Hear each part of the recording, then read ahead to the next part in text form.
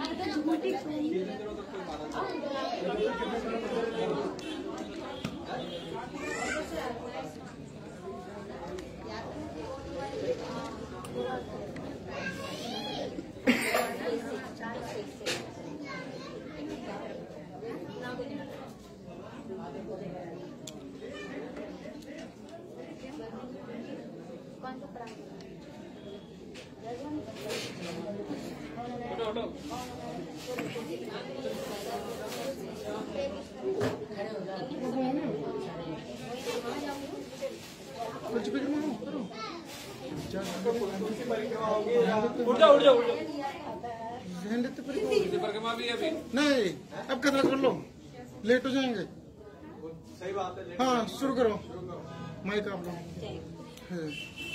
अब माइक ले लो जो माइक लगाओ। अब शुरुआत पर दबा जाएँगे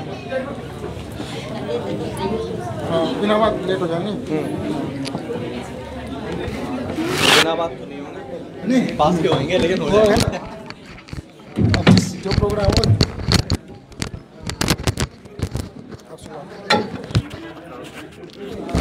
ओ जय हो जय हो महाराज जय हो मेरी जय हो महाराज आलिंगन करें मतलब आलिंगन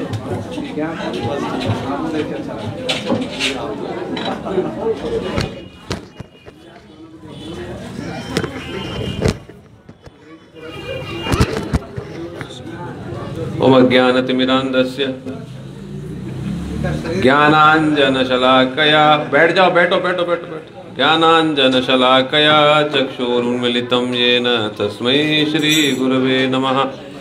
नमो विष्णुपादाय राधिकायै प्रियात्मने श्री श्रीमद्भक्तिवेदान्त नारायण नीति नामिने कृष्णलीलागतने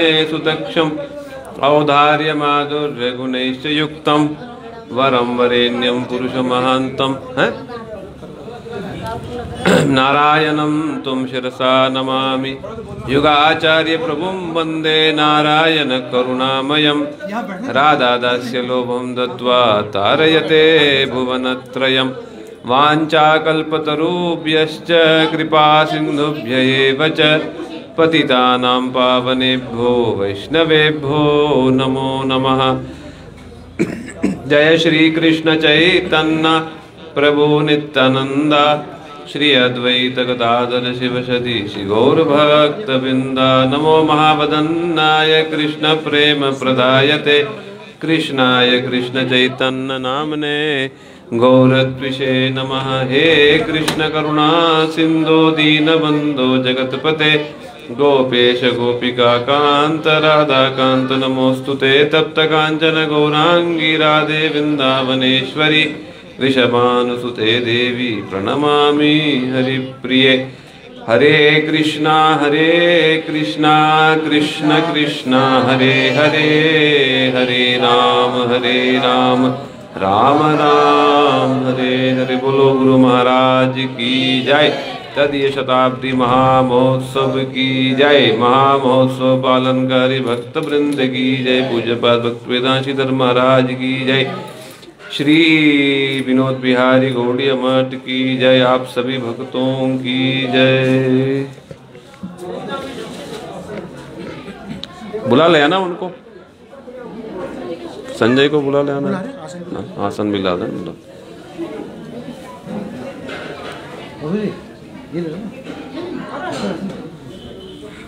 हरे कृष्णा। हम लोग परमाराध्यतम गुरुपाद पद्म नित्रिलाप विष्णु विष्णुपाद अष्टशत श्री श्रीमद भक्ति वेदांत शील नारायण गोस्वामी महाराज जगत गुरु श्री रूपानुग प्रवर परम करुणामय श्री गुरुपाद पद्म के शुभ शताब्दी जन्म महोत्सव के हाँ उपलक्ष्य में हम लोग यहाँ पर आज श्री विनोद बिहारी गौड़िया मठ में मना रहे हैं। आज भी और कल भी। कल विशेष रूप से कार्यक्रम होगा किंतु आज जो है अ, अ, आदिवास दिवस के रूप में एक दिन पहले से ही हम लोग श्री गुरु महाराज जी की विशेष जो महिमा है उसके बारे में हम लोग विभिन्न वक्ताओं से हम लोग सुनेंगे।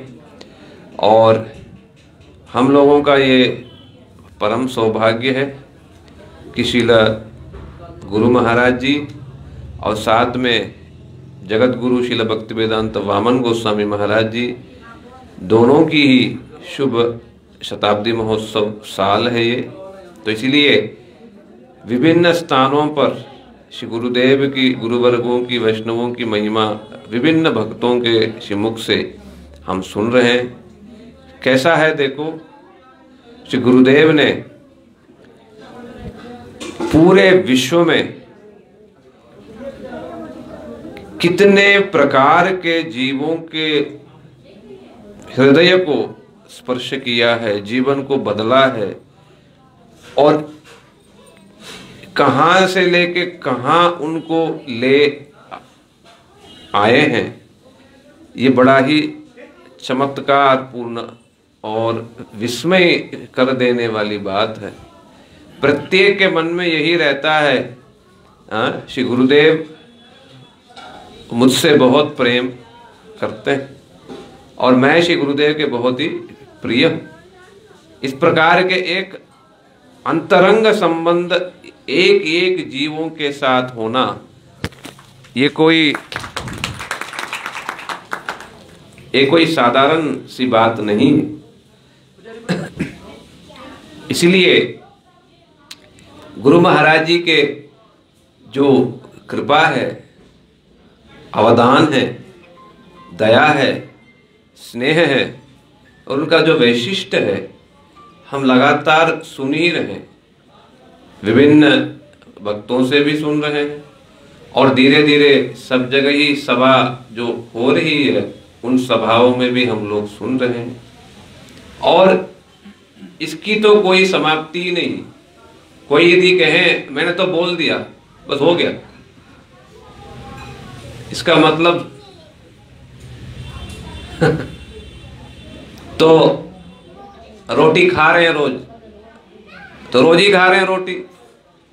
वही रोटी वही दाल तो भी तो भी हम थकते नहीं है। और थोड़ा सा ऐसे गुरु वर्गों की महिमा थोड़ा सा गा लिया हमको बहुत हो गया बस।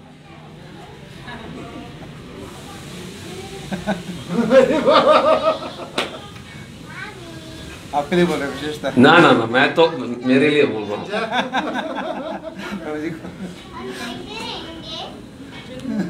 तो इसीलिए गुरुदेव की महिमा इतनी अनंत प्रकार से विस्तृत है।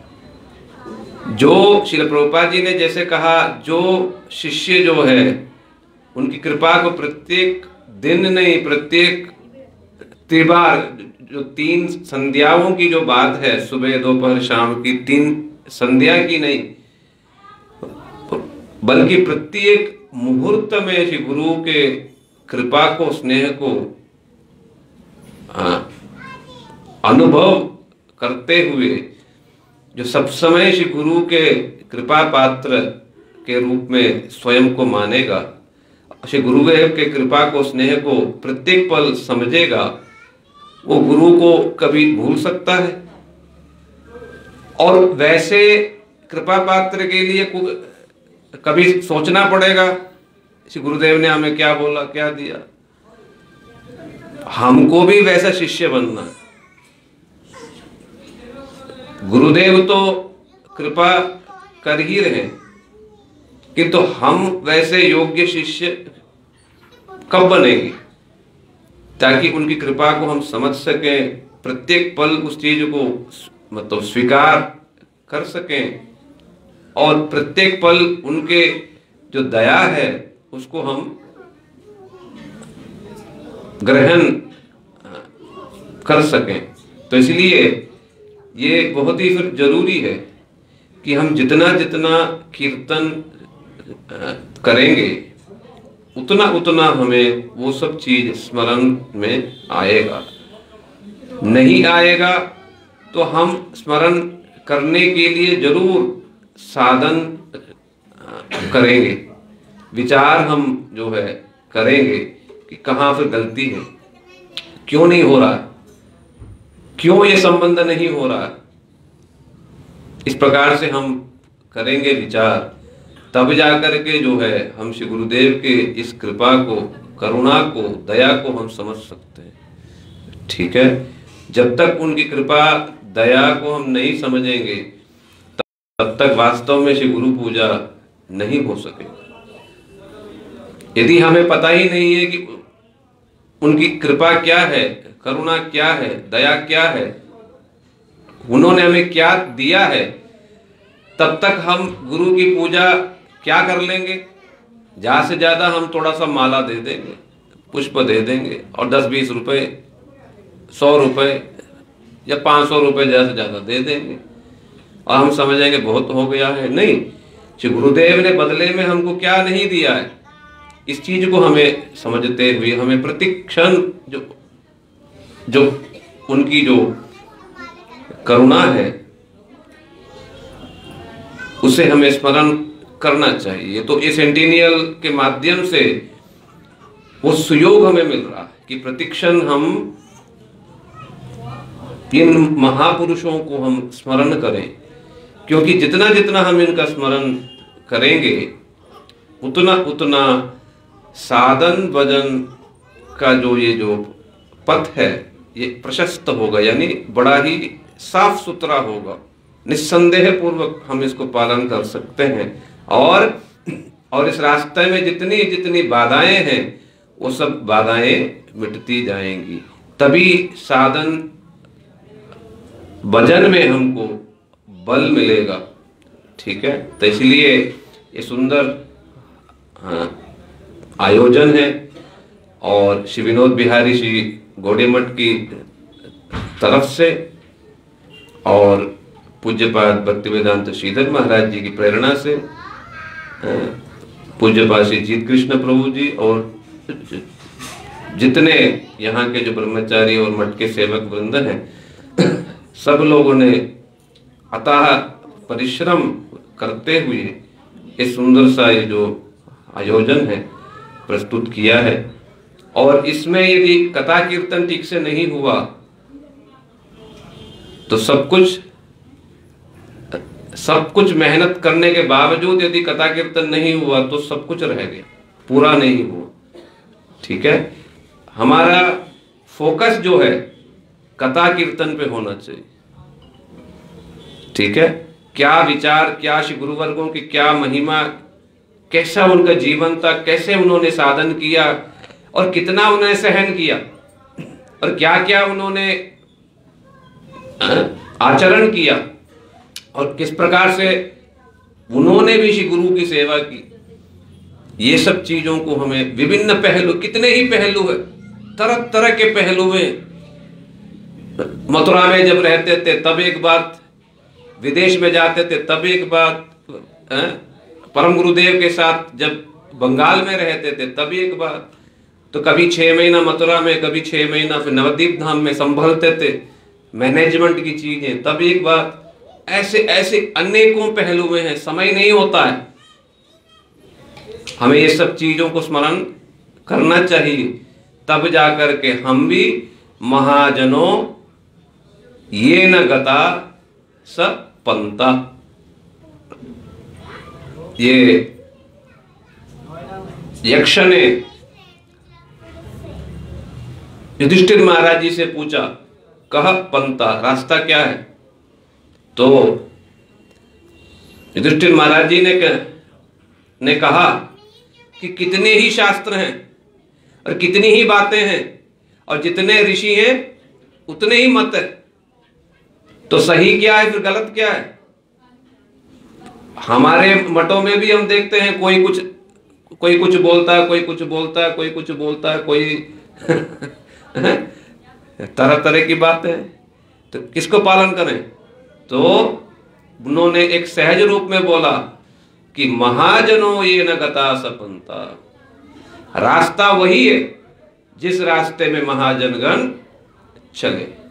इसलिए उस रास्ते के बारे में हम यदि बार बार बार बार बार बार सुनेंगे नहीं, हम भी उसी रास्ते में चलने के लिए हमें प्रेरणा, उत्साह, बल नहीं प्राप्त हो सकता है। तो इसलिए ये सुंदर आयोजन है, जिसमें हम लोग विशेष करके गुरुदेव के एवं श्री वामन गोस्वामी महाराज जी के और विशेष रूप से गुरुदेव के ही हम विभिन्न वैशिष्टों को विभिन्न जीवनियों को हम सुनेंगे।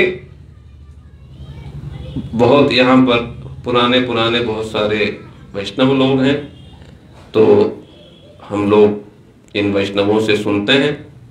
सबसे पहले अच्छा आ जाओ आ जाओ आ जाओ आपको आ है जाओ आ जाओ आ जाओ आ जाओ आपने मना किया अब तो आना ही पड़ेगा। हाँ, बिल्कुल। सबसे पहले हम लोग हमारे परम प्रिय पूजनीय अनिरुद्ध प्रभु जी। इनकी इतनी निष्ठा है कि गुरुदेव के लिए इन्होंने अपनी सारी पुरानी चीज़ें छोड़ दी। और पूरी तरीके से श्री गुरुदेव के चरणों में समर्पित हुए। और श्री गुरुदेव के लिए मतलब सब कुछ दे दे मतलब दे देने भी दे देने के लिए भी प्रस्तुत और श्री गुरुदेव की और वैष्णवों की विशेष करके श्री गोकुलपति प्रभु और दूसरे दूसरे जो वैष्णव लोग हैं इतनी सेवा इन्होंने की है। तो इसलिए ये हमारा विशेष करके मेरा सौभाग्य है कि प्रभु जी कुछ बोल रहे हैं तो हम सब लोग प्रभु जी से सुनते हैं। हाँ माइक दो।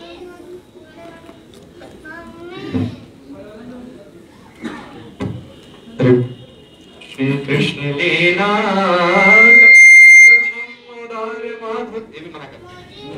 या माइक। आप गुरुदेव के पास खड़े हो जाओ फिर मना हाँ सही है। बहुत बढ़िया। काला कलिर नहीं नहीं काला कलिर इंद्रिय वैरी वर्ग भक्तिमान कंटक कोटि रुद्ध बाधाएँ तो खूब आएँगी। श्री कृष्ण लीला कथन सुरक्षम अगायमाशतम वरम वरेण्यम पुरुषम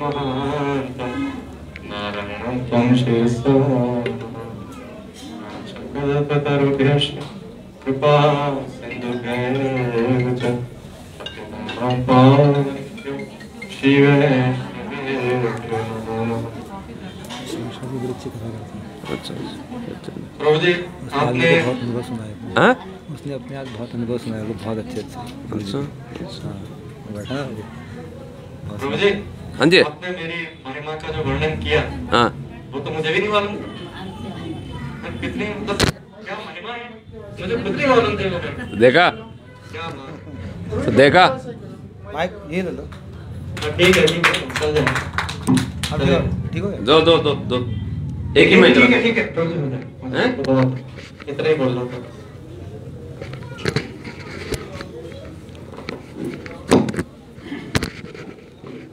किसी भी व्यक्ति की जो बल है पावर है ताकत है उसका अंदाज़ा दो चीज़ों से लगता है।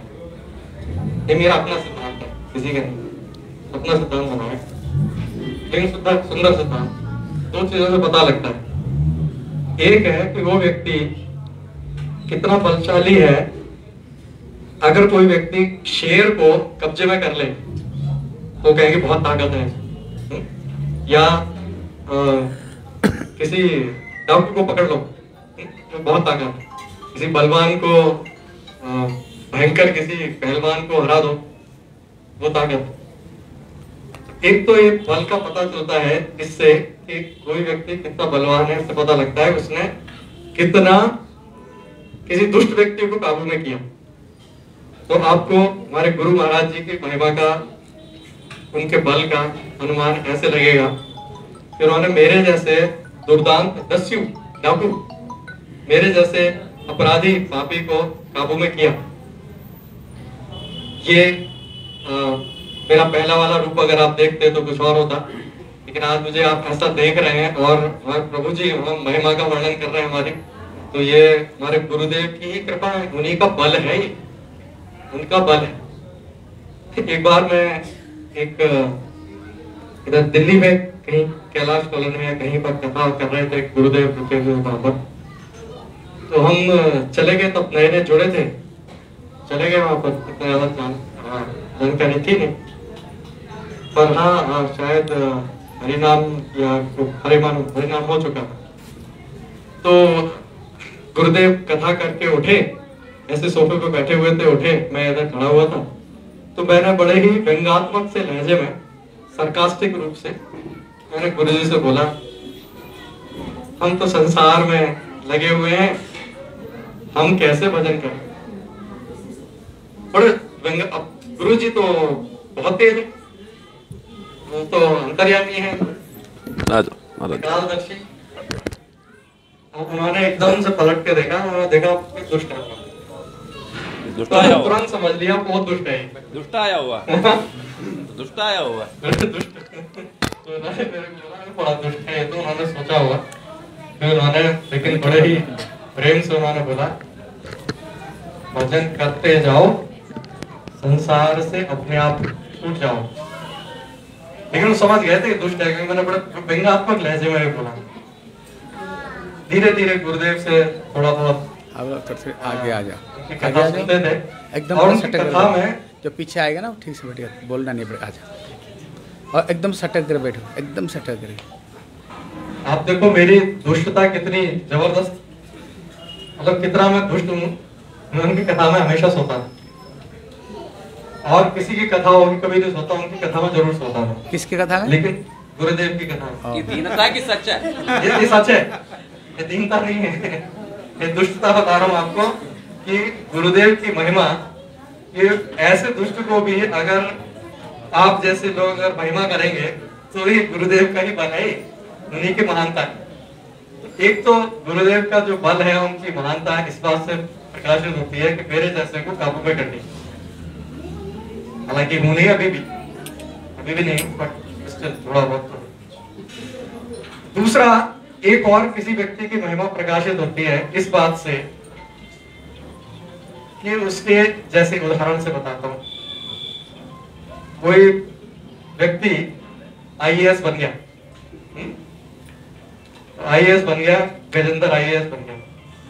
तो गजेंद्र को लोग बोलेंगे, ये राम प्रसाद का लड़का है। हम्म? तो पिता का जो प्रभाव है, उसकी महानता उसके बच्चे के गुण से वो प्रकाशित होती है। या किसी पेड़ का जो फल होता है उससे पता चलता है कि पेड़ कितना महत्वपूर्ण है। आम का पेड़ और आम का फल लगता है तो ऐसे ही हमारे ये फल बैठे हुए हैं। तो ये इन फलों के कारण जो है गुरुदेव की महानता इन फलों से प्रकाशित होती है। केवल हमने देखो पास में कौन बैठ देख? हाँ, एक बैठ दो संजय ब्रो देखो। तो ये फल बैठे हुए हैं। अब कोई ये कहे कि भाई, अगर फल हो सामने सामने रखे हो आम, चीकू, अंगूर रखे हो, और उसके सामने अगर करेला रख दो तो ये तो बहुत ही बेकार सी बात होगी ना। करेला फिर कौन खाएगा तो करेला को करो अलग, और और आम, चीकू और अंगूर को खाओ। मैं कहता हूँ। करेला। जो, जो माइक का जो आवाज़ है ना ब्रो जी वो फट रहा है। अब तो- आप बोलिएगा थोड़ा सा ठीक रहेगा। हरे कृष्ण ये आवाज़ ठीक। और उसको उसको जो मुँह तरफ़ पीछे कर दो तो कोई कमा सकता है? हरे कृष्ण देखो इसमें भी थोड़ी थोड़ी आवाज़ आ रही है। हरे कृष्ण हरी हरि बोल हाँ, तो, तो ठीक कर दो। कम लग रहा है कुछ। ठीक कर दो उसको। हरे कृष्ण हरि बोल हरे कृष्ण। हरे कृष्ण हरि बोल। इतना ही बोलना था पाँच मिनट बस हो गया? हाँ, अब अब बोलो। शाश्वत? खड़े हो तो वहाँ मौका नहीं मिला। ये देखो ये जो शाश्वत है जब छोटा बच्चा था कितने साल उम्र में गुरुजी तुम्हारे घर में गए थे? बोलो। कितना कितना उम्र में? माइक में बोलो। हाँ? माइक में ये जब चार साल उम्र का था इनका परिवार आते थे वृंदावन में, तब भी इसका आवाज़ ना सही नहीं। ये, इनके परिवार लोग वृंदावन में आते थे। वहाँ पर कोई पंडित जी आकर के इनका राधापुरी में इनका गाँव, कौन सा जगह पर? राधापुरी, दिल्ली में। एक पंडित जी जाते थे कथा करने के लिए और वो आते थे। इनका पूरा परिवार आता था मंदिर में। आने पर हमारा मंदिर में वो पंडित रहते थे। वहाँ रुकने का कोई व्यवस्था नहीं थी, इसलिए मंदिर में रखवा लेते थे। लेकिन मेरा एक स्वभाव था अगर कोई नए लोग देखे ना, मैंने रात रात कथा सुनाया करता था। उनको रात रात मैंने कथा सुनाती थी। प्रसाद पाने के बाद बैठ जाता था, हैं? ग्यारह बजे, बारह बजे तक कथा सुनाता था। फिर इनका जो माता जी पिताजी, इनके भाई, ये छोटा बच्चा था, उस समय भी चार पाँच साल का था। इसलिए इतने में कथा सुनाता, सुनाते सुनाते धीरे धीरे क्या हुआ? उनका जो मन है, वो धीरे धीरे धीरे हमारे मंदिर के प्रति आ गए। अभी वो पंडित परेशानी जे इनको लाया मैंने और उन्हें रुकवाया गौड़िया मठ में, ये तो धीरे धीरे धीरे धीरे हमें भूलते जा रहे हैं। ये तो धीरे धीरे हमें भूलते जा रहे हैं और इनको मैंने वृंदावन में लेकर के खूब दर्शन करवाया, वृंदावन में लेकर के। वो तो परेशानी और उन्होंने बहुत विरोध भी करना कोशिश की और इनको बहुत कोशिश की जैसे इनको ये गौड़िया मठ से जैसे हम निकाल दें। लेकिन गौड़िया मठ का अन्न, पानी जिसको पेट में एक बार चला गया ना, समझो उसका काम हो गया। काम हो गया है।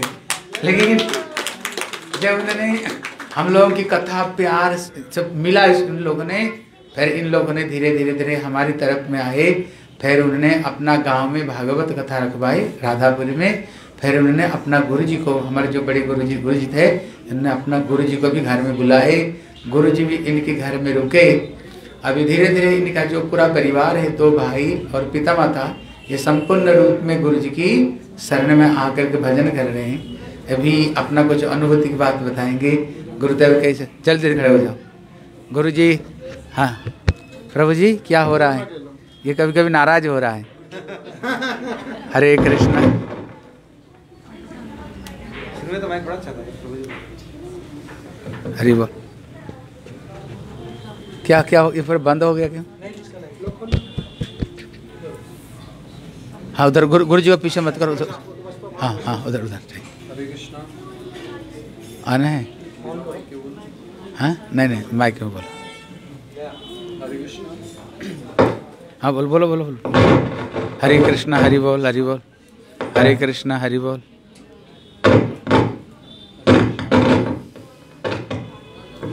हरे कृष्णा। हाँ हरि बोल। ओम ज्ञानतिमिरान्धस्य ज्ञानाञ्जन शलाकया चक्षुरुन्मिलितं येन तस्मै श्रीगुरुवे नमः। अब लोग थोड़े थोड़े से आगे आ जाओ। जो पीछे आए ना ठीक से बैठ जाए। माताएँ? एकदम यहाँ पे बैठ आप लोग भी पीछे माताएँ खड़ी हैं। अब एकदम आगे। ओम विष्णुपाद अष्टोदश श्रीमद्भक्ति वेदांत नारायण गोस्वामी महाराज जी थोड़ी थोड़ी आगे आगे आ जाओ। चरण कमलों में जगह करनी है। आगे आ जाओ। तदुपरांत भक्ति वेदांत श्रीधर गोस्वामी महाराज जी के चरणों में बारंबार दंडवत प्रणाम को अर्पण करता हूँ। क्योंकि जन्म तो दिया मुझे गुरुदेव ने, लेकिन पालन पोषण किया शिला महाराज जी ने। तो जन्म तो दिया गुरुदेव ने, पालन पोषण किया शिला महाराज जी ने। और मेरा ऐसा मानना है कि पालने वाला ज़्यादा बड़ा होता है, अगर कोई जन्म देके गुरुदेव ने छोड़ा तो नहीं, लेकिन मैं उनको पकड़ नहीं पाए उपस्थित सभी वैष्णव वैष्णव के चरणों में भी प्रणाम करता हूँ। अभी समझ नहीं आ रहा कहाँ से बोलूँ और कहाँ से शुरुआत करूँ, क्योंकि सब मिक्स हो गया। और मुझे पता है, इस सब के पीछे ना ये अजय पायलट प्रभु जी हैं। इन्होंने महाराज जी को बोला होगा। महाराज जी दो घंटे सुनाया इसने कथा। इतना सुंदर। अभी कह रहा था डेढ़ घंटे की मैंने भी सुनी। आज से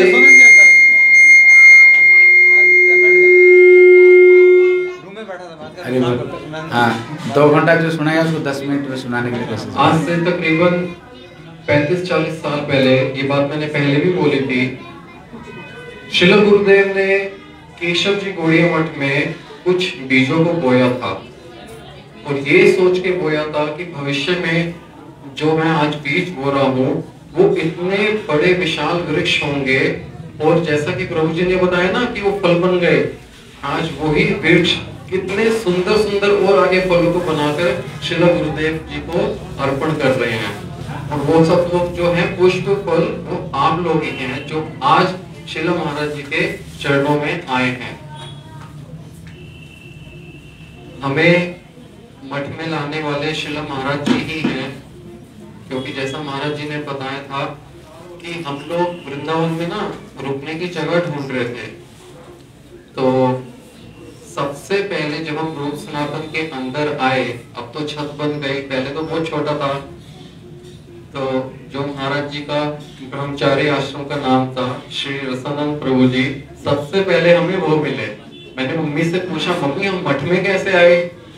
कह रहे, सबसे पहले ना हमें रसानंद प्रभु जी मिले थे। तो उन्होंने पूछा, कहाँ से आए हो? क्या करते हो? तो महाराज जी ने हमें रूम दिया था उस समय। और उस समय जो रूम की सेवा होती थी, तकरीबन तीस या पैंतीस रुपए की, उस समय सेवा होती थी रूम की। फिर हम लोग, फिर हम लोग ऐसे मठ से जुड़े। नहीं वो सही है उसको वो सही है फिर हम लोग ऐसे मठ से जुड़े। नहीं वो एक नहीं बोलो। पहले जो बोलता था वो सब बड़ी कभी हम मठ से अलग ही नहीं हो पाए। 1994 में शिला गुरुदेव अपनी ही इच्छा से और कृपा करके जब हमारे घर में आए ना राधापुरी पहली बार 94 मैं चार साल का था। अभी जो मेरे दादाजी थे आप लोगों ने दारा सिंह का नाम सुना होगा मशहूर पहलवान थे। मेरे दादाजी दारा सिंह के बहुत अच्छे और क्लोज थे। तो मेरे दादाजी की हाइट थी छह फुट तीन चार इंच। मुर्गा, अंडे खाना तो ऐसा था जैसा हम पानी पीते हैं।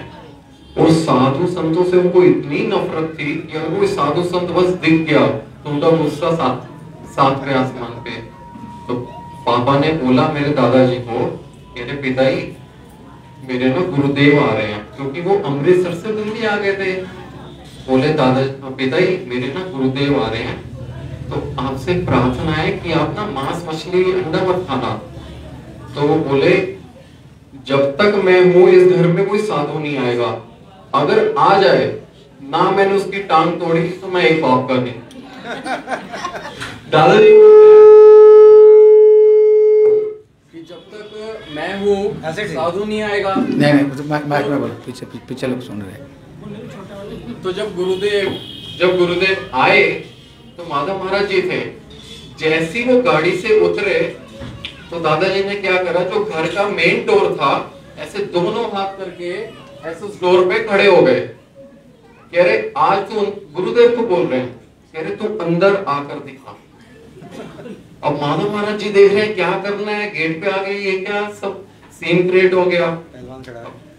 अब दादाजी भी एकदम हट्टे कट्टे थे क्योंकि जो पहलवान होते हैं ना उनके हाथ बहुत भारी होते हैं। वो छह फुट तीन इंच के पूरा दरवाज़ा घेर के खड़े।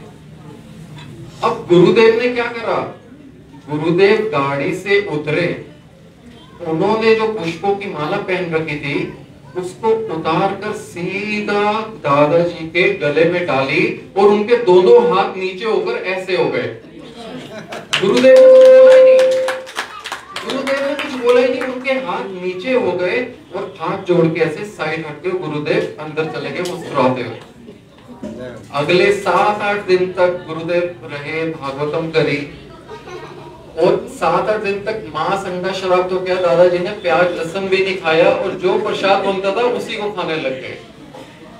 तो ऐसा गुरुदेव की एक महिमा है। गुरुदेव जहाँ पे भी रहते थे वो एटमोस्फेयर भी चेंज हो जाता था। एक और मेमोरी मेरे दिमाग में आ रही है। पहले क्या होता था कि घर में ना दो मोटर होती थी। एक बड़ी मोटर का पानी आता था, जिसे बोरिंग का पानी बोलते हैं, खारा पानी, एक छोटी मोटर का। जो बड़ी मोटर का पानी होता था, उसको बर्तन धोने में यूज़ करते थे और बाथरूम में फ्लश में यूज़ करते थे। छोटी मोटर मीठे पानी से खाना बना लिया और नहा लिया। अभी क्या हुआ कि एक दिन, जैसे कहते हैं ना, टैंकी से पानी नीचे उतर गया, लेवल ज़मीन के लेवल से नीचे आ गया पानी। तो जो पानी, मीठा पानी नीचे आ गया था, अगले दिन जब पिताजी उठे, क्योंकि गुरुदेव का एक नियम था, अगर गुरुदेव मठ मंदिर से भी कहीं बाहर जाएँगे, नित्य प्रति तीन बजे उठ के अपना आठ, साढ़े आठ बजे तक गुरुदेव अपने द्वार को बंद रखते थे। अगर कोई प्रोग्राम नहीं है तो। तकरीबन साढ़े छह बजे जब मम्मी पापा उठे तो उन्होंने देखा पानी नहीं आ रहा मीठे वाला। गुरुदेव कैसे नहाएँगे? नहाएँगे नहीं तो आह्निक कैसे करेंगे? अभी तो गुरुदेव को पूजा भी करनी है। तकरीबन साढ़े सात, सवा सात बजे जब गुरुदेव का रूम का दरवाज़ा खुला, अंदर से माधव महाराज जी ने खोला, जो पहला दृश्य मेरे पिताजी ने देखा, पहला दृश्य देखते हैं, गुरुदेव बैठे हैं धूप में। जैसे पैर पसार के बैठते हैं ना, चरणों वैसे पसार के बैठते हैं। नहा धोकर तिलक लगा रखा है। तो पिताजी कंफ्यूज हो गए कि गुरुदेव ने स्नान कैसे कर लिया? पानी तो आ नहीं रहा। तो पूछा, गुरुदेव, आपने स्नान कैसे किया पानी? तो आ नहीं रहा। गुरुदेव ने बोला, जल तो आ रहा है, मैंने कर लिया। तो पिताजी बाथरूम में गए नलका खोला, पानी नहीं था, क्योंकि पानी तो खत्म हो चुका है। तो पूछा, गुरुदेव, नहीं आ रहा जल?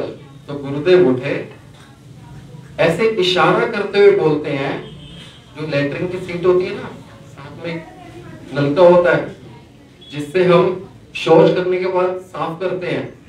गुरुदेव उसकी तरफ़ उंगली करते हुए बोलते हैं इस नल में पानी आ रहा था और इस मक्के से मैंने नहा लिया। तो पिताजी ने बोला, अरे गुरुदेव, ये तो लेटरिन का मक्का है और इसको हम ऐसे लेटरिन करके साफ़ करते हैं शरीर को। ये तो अपवित्र है। तो गुरुदेव ने तुरंत पिताजी की तरफ़ देखते हुए बोला, ऐसे मुट्ठी बना के। वो मुट्ठी को रखा उनके दिल पे, हृदय पे। जिस दिन ये पवित्र हो जाएगा ना शरीर के अपवित्र और पवित्र रहने का विचार ही नहीं आएगा। पहले अपने हृदय को पवित्र करो पहले अपने हृदय को पवित्र करो तभी तो इन चीज़ों से ऊपर उठोगे। तो ऐसी छोटी छोटी छोटी चीज़ें है ना तो कभी कभार अभी तक वो दिमाग में आती हैं। एक मैंने गुरुदेव के साथ शरारत करी थी वो अभी भी याद है। मैंने ना कथा में सुन लिया था कहीं पे खेलते खेलते कि गुरुदेव भगवान को साक्षात देख सकते हैं। अब ये बात मेरे दिमाग में चढ़ गई कि गुरुदेव ठाकुर जी को देख सकते हैं। और गुरुदेव पहनते थे चश्मा। अब मुझे लगा कि इस चश्मे के अंदर कुछ ऐसी चीज़ है, अगर मैं पहन लू तो मुझे भगवान दिख जाएँगे। अब अब चश्मा लू कैसे? चश्मा लू कैसे? तो मैं बड़ा शैतान था। मुझे पता था कि उस समय हम तो उनको महाराज जी बोलते थे। कि महाराज जी ना दोपहर को विश्राम करते हैं। और जो माधव महाराज जी समय नवीन कृष्ण ब्रह्मचारी थे वो ना दोपहर को महाराज जी के वस्त्रों को धोते थे। मैंने कमरा खोला देखा गुरुदेव सो रहे हैं। चश्मा पड़ा हुआ साइड पे। मैं गया चुपके से चश्मा उठाया जेब में डाला रूम से रफू चक्कर। मैं बहुत खुश हो गया। मैंने चश्मा लिया और पहना जैसी पहना तो मुझे कुछ दिखाई नहीं दे रहा, सब धुंधला धुंधला। तो मैंने चश्मे को लेके साफ़ कर रहा मैंने कहा, ये क्या कुछ भगवान तो नहीं दिख रहे? फिर पहना, फिर धुंधला। फिर मैंने कहा, मम्मी ने झूठ बोला था कि गुरुदेव को भगवान दिखते हैं। तो वो चश्मा जाके मैंने वापस रख दिया। और गुरुदेव लेटे हुए थे। तो मैं ऐसे ही गुरुदेव के पास जाके बेड पे लेट गया और ऐसे मैं उनके जैसे गले मिलके सो गया। इसके बाद थोड़ा सा याद आया पिताजी आए थे तो उन्होंने बोला, अरे, उठ जा उठ जा। वैसे खींचने लगे। तो गुरुदेव ने उनको बोला कि, ये तो बच्चा इसको सोने दो, इसको ऐसे क्यों तंग कर रहे हो? एक और गुरुदेव का आदर्श मुझे याद आ रहा है। एक बार ना गुरुदेव ने मेरे पिताजी को बुलाया। कह रहे, सुन, ये ना मेरे वस्त्र हैं, इनको धोके ले आ। सन्यास के वस्त्र धोके ले आ। तो पिताजी ने क्या करा जो गुरुदेव के वस्त्र थे ना, मम्मी को दे दिए। कह रहे, प्रीति, ये ना धो के दे दे, बढ़िया से। धो के दे दे मुझे, मैं जा रहा हूँ बाहर काम है। अब जो स्त्री होती है ना, वो तो घर के काम में एकदम परफेक्ट होती है। मम्मी ने उनको धो के अच्छे से प्रेस करके दे दिया और तय करके पिताजी को दिया। पापा लेके गए, सोचे, सब शाबाशी मिलेगी। पापा लेके गए, गुरुदेव के हाथ पे रखे। गुरुदेव ने बोला, तूने इतने अच्छे से कपड़े धो लिए? वो अब बोले नहीं नहीं गुरु जी मैंने नहीं धोए। तो किसने धोए? कह रहे वो प्रीति है ना, उसने धो दिए थे। अभी गुरुदेव तो एकदम गंभीर होके बोले कह रहे उसको बुला के ला तो पापा मम्मी को लेके आए। तब गुरुदेव ने कितना अच्छा गुरुदेव ने शिक्षा दी। बड़े सिंपल शब्दों में गुरुदेव ने बोला, देख बेटी, तू मेरी बेटी है, मैं तेरा पिता हूँ। लेकिन तब भी, क्योंकि मैं संन्यास आश्रम का पालन कर रहा हूँ और ये जो वस्त्र है ना, मुझे मेरे गुरुदेव ने दिए थे। इसलिए मर्यादा है इसमें कुछ। तुम मेरे वस्त्रों को छू नहीं सकती और धो नहीं सकती। तेरे को मैं सेवा दूँगा, लेकिन वो तुझे मैं डायरेक्ट दूँगा। और वस्त्रों को कभी नहीं छूना चाहिए, ना ही सन्यासियों को छूना चाहिए। ये बात तब मम्मी को उन्होंने समय बोली थी और उसका मम्मी ने अभी तक हमेशा पालन करा। वैष्णव के मुख से सुना है कि गुरुदेव के अंदर अनंत गुण है। सच बताओ तो मुझे उसकी अनुभूति नहीं है, बिल्कुल भी नहीं। लेकिन हाँ एक चीज़ को मैं बहुत छाती ठोक कर बोल सकता हूँ कि एक गुरुदेव के अंदर सिर्फ़ एक गुण की मैंने अनुभूति करी थी। वो ये थी कि गुरुदेव किसी भी व्यक्ति के ना मन को, हृदय को पढ़ सकते थे। एक बार किसी वैष्णव ने कार्तिक परिक्रमा चल रही थी 2007 की बात है। मुझे किसी कारणवश डांट दिया। मैं भी ज़्यादा समझदार नहीं था, अभी भी नहीं। तो मेरा मन इतना खराब हो गया, गलती मेरी नहीं थी, डांट दिया। बच्चे का मन खराब हो जाता है मेरा मन खराब हो गया। धीर कृष्ण प्रभु के साथ रहता था। तो मैंने प्रभु जी को बोला, प्रभु जी, मैं दिल्ली वापस जा रहा हूँ, मुझे कार्तिक नहीं करना। धीर कृष्ण प्रभु ने बार बार पूछा, क्या बात होगी? बता तो सही। मैंने कहा, मुझे घर जाना है। प्रभु जी बोले अच्छा देखो, गुरुदेव से मिलना है क्या? मैंने कहा हाँ हाँ गुरुदेव से मिलना है। कह रहे, मिल ले, मिल के चला जाना, दिल्ली चला जा। तो गुरुदेव के पास लेके गए। उन्होंने सिर्फ़ इतना बोला धीर कृष्ण प्रभु ने गुरुदेव को, महाराज, ये लड़का है ना, ये दिल्ली जाना चाह रहा है। गुरुदेव कह रहे क्या दिल्ली जाना चाह रहे हैं ये परिक्रमा छोड़ के? सबसे पहला शब्द जो गुरुदेव ने बोला ना, गुरुदेव कहते हैं, लगता है किसी ने ना इसको कुछ बोल दिया डांट दिया और इसका मन खराब हो गया।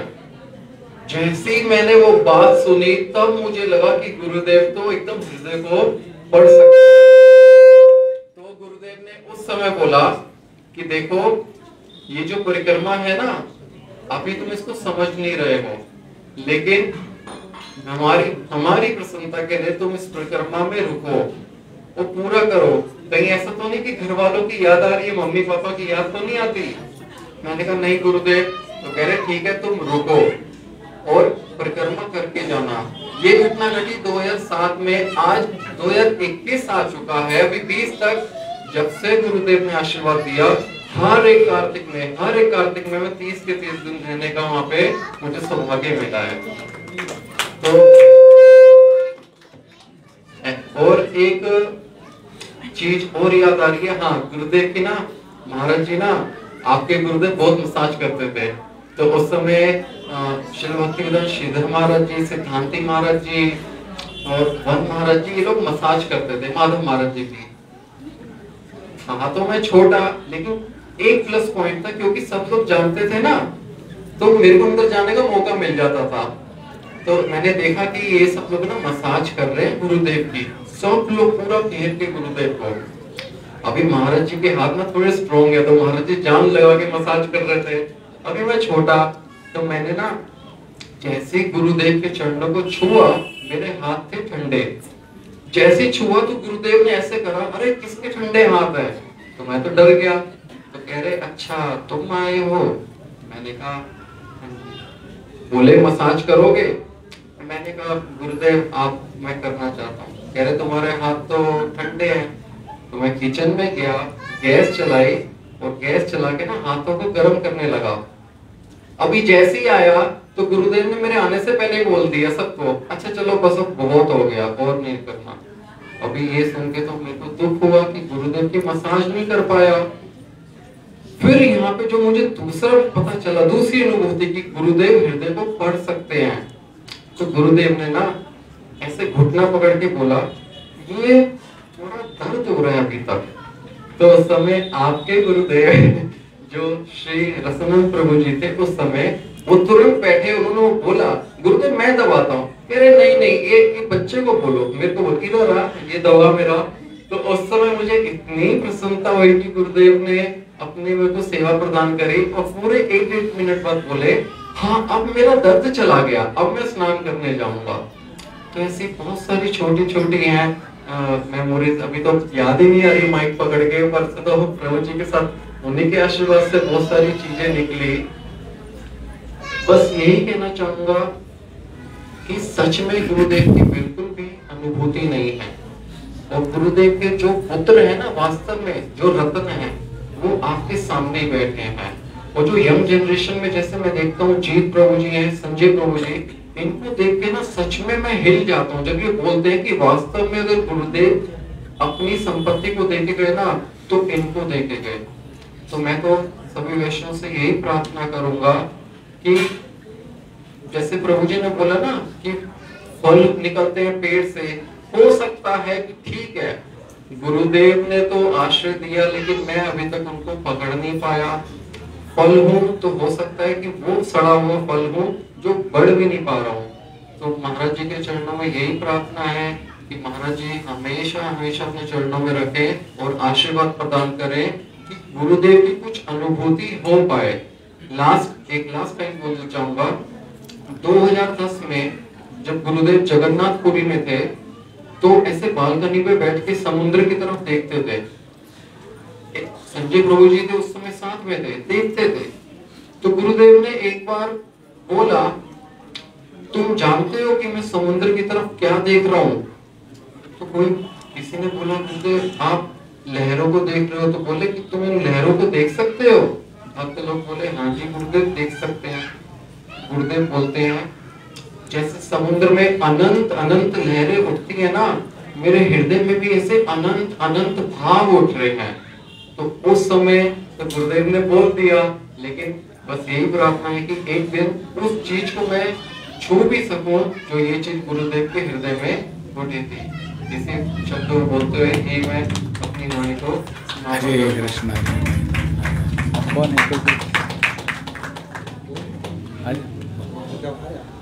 आइए। ये बड़े लोग बाद में बोलेंगे आप लोग दीजो दीजो हमारा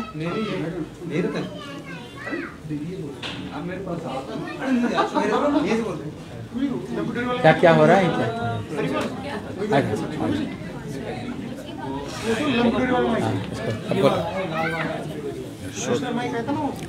बोलो, हरे कृष्ण हरे कृष्ण कृष्ण कृष्ण, हरे हरे हरे राम हरे राम राम राम।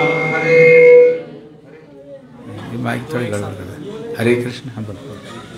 हरे कृष्ण। ओम अज्ञानतिमिरन्धस्य ज्ञानञ्जनशलाकया चक्षुरुन्मिलितं येन तस्मै श्रीगुरवे नमः। नमो ॐ विष्णुपदाय राधिकाय प्रियात्मने। श्री श्रीमद्भक्तिवेदान्त नारायण।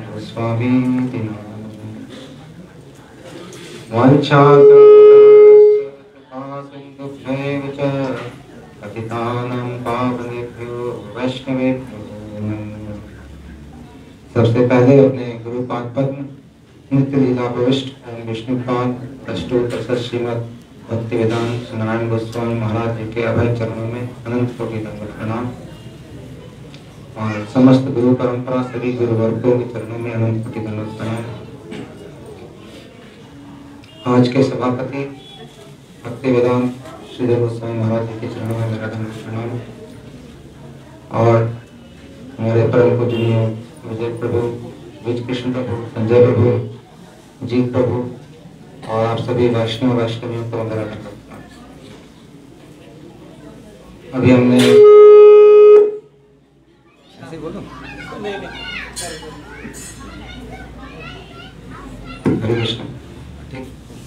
बंद महाराज जी भाई ये वाले? बंद कर रहे ठीक है ठीक है। बंद कर दो फिर ठीक जाएगा। मैंने बंद कर दिया। हरि बोल हरे कृष्णा। हरी बोल। उसको बंद कर दो उसको बंद कर दो। हरे कृष्णा हरि बोल। अब इसमें बोलो। लो।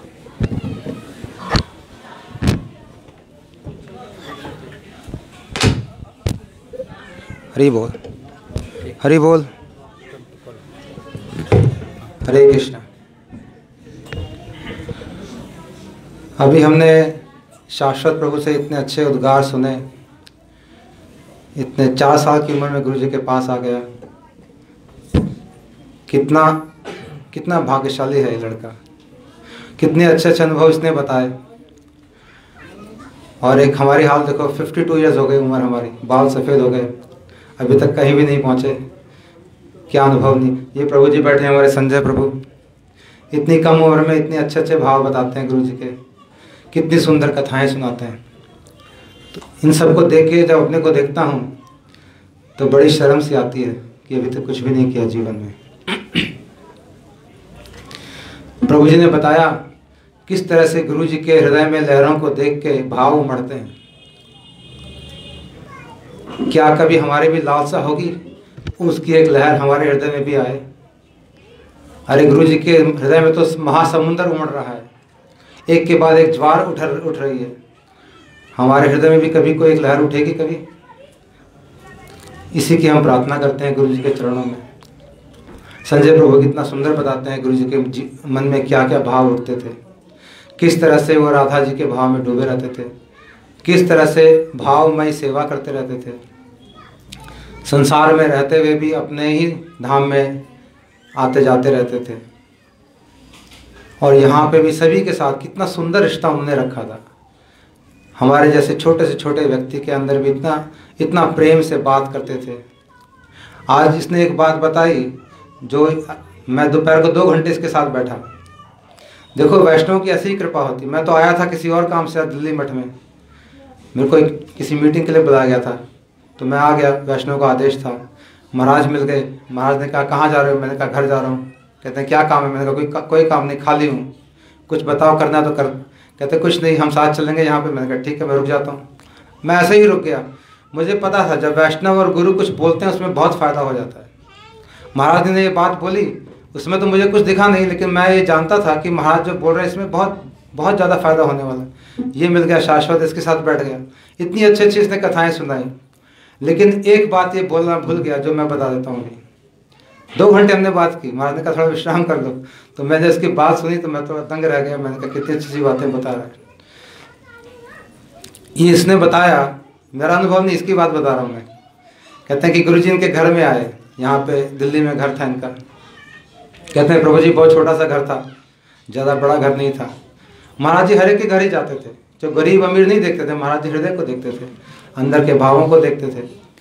महाराज हमको देख के सब देख लेते थे, ये बंदा कहाँ जाने वाला, कहाँ से आ रहा है, इसकी यात्रा कैसी है? सब उनको पता चल जाता था। आगे भविष्य भी और भूत भी, और वर्तमान तो दिखता ही था। तो कहते महाराज जी हमारे छोटे से घर में आए, और पता नहीं महाराज जी कोने में जाके बैठ गए। कह रहा कह रहा था कि मुझे समझ में नहीं आया महाराज जी क्या कर रहे हैं। फिर महाराज जी ने एक मंत्र जाप करना शुरू कर दिया। और फिर महाराज जी ने कहा, देखो तो महाराज जी क्या देख रहे हैं? हमें नहीं पता क्या देख रहे हैं, लेकिन महाराज जी क्या कर रहे हैं इनके घर बैठ के? कहते हैं, बेटा, मैंने यहाँ पे नरसिंह देव को स्थापित किया है। देखो, नरसिंह देव को स्थापित कर दिया क्या पावर है, क्या शक्ति है? कहते, तुम लोग इस घर को कभी बेचना नहीं। आदेश भी दे गए। लेकिन हम बद्ध जीव हैं।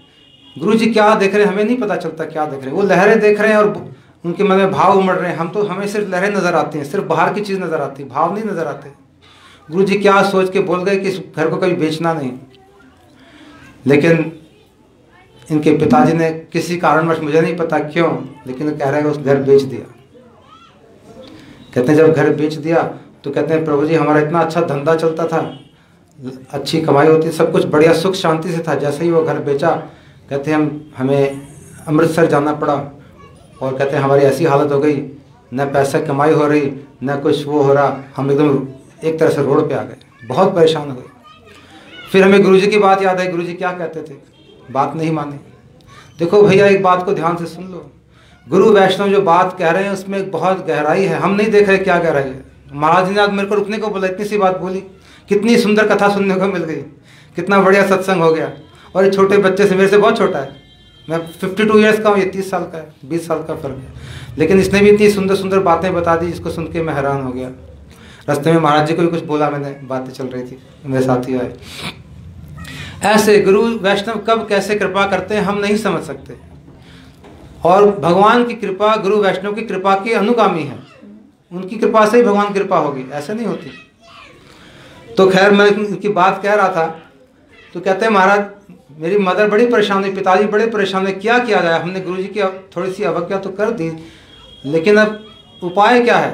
देखो, अगर हम गुरु वैष्णव की अवज्ञा कर देते हैं गलती से तो फिर क्या करना चाहिए? क्या करें बताओ? उन्हीं के पास जाना चाहिए, और क्या करेंगे? उन्हीं की शरण ले। उन्हीं के चरणों में पढ़े, जाके उन्हीं से उपाय पूछे। इन्होंने ऐसा ही किया, बहुत अच्छी बात करी। इधर उधर जाने से अच्छा गुरु जी के चरणों में फिर पहुँच गए इनकी माता जी और चरणों में पढ़ के रोने लग गई। प्रभु जी बता रहे थे, मथुरा में जो फ़र्स्ट फ्लोर पे गुरु जी का रूम होता था, वहाँ पे गुरु जी के पास पहुँचे। अब देखो गुरु जी क्या करते हैं, इस बात को जरा बड़े ध्यान से सोचना। गुरु जी बहुत बड़ी स्टेप ले रहे हैं यहाँ पे। किस तरह से उनका हृदय करुणामय है, किस तरह से अपने अपने शिष्यों के प्रति वात्सल्य है। केवल उनको भक्ति नहीं गुरु जी पूरी जिम्मेवारी लेते हैं आपके जीवन की। इस जीवन की भी फ़िज़िकल रूप में भी, कि आपको, आपका जीवन बढ़िया से चले। तो इनकी माता जी जब पहुँची गुरु जी के रूम में, शायद प्रभु जी भी थे, बता रहे थे, कहते गुरु जी ने आदेश दिया, कमरे को बंद कर दो। तो माधव महाराज ने कमरे को लॉक कर दिया। वो छोटा सा कमरा था गुरु जी का, जहाँ गुरु जी रहते थे। और गुरु जी ने आदेश दिया माधव महाराज जी को, कुछ वो बैग लेके आओ, बंगला में बोला। कहते मुझे समझ में नहीं आया, लेकिन माधव महाराज जी बैग उठा लाए। अब जो बैग लेके आए, जब उस बैग को खोला तो उसके अंदर रुपए थे। रुपए की गड्डियाँ थी। और गुरु जी पता क्या कहते हैं इनकी माँ को? कहते हैं, देखो, मैं तुम इतनी परेशान हो, इसमें से जितने पैसे चाहिए ले लो यहाँ से। गुरु जी अपने शिष्य को पैसे दे रहे हैं, जबकि हमको अपने गुरु को देना चाहिए। क्या दया है गुरु जी की, देखो आप। कह रहे जितने मर्ज़ी ले लो, इसमें से गड्डी उठा लो जो चाहिए। लेकिन इनकी माँ भी कोई साधारण माँ नहीं थी। उन्होंने क्या बोला? उन्होंने बोला गुरु जी ये रुपए मुझे नहीं चाहिए। देखो गुरु जी ने आदेश दिया, चाह तो निकाल ले भी सकते थे, चाहे जितने मर्ज़ी, और गड्डियाँ थी, कम पैसे नहीं थे। गुरु जी की शायद जितनी भी कमाई सारी गुरु जी ने खोल दी लाके अपने शिष्य के लिए। जितनी भी उनकी बचत, अब मठ उस समय मठ मंदिर में पैसे भी कितने आते थे? अरे, आज का खाना बन गया तो अगले खाने का पता नहीं होता था कैसे बनेगा। फिर भी ये संत महात्मा लोग ऐसे ही जीते हैं, भगवान के ऊपर डिपेंड करते हैं हर चीज़ के लिए। और दिल देखो कितना बड़ा है। हम लोग के पास दो रुपये आते हैं तो हम बचा के रखते हैं कि कभी काम आएँगे शादी करनी ब्याह पचास चीज़ें सोचते हैं। और संत महात्मा तो कुछ नहीं सोचते, कहते कि आज काम आ जाए, बस ये हो गया काम। आज किसी के काम आ जाए गुरु जी ने सारी अपनी हृदय की सारे पैसे इनके सामने रख दिए, बोले जो मर्ज़ी उठा लो यहाँ से। लेकिन इनकी माता बड़ी तेज थी, बड़ी अच्छी थी। उन्होंने कहा कि गुरुदेव, मेरे को ये पैसे नहीं चाहिए। आप कुछ ऐसा उपाय कर दो, जिससे कि मेरा काम चलता रहे। रोजी रोटी चलती रहे, घर में काम होता रहे। गुरुदेव तो सब सक्षम है, वो भी कर सकते हैं। तो गुरुदेव ने ऐसा ही किया। ऐसा उपाय कर दिया कि सब काम चलता रहे। गुरु जी ने सोमनाथ जी को फ़ोन करके उनके लिए कोई बिज़नेस सेट किया, उनको फ़ोन किया, वहाँ से सोमनाथ जी ने उनको आइडिया दिया। गुरु जी ने आदेश दिया सोमनाथ जी को कि तुम इनके लिए कुछ व्यवस्था करो, ताकि इनका काम ठीक से चले। सोमनाथ जी ने फिर वहाँ से बॉम्बे से करके इनका काम बढ़िया से चला। तो देखो गुरु जी कितने दयालु हैं। कोई सोच सकता है ऐसे? हम किसी के कुछ देने के क्या देते हैं हम किसी को गुरु जी को? कल मैं बता रहा था वहाँ पे कि हम गुरु जी को कुछ नहीं देते। एक बार किसी शिष्य ने, कल भी मैंने बात कही थी, आप लोग जो थे वहाँ पे, किसी शिष्य ने गुरु जी से पूछा गुरु जी मैं आपकी कैसे सेवा कर सकता हूँ? गुरु जी ने कहा, क्या तुम मेरे लिए प्राण दे सकते हो? ये सवाल पूछा, आप लोग कहेंगे, ये तो गुरु जी बहुत ज़्यादा मांग रहे हैं। प्राण से बढ़कर हमारे जीवन में कोई चीज़ तो है नहीं। और गुरु जी उस प्राण की बात कर रहे हैं, जो हमारे लिए सब कुछ है, आप लोग सोच सकते हैं कि ये तो बहुत ज़्यादा कुछ गुरु जी मान रहे, मांग रहे हैं हमसे। लेकिन ये कुछ ज़्यादा नहीं है। बहुत कम मांग रहे हैं बल्कि। बल्कि आप देखोगे हमारे गुरु लोगों के जीवन में, हमारे गुरु जी ने अपने परम गुरु जी की प्राण दे के ही सेवा करी है। जब उनके गुरु भाई को टीबी हो गया था, गुरु जी बिल्कुल घबराए नहीं कि मैं मरूं या जीऊं, लेकिन मैं सेवा करूँगा। परम गुरु जी ने उनके गुरु जी की ऐसी सेवा करी है। प्रभुपाद जी की ड्रेस पहन के मरने को तैयार हो गए उद्दत हो गए कि अब मर जाऊँ तो कोई बात नहीं, गुरु की तो सेवा कर लूँ। बहुत कम प्राइस है प्राण देना। कबीरदास जी तो यहाँ कह रहे हैं, यह तन विष की बेलरी, गुरु अमृत की खान, शीश दिए जो गुरु मिले तो भी सस्ता जान। खाली गुरु मिलने की प्राइस बता रहे हैं, सेवा करने की नहीं बता रहे अभी। गुरु मिलने के लिए भी अगर प्राण देने पड़े तो बहुत ही सस्ता बता रहे हैं इसको। महँगा नहीं है कोई सौदा। बहुत सस्ता सौदा है। क्यों?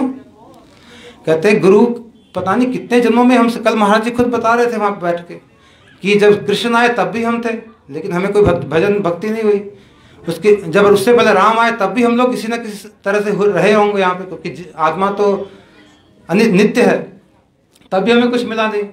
महाप्रभु आए तब भी हम रहे होंगे तब भी हमें कुछ मिला नहीं। लेकिन अब जब गुरु जी आए तभी हमें कुछ कुछ मिल रहा है। तो देखो गुरु कितने दयालु है। कितने जन्मों से हम इंतज़ार कर रहे हैं, जन्म जन्म जन्म बीत गए। अगर एक जन्म हमें देना भी पड़ा तो कौन सी बड़ी बात है? अगला जन्म फिर मिल जाएगा। गुरु तो मिल गए और गुरु को एक जन्म के नहीं है, जन्म, जन्मांतर के हैं। एक बार गुरु मिल गए, अब हमें टेंशन लेने की बात नहीं है। प्रभु जी कह रहे थे, मैं सड़ा गला फल हूँ। नहीं, गुरु जी का कोई भी फल सड़ा गला नहीं हो सकता।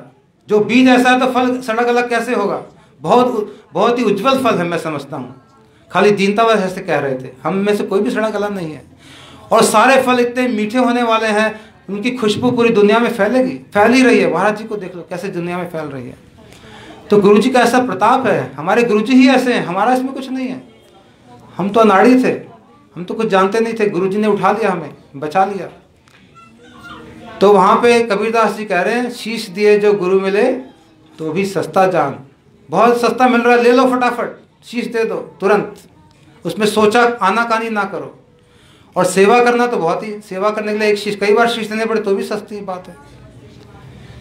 लेकिन गुरुजी हमको जानते हैं कि ये हमारे शिष्य जो हैं बहुत कमज़ोर हैं। गुरुजी हमको जानते हैं। इसलिए ये शीश क्या देगा? ये तो कुछ भी देने में समर्थ नहीं है। इसलिए एक बार किसी और गुरु जी के शिष्य ने पूछा, महाराज जी, आप जब हमें छोड़ के चले जाएँगे तो फिर हम क्या करेंगे पीछे?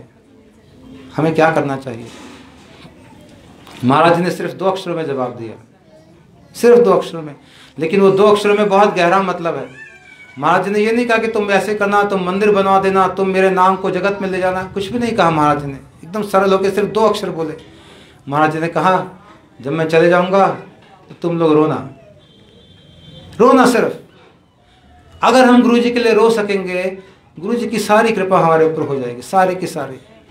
कुछ भी नहीं करेंगे। घर बैठ के सिर्फ़ रोएँगे। कहीं जाने की ज़रूरत नहीं। कोई पैसा खर्च नहीं होगा, कुछ नहीं होगा। लेकिन क्या हम रोने की क्षमता रखते हैं? क्या इतना प्रेम है गुरु जी से हमें?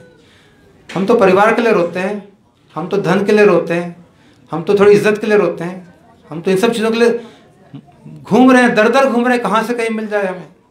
गुरु जी के लिए नहीं रोते। मैं कुछ दिन पहले कनाडा में था। वहाँ हम लोग भागवत का पाठ करते हैं, कुछ लोग जूम के ऊपर। स्वामी महाराज जी की भागवत पढ़ रहा था, उसमें उनका परपोर्ट था।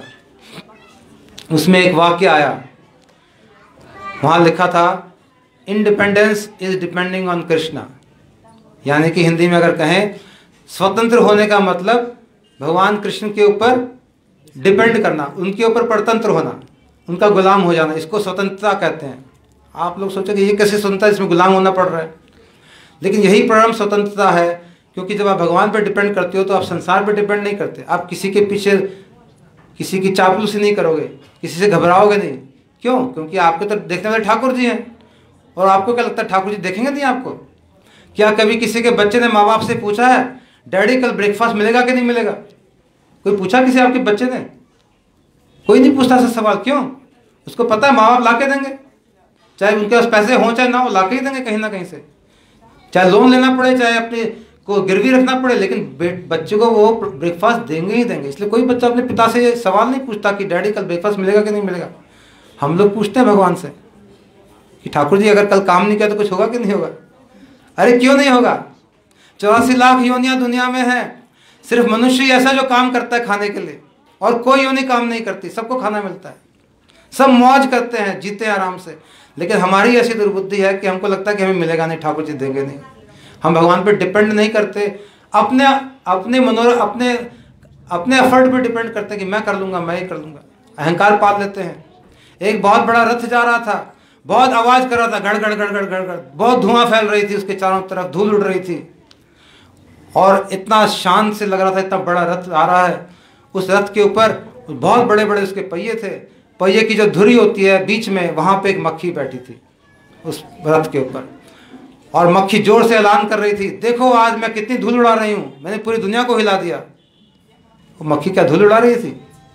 मक्खी तो कुछ नहीं कर रही थी। धूल तो रथ से उड़ रही थी। मक्खी उसको अपने सिर पे ले रही थी। हमारे भी हाल कुछ ऐसे ही हैं। ठाकुर जी काम कर रहे हैं। ठाकुर जी पैसे भेज रहे हैं। ठाकुर जी सब सप्लाई कर रहे हैं। हम करें मैं देखो कितना बड़ा काम कर रहा हूँ। अरे मैं ये हूँ, मैं वो हूँ, मैंने ये कर दिया। ऐसे ही लोग तुरंत एक मिनट में नीचे आ जाते हैं। तब उनको समझ में आता है, अरे मैं तो कुछ भी नहीं था। तो इसी तरह से हाँ तो मैं बात कर रहा था कि independence is depending on Krishna तो मैं वहाँ ये लिख के, हमारे पास एक बोर्ड है, इसके हम तारीख लिखते हैं घर पे। तो मैं इस, मेरी पत्नी को बड़ा अच्छा लगता है इसको यहाँ लिख दे तू। मैंने कहा, ठीक है, मैं लिख देता हूँ। ताकि हम उसको रोज देखेंगे और उसको स्मरण करेंगे, याद करेंगे। मैंने वहाँ पे लिख दिया independence is depending on Krishna फिर मैं घर आ गया तो मैंने फ़ोन पे पूछा मैंने कहा, वो जो मैंने लिखा था, किसने मिटा तो दिया? है वहीं पे independent independence and depending on Krishna कहते वो तो मिटा दिया। मैंने किसने मिटाया? कहता, तेरी बेटी ने मिटा दिया, राधिका ने। मैंने कहा, राधिका ने ऐसी बात कैसे कर दी? तो मैंने कहा, क्यों मिटाया? कहता, उसने चेंज कर दिया उसको। मैंने कहा चेंज कर दिया? स्वामी महाराज जी की बात को? क्या किया? मैंने कहा, कहते, उसने लिख दिया इंडिपेंडेंस डिपेंडिंग ऑन गुरुदेव तो मैं बड़ा प्रसन्न हुआ। मैंने कहा, ये तो बहुत अच्छी बात लिखी देखो कृष्ण और गुरुदेव अलग नहीं है। जो इस बात को समझ गया उसका बेड़ा पार हो गया। इसलिए कहते हैं, ब्रह्मांड भरी, भ्रमिते कोनो भाग्यवान जीव, गुरु कृष्ण प्रसादे पाए भक्ति लता बीज। खाली कृष्ण प्रसाद नहीं बोला यहाँ पे, और खाली गुरु प्रसाद भी नहीं बोला। क्या बोला? गुरु कृष्ण प्रसादे पाए भक्ति लता बीज। ये दोनों पार्टनरशिप में काम करते हैं। एक दूसरे से मिलजुल के काम करते हैं अकेले अकेले नहीं करते। गुरु के पास कौन भेजता है? जब मन में इच्छा होती है भजन करने की तो भगवान भेजते हैं गुरु के पास। और भगवान, गुरु भगवान के पास भेजता है। ऐसे ये लोग मिलजुल के काम करते हैं अकेले अकेले नहीं करते। लेकिन अगर इन दोनों में चूज़ करना पड़े, कभी, गुरु गोविंद दो खड़े, काको, काके लागू पाए। बलिहारी गुरु आपनो जिन गोविंद दियो मिलाए। अगर कभी ऐसा हो जाए कि गुरु भी आ गए और गोविंद भी आ गए तो किसके पैर में पड़ो? कहते हैं, गुरु को ही पकड़ लो। क्योंकि गुरु में गोविंद भी आ जाएँगे उसके अंदर ही।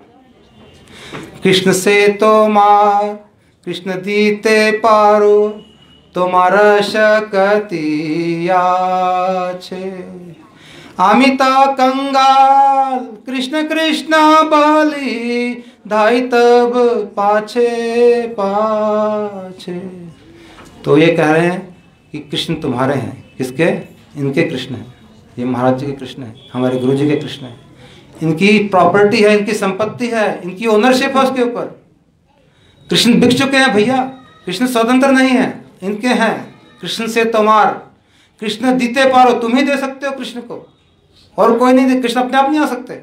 तुम लेके आओगे तभी आएँगे। कृष्ण से तुम्हार कृष्ण दीते पारो तुम्हार शक्ति आचे, तुम्हारी ये पावर है, तुम्हारी ये, इनको तुम्हारी शक्ति मिली हुई है। आमी तो कंगाल। मैं तो खाली हूँ, कंगाल हूँ। कंगाल क्या? कुछ भी नहीं हमारे पास। अगर हम ऐसा सोचेंगे, तभी तो कुछ उसमें आ सकता है। लेकिन हम ऐसा कहाँ सोचते हैं? हम तो सोचते हैं, मैं तो अमीर हूँ, मैं कंगाल नहीं मेरे को आता भैया, मुझे भी तो आता थोड़ा बहुत। महाराज, थोड़ा बहुत जानते हैं, मैं भी थोड़ा बहुत जानता हूँ। जब तक ऐसा भाव रहेगा, तब तक क्या मिलेगा हमें? कुछ भी नहीं मिलेगा। जब भक्ति विनोद ठाकुर जैसा जब तक भाव नहीं आएगा, कुछ भी नहीं ले पाएँगे किसी से भी हम। आमी तो कंगाल का भाव आना ही पड़ेगा। आमी तो कंगाल, कृष्ण कृष्ण बलि। भगवान का नाम चिल्ला चिल्ला के बुला रहा हूँ और सिर्फ़ आपके पीछे पीछे भाग रहा हूँ। अगर इतना ही हम कर लेंगे सब कुछ हमें मिल जाएगा। कहने को तो बहुत कुछ है लेकिन यहाँ पे धुरंधर वक्ता बैठे हैं बहुत अनुभवी लोग बैठे हैं। और इनके अनुभव से हम बहुत कुछ सीख सकते हैं। इसलिए मैं यहीं पे अपनी वाणी को विराम देता हूँ। वांछा कल्पतरुभ्यश्च कृपा सिंधुभ्यैव च। पतितानां पावनेभ्यो वैष्णवेभ्यो नमो। दीजिए प्रभु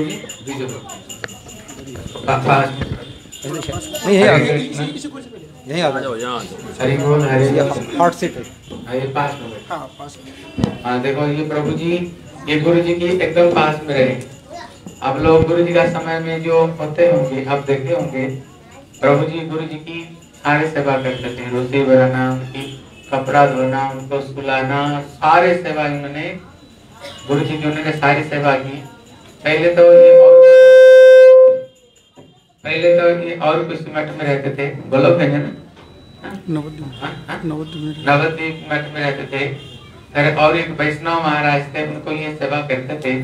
लेकिन इनके मन में बड़ी उत्कंठा थी हरि कथा कैसे सुने? गुरु वैष्णव की सेवा कैसे करें? लेकिन वहाँ पर इतना हरि कथा नहीं तो होती थी। लेकिन वो बचपन में आए मंदिर में लेकिन बड़ी उत्कंठा है। हम भगवान की कथा सुने वैष्णव की सेवा करें। कभी उन्होंने और एक महाराज जी की सेवा करते थे, जो भक्ति प्रज्ञान केशव गोस्वामी महाराज के थे उनका नाम था वैष्णव महाराज, हैं? लेकिन ये बहुत अच्छे सेवा करते थे। वो महाराज चाहते थे, ये मेरे पास में रहे। लेकिन वहाँ से सुनते थे, एक मथुरा में नारायण महाराज। बड़े उच्च संत हैं, बड़े भजन सिद्ध महापुरुष हैं, बड़े सुंदर हरि कथा सुनते हैं हैं? फिर उन्हें वहाँ से भागते हुए ये मंदिर में आए। आए कहाँ पर मथुरा मठ में आए। लेकिन वो महाराज की बहुत सेवा करते थे महाराज का। जब वो महाराज आए परिक्रमा में, ब्रजमंडल परिक्रमा को लेना चाह रहे, लेकिन ये जाना नहीं चाह रहे। ये तो छुप गई आगे कहा बोले, नहीं, मैं नहीं जाऊँगा, मैं तो यहीं रहूँगा और गुरु जी की सेवा करूँगा हरि कथा सुन- सुनूँगा हरि कथा सीखूँगा। फिर उन्होंने गुरु जी को पास में, बचपन में आए और गुरु जी की द्रव्य सेवा करती थी। फिर उन्होंने महाराज की सेवा में लग गए। और उन्होंने तन मन हर तरह से उन्होंने गुरु जी के एकदम निकट में रहे और निकट में रह, रह करके गुरु जी की जो भजन आदर्श उनका भजन का परिपाटी उनकी भजन रहस्य को उन्होंने सब कुछ अपना आँखों से उन्होंने देखा है। इन्होंने गुरु जी की सेवा करते हुए उन्होंने क्या गुरु जी के पास में उन्होंने सीखा व भजन अनुभूति की ये अभी स्वयं अपना मुख कमल से स्वयं श्री द्विजय प्रभु।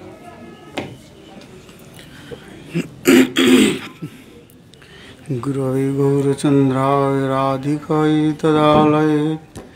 कृष्णाय कृष्णभक्ताय तद्भक्ताय नमो नमो। विष्णुवदाय चैतन्यपृष्ठाय भूतले श्रीमद्भक्तिवेदान्तपामों गोस्वामीति नामिनि नमो विष्णुवदाय गौरकृष्णप्रियात्मने नमः श्रीमद्भक्तिवेदान्त नारायणीति नामिनि। दुर्गमिपति में अन्धस्य स्खलात् पादगतेर्मुः सकृपजष्ठिदानेन सन्त सन्त अवलम्बनं वाञ्छाकल्पतरुभस्य कृपा सिन्धुभ्येव च पतितानां पावनेभ्यो वैष्णवेभ्यो हरे कृष्ण हरे कृष्ण कृष्ण कृष्ण हरे हरे।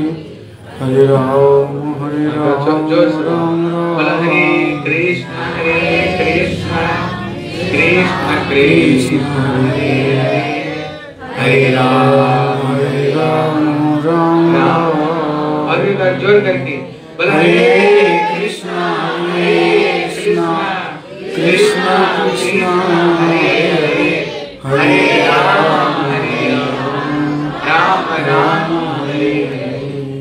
जदुवर प्रभु उधर है ना, जदुवर प्रभु जी, उनको बोलता, आगे आ जाए और ऋषि प्रभु भी आगे आ जाए। ऋषि प्रभु जी है, आ जाओ। सब आगे आ जाओ। गुरु जी के चरण में कल तो सबको फुर्सत नहीं मिलेगा, वहाँ पर बहुत भक्त होंगे। इसलिए हमारे जी प्रभु ने सोचा, जो गुरु जी का शिष्य छोड़ गुरु जी के चरण में सब पाँच पाँच मिनट ही गुरु जी के चरण में पुष्पांजलि देना, जो गुरुदेव का शिष्य है। आ जाओ आ जाओ, इधर आ जाओ। सामने सर्व नहीं करना। ऋषि प्रभु आ जाओ। करना तो भजन करना शर्म नहीं करना।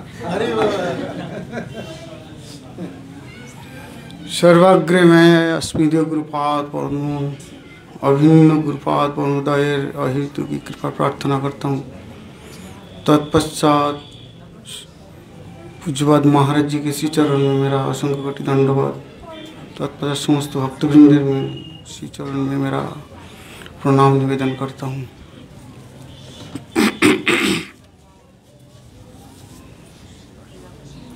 अभी ये अक्टूबर महीना का शुरू में मैं नवद्वीप गया था। तो नवद्वीप अक्टूबर लास्ट में जो कार्तिक महीने का जो लास्ट पूर्णिमा है, उस दिन नवद्वीप में शहर में एक मेला होता है, उसका नाम है रास पूर्णिमा। तो वहाँ बहुत बड़ा मेला होता है, उसमें बहुत सारे पुलिस ड्यूटी लगाते हैं।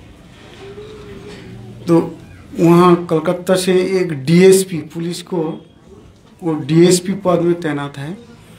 वो नवद्वीप में आए और उसका क्या भाग्यक्रम से हमारे मठ में उसको रहने को मिल गया। तो उसमें कम से कम सौ पुलिस थे और ये दो डीएसपी थे। इसमें से एक है वो तरुण चक्रवर्ती नाम से। एक बार 97 में 1997 में गुरुजी कहीं एयरपोर्ट में बैठे थे, अंदर कहीं जा रहे थे या कहीं से आ रहे थे। तो साथ में और जो भक्त लोग थे, हम लोग जो थे तो वो गुरुजी को दर्शन करके उसको बहुत अच्छा लगा। तो वो अंदर ही थे एयरपोर्ट के अंदर उसका ड्यूटी था डीएसपी है ना तो वो अंदर ड्यूटी में था। वो गुरुजी को देख करके उसको बहुत अच्छा लगा। तो गुरुजी के पास आकर के वो अपना कोमर का बेल्ट चमड़े का है ना, उसको उतारा फिर चमड़े का जूते उतार के उसको गुरुजी को प्रणाम किया। प्रणाम करने के बाद गुरुजी उसको दोनों हाथ से आशीर्वाद दिया। बस इतना ही। और कोई बातचीत नहीं हुआ गुरुजी से। किसी को हम लोगों में से किसी को पूछा था, ये महाराज जी कहाँ रहते हैं? क्या नाम है? तो उनको बताया कि गुरु जी का नाम है भक्ति वेदांत नारायण गोस्वामी महाराज। और रहते हैं नवद्वीप में देवानंद गोड़ी मठ ते आज से तेईस साल पहले की बात है। तो उस दिन से गुरु जी का छवि उसका हृदय में अंकित हो गया। और वो उसका इतना ही नाम है गुरु जी का नाम भूल गए। गुरु जी का छवि याद है और मठ का नाम था देवानंद मठ। इतना ही याद था उसको। और उसका ड्यूटी पड़ा नवद्वीप में। और उसको रहने को, उसके ऊपर जो पुलिस वाला उसका रहने के लिए हमारे मठ में रहने के लिए दिया। तो उसके अंदर वो एक बार ऑफ़िस में आए। ऑफ़िस में देखा, गुरु जी का फ़ोटो लगा हुआ है, गुरु परंपरा का फ़ोटो लगा है। तो वहाँ फ़ोटो को देख करके उसको याद आया, तेईस साल पहले का बात। तेईस साल पहले, ये ना, गुरु जी का अनंत गुण में से एक गुण, जो महाभागवत होता है, जो राधा रानी का, महाप्रभु का प्रिय परिकर है उन लोगों के अंदर ये एक विशेष है। तेईस साल पहले देखा वो व्यक्ति और कोई भक्त तो नहीं है। साधारण आम आदमी जैसे। और तेईस साल बाद जब ऑफ़िस में, नवद्वीप ऑफ़िस में बैठ के देखा गुरु जी का फ़ोटो वो देखा, ध्यान से देखा, ये तो वही व्यक्ति है। और वो देख करके वो सोचने लगा, उसका, उनका नाम क्या था? नाम तो याद आने, याद नहीं आया। फिर उसका इतना नाम याद है कि देवानंद मठ का, बस इतना ही याद है। फिर बाहर आकर के मेरे को पूछा, देवानंद मठ कहाँ है? मैं बोला, बगल में पास में ही और ये मठ वो मठ कोई अंतर नहीं है। बोली, ये जो महाराज जी है, महाराज जी को मैं कहीं देखा। क्या नाम है इनका? मैं बोला, भक्ति वेदांत नारायण सिंह महाराज। अच्छा। तब वो मेरे को लेकर के अपने रूम में बैठ के बोला, मैं, महाराज जी को तेईस साल पहले देखा था। मैं तेईस साल पहले से मैं बहुत चेष्टा में था, चेष्टा किया, लेकिन मेरा ड्यूटी के कारण मैं नवद्वीप आ नहीं पाया। लेकिन मैं भूला नहीं, मैं ढूंढ रहा था, वो साधु महात्मा कहाँ है कहाँ है कहाँ है? बंगाली है वो। तो मेरे को आज भी मिला। फिर उसके पास मैं तीन घंटा बैठ के गुरु जी का कथा सुनाया। उसका बहुत अच्छा लगा। फिर परिक्रमा के समय आएगा वो बोल के गया। तो गुरु जी को ये तो एक बात। गुरु जी को बहुत से समय एयरपोर्ट में देखा, बाहर देखा। एयरपोर्ट में जब बाहर जाते हैं गुरु जी तो वहाँ ऐसे बैठे रहते थे हरिनाम माला लेकर के। तो अपने आप जो सामने से लोग जाते हैं, आते हैं, एक बार जिसको नज़र गुरु जी को पड़ के गया ना, उसमें तो अपना अपना ड्यूटी में सब स्पीड से चल रहे लेकिन जब गुरु जी के तरफ़ नज़र पड़ जाता है, मैं खुद देखा गुरु जी के पास में बैठे रहता, बाकी लगेज सारा चेकिंग चल रहा है, दो तीन घंटा लग जाता। है तो गुरु जी की तरफ़ अगर नज़र पड़ गया ना उसका चलना देखा स्लो हो जाता है। उनमें से कुछ लोग आके प्रणाम भी करते हैं। गुरु जी का एक महाभागवत का दर्शन पवित्र करो, यही तुम्हारा गुण। वो जो पुलिस वाला को उसको तो पवित्र कर दिया। तब तो वो तेईस साल बाद उसको याद है, देवानंद मठ और गुरु जी का छवि नाम भूल गए, लेकिन गुरु जी का छवि नहीं भूला।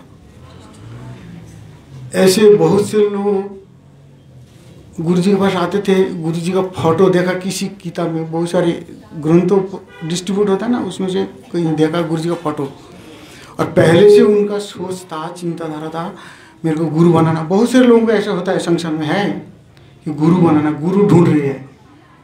ऐसे कम से कम बीस पच्चीस मेरे पास है कि प्रभु जी, मैं गुरु ढूंढ रहा हूँ, गुरु ढूंढ रहा हूँ, लेकिन गुरु नहीं मिल रहा। कभी गुरु जी का किताब ये भगवान का इच्छा क्रम से वही किताब चला गया गुरु जी का ग्रंथ चला गया फ़ोटो देखा, फ़ोटो में ही पसंद कर लिया गुरु।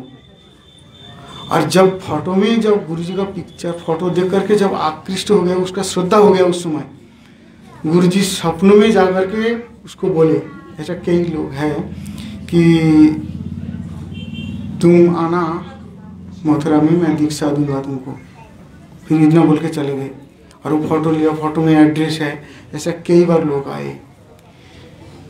गुरु जी का ये जो दर्शन में आकर्षण, गुरु जी के पास, गुरु जी जब प्रकट थे, बहुत भीड़ होता था। चीस मठ में गए, जहाँ गए, इतना भीड़ इतना भीड़। और भक्त लोग चाहते थे गुरु जी के पास जा करके गुरु जी का थोड़ा सा चरण स्पर्श करें। लेकिन इतना भीड़ संभव नहीं हो पाता था। तो वो दूर से सोचते थे। थोड़ा सा आगे आगे आइए।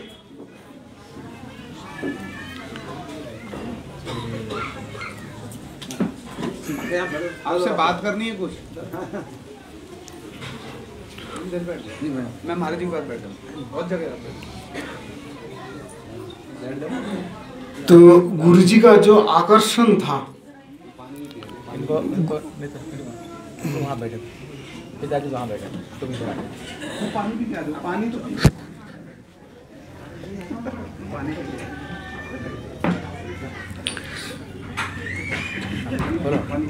गुरु जी का जो आकर्षण था गुरु जी का दर्शन फ़ोटो देख करके विदेश में एक टर्की का एक भक्त अभी वृंदावन में है, बेटा, माँ बेटा दोनों गुरु जी का फ़ोटो देख करके वहीं से उसका दीक्षा वो मुसलमान भी है वो, हिंदू नहीं है, मुसलमान माँ बेटा अभी नवद्वीप में है वो। वहीं से दर्शन करके वहीं से उनका श्रद्धा हो गया और वो ढूँढने लगे, कहाँ मिलेंगे कहाँ मिलेंगे कहाँ मिलेंगे। फिर ग्रंथ में ईमेल एड्रेस था, वो सारे सब कुछ लेकर के गोवर्धन में आकर के गुरु जी का दर्शन किया, दीक्षा भी लिया। गुरु जी का जो आकर्षण था गुरु जी का एक बार ये जो संजय अजय प्रभु बैठे हैं ना मैं सबको विषय में बोलूँगा। जो वो बच्चा पह, पहले बोल के गया वो शाश्वत। ये तो जब स्कूल जाना भी शुरू नहीं किया तब से गुरु जी का ये प्रसाद से गुरु जी का कृपा से गुरु जी का सब कुछ से इतना बड़ा हुआ है।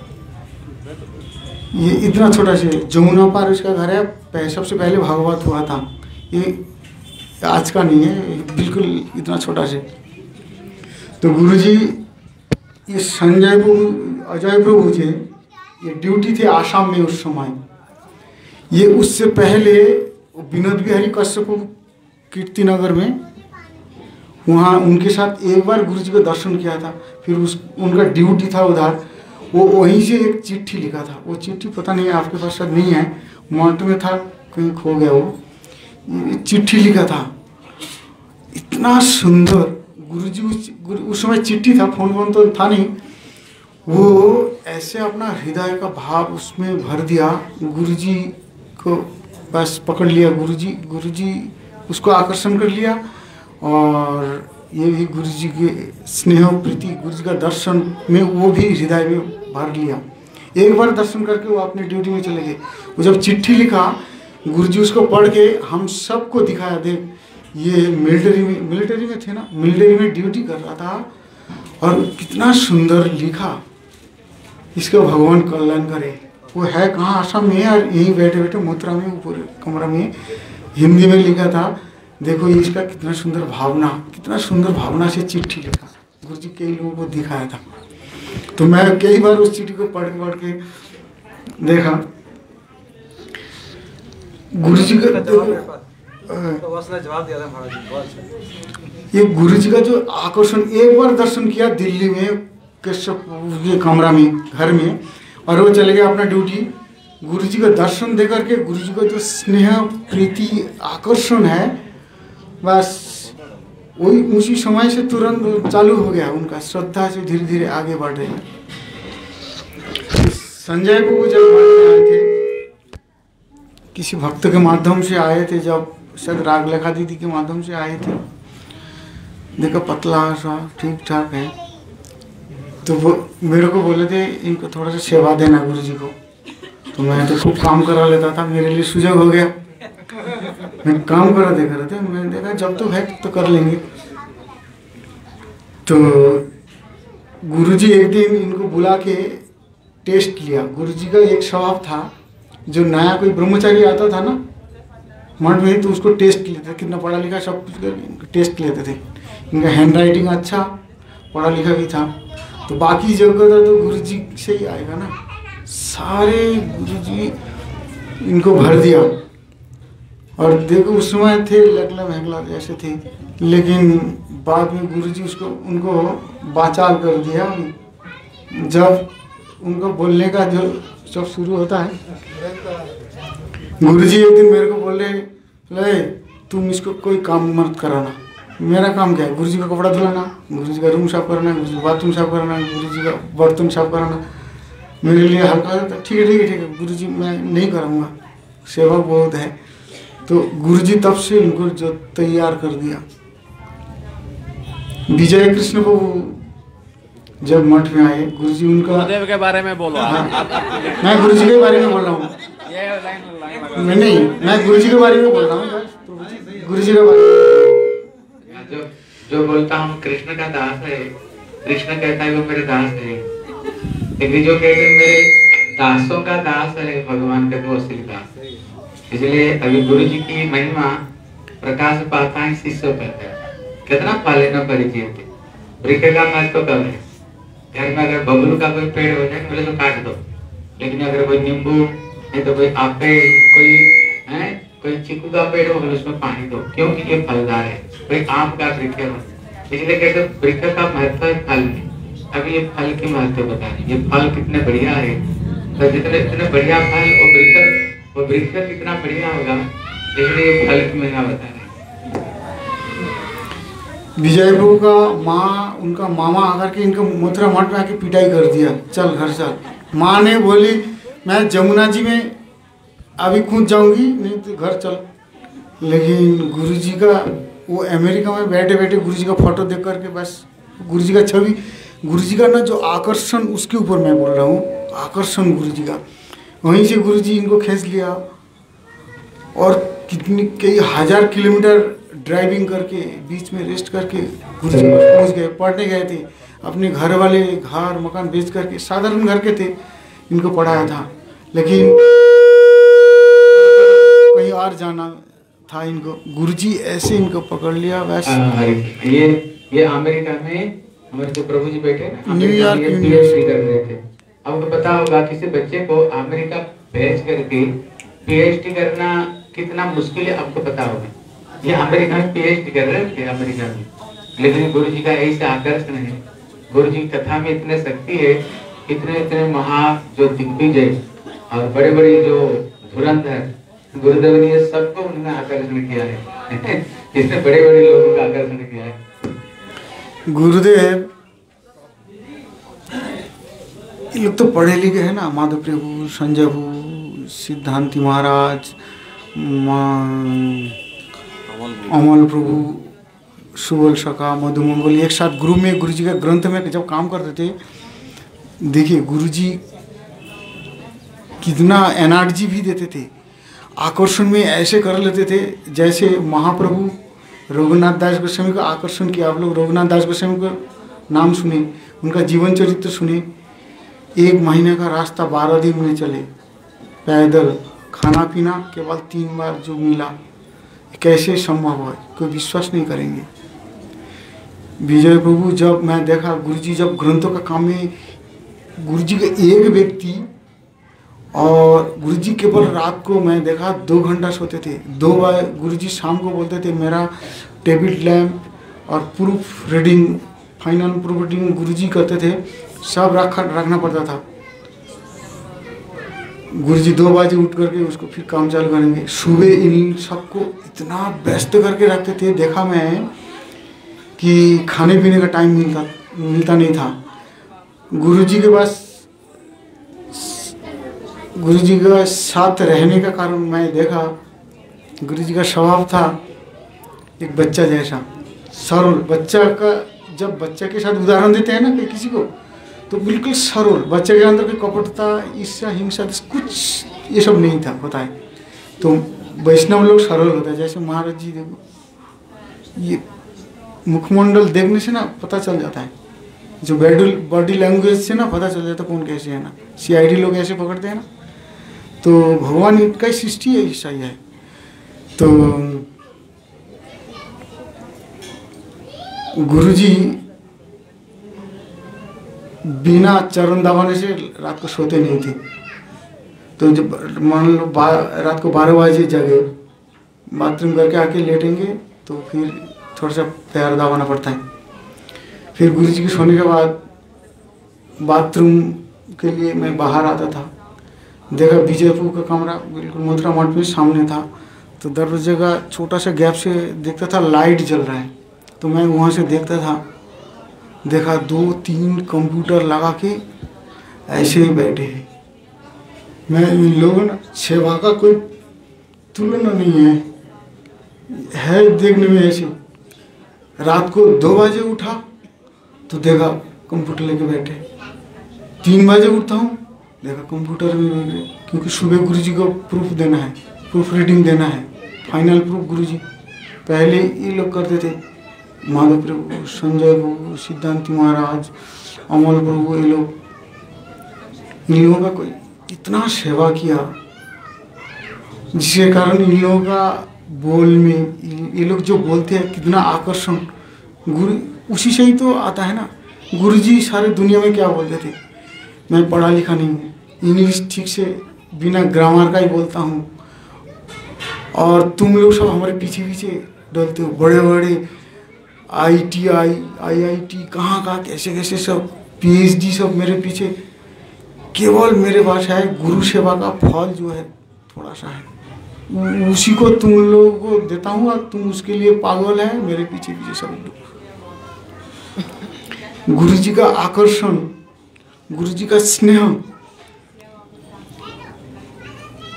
गुरु जी के साथ शुरू से गुरु जी शिष्य नहीं करते थे। लेकिन उन, उनके द्वारा जो पालन पालन पोषण जो हुआ, महाराज जी, हम लोग, श्री बावन गोस्वामी महाराज, श्री बावन गोस्वामी महाराज, उदार का सीमा नहीं है। श्री बावन गोस्वामी महाराज, उनका जीवनी में, उनका लेख में है कि तीस दिन में चालीस, पैंतालीस प्रोग्राम करते थे, और बड़े बड़े प्रोग्राम करते थे। उनका एक भगवान के साथ उनका एक अच्छा अच्छा लीला ग्रंथ एक आएगा। अभी थोड़ा सा तो एक साल के अंदर आएगा। बहुत सुंदर। आप लोग जो पढ़ेंगे ना, वो तो हृदय से जो पढ़ेंगे एक बार ना, उनके सपनों में वही देखेंगे। बामन गोस्वामी महाराज। हृदय जो पढ़ेंगे, बहुत सुंदर चीज़ आने वाला है, एक है। काम चल रहा है। बामन गोस्वामी महाराज, छह महीना में, आठ महीना में एक बार नवद्वीप में एक घंटा, आधा घंटा, आधा दिन के लिए आते थे बाकी प्रचार में। और वहाँ से जो आने वाले हैं, मठ में ब्रह्मचारी, संपूर्ण गौड़ीय संप्रदाय में, गौड़ीय मठ में, श्री बामन गोस्वामी महाराज जी का जितना ब्रह्मचारी सन्यासी, शिष्य और किसी आचार्य का नहीं है, मैं किसी का कमी नहीं दिखा रहा हूँ। एक एक आचार्य का एक एक वैशिष्ट है ये। इसमें कोई संदेह नहीं है। तो ये हुआ 1970 1970 से 1990 तक। ये कितना साल हुआ? 20 साल हुआ ना? 20 साल के अंदर इतनी ब्रह्मचारी आए। गौड़ी वेदांत समिति को देखने से सारे गौड़ी मठ, इसकान बोलते थे, बाप रे बाप। इतनी ब्रह्मचारी, इतनी सन्यासी, इतना प्रचार, इतने लोग। तो श्री बामन गोस्वामी महाराज जहाँ प्रचार करते थे, जो मठ में आने वाले हैं, उनको सीधा बोल देते थे। श्री गुरुदेव नारायण गोस्वामी महाराज उस समय नवद्वीप में ज़्यादा रहते थे, मथुरा में कम रहते थे। बोलते थे, नवद्वीप में नारायण महाराज जी है। उनके साथ रहना, वो जैसे बोलेंगे, ऐसे तुमको रहना है, करना, सब कुछ उनका ही आश्रम में उनके पास चले जाओ। ऐसा उदार को कम मिलेगा कि अपने शिष्य को दूसरे के पास भेजने वाले, ऐसा बहुत कम मिलेगा। बिल्कुल निष्कपट होकर के। जब गुरुदेव को महाराज जी, जब प्रेमानंद को मैं तेल लगाता था, उस समय सीरियस भी है और कभी कभी एक हंस हंस के महाराज जी पूछते थे, प्रेमानंद पूछते थे, महाराज, आपका जब शिष्य होगा अभी महाराज जी दि, दिल्ली भी नहीं आए। थोड़ा थोड़ा मथुरा में हाउस पर मथुरा में खूब प्रोग्राम होता था। बोलते थे महाराज आपका जब शिष्य होगा आप तो भूल जाओगे हम लोगों को। उस समय गुरु जी बिल्कुल सीरियस होकर के बोलते थे ये शब्द कभी मेरे लिए नहीं बोलना। तुम लोग हमारा सब कुछ है। मेरा शिष्य बाद में। गुरुजी ये आचरण भी करके दिखा के गए कि हमारे एक शिष्य, गुरुजी के किसी शिष्य के ऊपर किसी मठ का इंचार्ज नहीं दे के गए। किसी मठ के। ऐसा उदार, ऐसा निष्कपट, कभी गुरुजी सोचे नहीं है, अपना शिष्य ये दूसरे का शिष्य। कभी सोचे नहीं है। ये है महाभागवत का, ये है अपराकृत चरित्र। प्रभुपाद जो कुछ कुछ उनका लेखनी में ऐसा आता है, अपराकृत चरित्र सदाई पवित्र। तो इन लोगों के अंदर कभी एक परसेंट भी कभी दूसरे के प्रति संदेह नहीं है। मैं तो समय जब मिलेगा इन लोगों का जो अंतरंग, जो संपर्क हो, बहुत सुंदर सुंदर बात है। आप लोगों को हृदय को स्पर्श करेगा और वो भजन के लिए बहुत आगे बढ़ाएगा तो और भी वक्ता लोग हैं, कभी सुजोग मिलेगा तो मैं बताऊँगा। गुरु जी का अपराकृत चरित्र।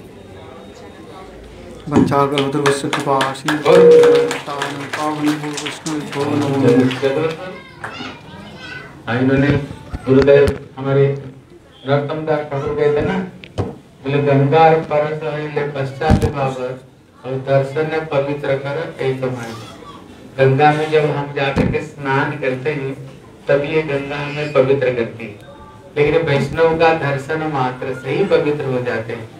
आप वृंदावन, मथुरा, गोवर्धन, नंदगांव बरसना गए होंगे वहाँ जो ब्रजवासी पंडे लोग हैं, उनका जो बोली है, कहते जगत गुरु तो कृष्ण है, लेकिन कृष्ण का गुरु नाम है। वो लोग क्या कहते हैं? कृष्णम बंदे जगत गुरु जगत गुरु तो कृष्ण, लेकिन कृष्ण का गुरु नाम है। हैं कि ब्रजवासियों को? और सारा दुनिया कृष्ण को झूठा कहता है, लेकिन कृष्ण हमारी झूठा कहते हैं। ब्रजवासी सहज में किसी को भी आप प्रशंसा करते हुए नहीं देखोगे। ब्रजवासी मतलब इतने वो अपने अपने को इतने अभिमान करते थे। लेकिन ये सारे ब्रजवासी मिल करके गुरुदेव को जुगाचार्य का उपाधि दिया। कहाँ पर? ललिता सखी का गाँव ऊँचा गाँव में दिया। मैं वहाँ पर था। सारे मथुरा के जितने ब्रजवासी, जितने गोवर्धन के ब्रजवासी, नंदगांव के बरसाना के ये जितने ब्रजवासी थे ना बड़े बड़े विद्वान लोग सबके सब वहाँ पर आए थे। वहाँ पर एक नारायण भट्टे है जिन्होंने ये बहुत कुछ ब्रज तत्व को ऊपर में और ब्रज दर्शन, ब्रज लीलाओं में और कृष्ण लीलाओं को उन्होंने प्रकाश किया। उनका की गद्दी है। वहीं पर गुरु जी को उन्होंने जुगाचार्य का उपाधि वहीं पर मिल करके उनको अभिषेक करते हुए गुरुदेव को पुष्पों को द्वारा अभिषेक करते हुए उन्होंने ये उपाधि दिए हैं। ये कोई सहज बात नहीं। ब्रजवासी किसको इतने बड़े पद प्रदान करे। इसलिए सचमुच से गुरुदेव का जिस समय ब्रज, गुरुदेव ब्रजमंडल परिक्रमा करते थे, केवल हमारी एक ही महाराज थे, जो कि पूरा गौड़ी मठ में हर साल अगर कोई ब्रजमंडल परिक्रमा निकलता है ना, केवल हमारे। लेकिन किस किस मंदिर में तीन तीन साल के बाद में एक बार तो निकालते हैं। लेकिन हर साल जो निकलता है, कहते हमारे गुरु जी का है जब पहले, जब मंदिर पहले मैं आया हूँ, पहले एक दो बस जाती थी। एक तरफ़ में त्रिविक्रम महाराज, एक बस का, एक तरफ़ में, दूसरे तरफ़ में हमारी महाराज। उनके अंदर में जो हँसी दिल लगी होती जो सोच नहीं सकते हो। हमारे श्री त्रिविक्रम महाराज कृष्ण का पक्ष लेते थे और ज्ञान बुझ के कृष्ण, गुरुदेव को छेड़ देते थे। बोले, कृष्ण, अद्वैत ज्ञान पर तत्व सर्व कारण कारण कृष्ण है। कृष्ण के सिवाय जगत में कुछ है नहीं, है? कुछ नहीं। फिर गुरुदेव है ना? फिर दूसरे तरफ़ में राधा रानी के पक्ष है। गुरुदेव हर्ष में राधा रानी के पक्ष लेते थे। फिर बोलते थे, ब्रजवासियों, ये भजन गाओ तो बोले, कौन सा? बोले, सुनो बरसाने बारी, गुलाम तेरो बनवारी सुन बरसाने बारी, गुलाम तेरो बनवारी बहुत सुर कर देते। फिर त्रिविक्रम महाराज, फिर फिर कृष्ण तत्व पर में, फिर, एक समय त्रिविक्रम गोस्वामी महाराज को हम लोगों ने पूछा, बोले, महाराज, आप कृष्ण का पक्ष क्यों लेते हो? वृंदावन में तो कोई कृष्ण का नाम नहीं लेते। वृंदावन में किसका नाम लेते? हैं राधे राधे। ज़ोर से बोलो। और ज़ोर से बोलो। यहाँ पे राधा का नाम फिर अभी कृष्ण का पक्ष क्यों लेते हैं? बोले जानते हो जो महू चाक होता है ना जिसमें शाहिद होता है मधुमेह का छता जब तक तो उसमें खोचा है नहीं मारा बस उसको क्या बोलते हैं हिंदी में? उसको हाँ? नहीं मारा तब तक उसमें शहद नहीं निकलेगा। महाराज जी को अंदर में रस भरपूर है महाराज एकदम रस में पूर्ण है लेकिन थोड़ी सी खोचा मारना पड़ता है, निकालने के लिए। इसलिए मैं महाराज खुद करते, इसलिए मैं जान बुझ करके उनके भी कृष्ण का पक्ष इसलिए लेता हूँ, इसलिए उनको भड़का देता हूँ, क्योंकि भड़काने पर वो राधा रानी के तत्व, फिर तो ब्रज की राधा रानी का तत्व फिर गुरुदेव बोलने लग जाते हैं। इसलिए आप लोगों का सौभाग्य, आप लोग तो नहीं लगेगा जब नवद्वीप परिक्रमा होता था, वो समुद्र गए क्या? दोनों का जो विद्वता वहीं पर प्रकाश होता था। दोनों का विद्वता एक तो त्रिविक्रम महाराज, उनका लंबे चौड़े शरीर था, वो भीमसेन जैसे। अरे, हमारे महाराज लेते थे। किसका? समुद्र समुद्र समुद्र से राजा का पक्ष इनके अंदर में जो होता था, शास्त्रार्थ होता था, वो कहते थे भीमसेन श्रेष्ठ, वो कहते थे समुद्र सेन राजा श्रेष्ठ। क्या उनके अंदर में तत्व दर्शन? अगर कभी किसी का अगर रिकॉर्डिंग किया होगा तो आप सुनोगे कभी कभी क्या? जब त्रिविक्रम महाराज बोलते थे ना भीमसेन का तत्व लगता था इससे ऊपर कुछ हो ही नहीं सकता। लेकिन फिर हमारे नारायण महाराज फिर खड़े होते थे उनको बातों को ऐसे खंडन करते थे ऐसे खंडन करते थे। फिर तो सबके सब बोले समुद्र सेन महाराज की फिर जयकार करते थे फिर त्रिविक्रम महाराज खड़े हो जाते थे। खड़े होकर कर फिर भीमसेन का महिमा बोलते थे। और इतने ब्रज फिर पंच पांडव की कथा बोलते थे बोलते भीमसेन की। फिर महाराज खड़े होते थे ऐसे होते होते तर्क वितर्क मतलब शास्त्रांत करते करते करते लास्ट में कोई एक मीमांसा में कोई नहीं पहुँचते थे। और लास्ट में ना निताय गौर प्रेमानंदे हरि हरि करके सब के सब खड़े हो जाते थे। इसलिए ऐसे उनका अंदर में ऐसे ऐसे होते। इसलिए महाराज का जो दर्शन में केवल वैष्णव का दर्शन ऐसे ही पवित्र हो जाता है। जैसे प्रभु जी ने बताया सचमुच से जिसने गुरुदेव का फटो कहीं दर्शन कर लिया गुरुदेव जब चातुर्मास में व्रत रखते थे आप देखे होंगे पूरा गुरुदेव का दाढ़ी होता था पूरा मोच होता था पूरा पूरा उनकी दाढ़ी हुआ करता था मोच होता था उनकी। और गुरुदेव सचमुच से ब्रजवासी जैसे इसलिए सचमुच से गुरुदेव क्या क्या इसको महामंत्र बोलना है। इसलिए सचमुच से जो गुरुदेव है ना वैष्णव का दर्शन मात्र से ही और सचमुच से पवित्र हो जाते हैं। सचमुच से हमारे महाराज जी, ये तो महाभागवत है ही है क्योंकि राधा रानी जिनको स्वयं कहती हैं, ये मेरी सखी और मंजरी है। देखो, अभी तक हम लोग को गुरु जी के साथ में रहते थे। लेकिन कहते ना, जब कोई व्यक्ति का महत्व तभी पता चलता जब चले जाते हैं। लेकिन जब हम अलग अलग भक्तों के मुँह से जब उनकी महिमा सुनते ना, मैंने गुरु जी की बहुत सेवा की। उनके तेल लगाया करता था।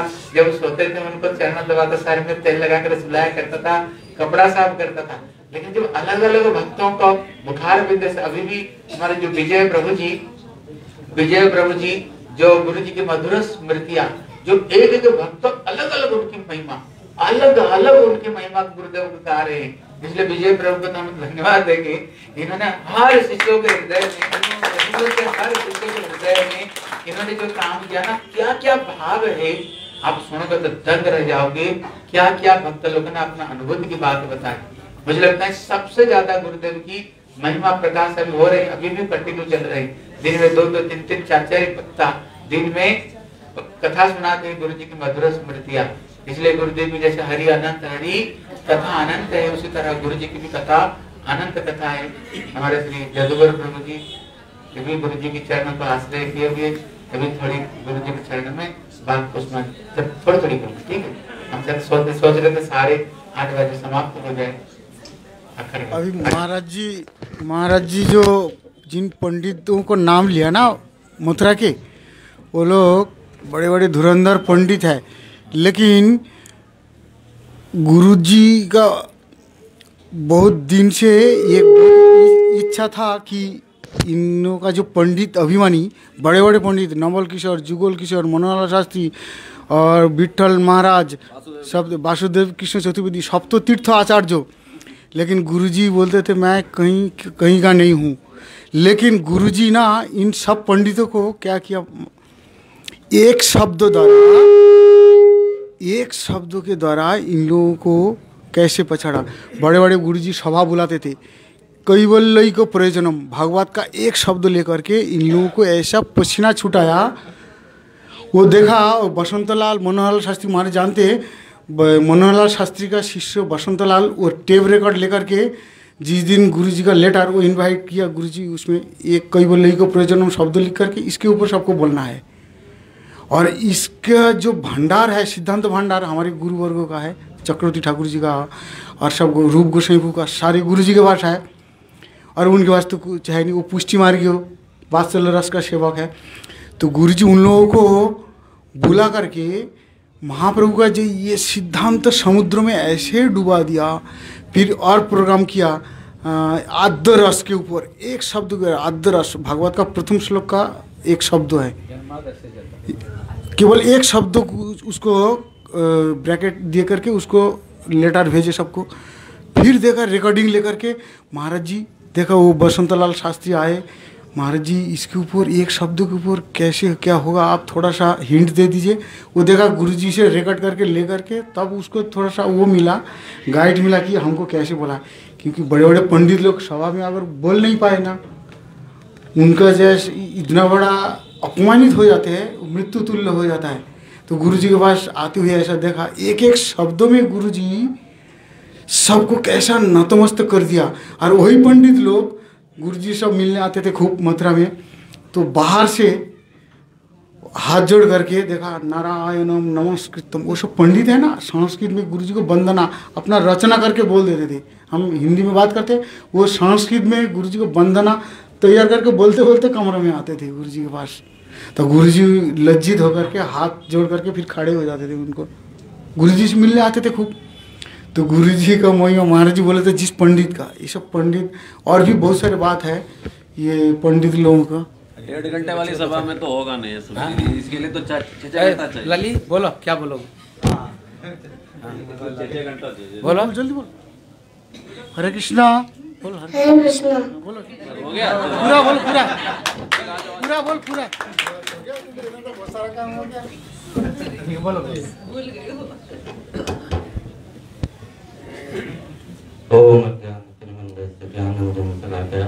तस्मै श्रीगुरुवे नमः गुरुवे गौरचन्द्राय राधिकाय तदालय कृष्णाय कृष्णभक्ताय तद्भक्ताय सर्वप्रथम मैं नित्य लीलाओं प्रविष्ट अष्टोतक श्रीमद भक्तिवेदांत नारायण गोस्वामी महाराज के अवैतरम कोटि कोटि बार दंडवत प्रणाम करता हूँ उसके पश्चात संपूर्ण परंपरा के चरणों में महाराज जी जितने पूज्यपात बैठे हैं हमारे श्रीधर महाराज जी विजय कृष्ण प्रभु संजय प्रभु विजय प्रभु और ये बैठे हैं प्रभु जी। हमारे पली में जो बैठे हैं इनका घर है वहाँ गुड़गांव में। सबसे पहले इनके घर में कृपा करी नोएडा के ऊपर था गुरु जी ने। सबसे मैं क्या बोलूँगा? बोले गुरु महाराज की। जय के अलावा मेरे पास गुरु जी के लिए बोलने के लिए और कुछ नहीं है। लेकिन महाराज जी ने बोला है तो कुछ थोड़ा सा बताऊँगा। आज मैं देख रहा हूँ ना नोएडा में इतने सारे, बहुत सारे लोग हैं। गुरुदेव इतने कृपालु थे, उनकी कृपा का गुणगान ये सब लोग गा रहे हैं। ये नोएडा, ये जो गौड़िया मठ वाले हैं ना, इनमें कुछ तो है। कुछ तो है। हम भी खूब इधर उधर भागे, मथुरा के पास ही खूब गाँव में। लेकिन जब इनसे मिले तो कुछ तो है, खेच लेते हैं। और ये शक्ति किसकी है? गुरुदेव की है।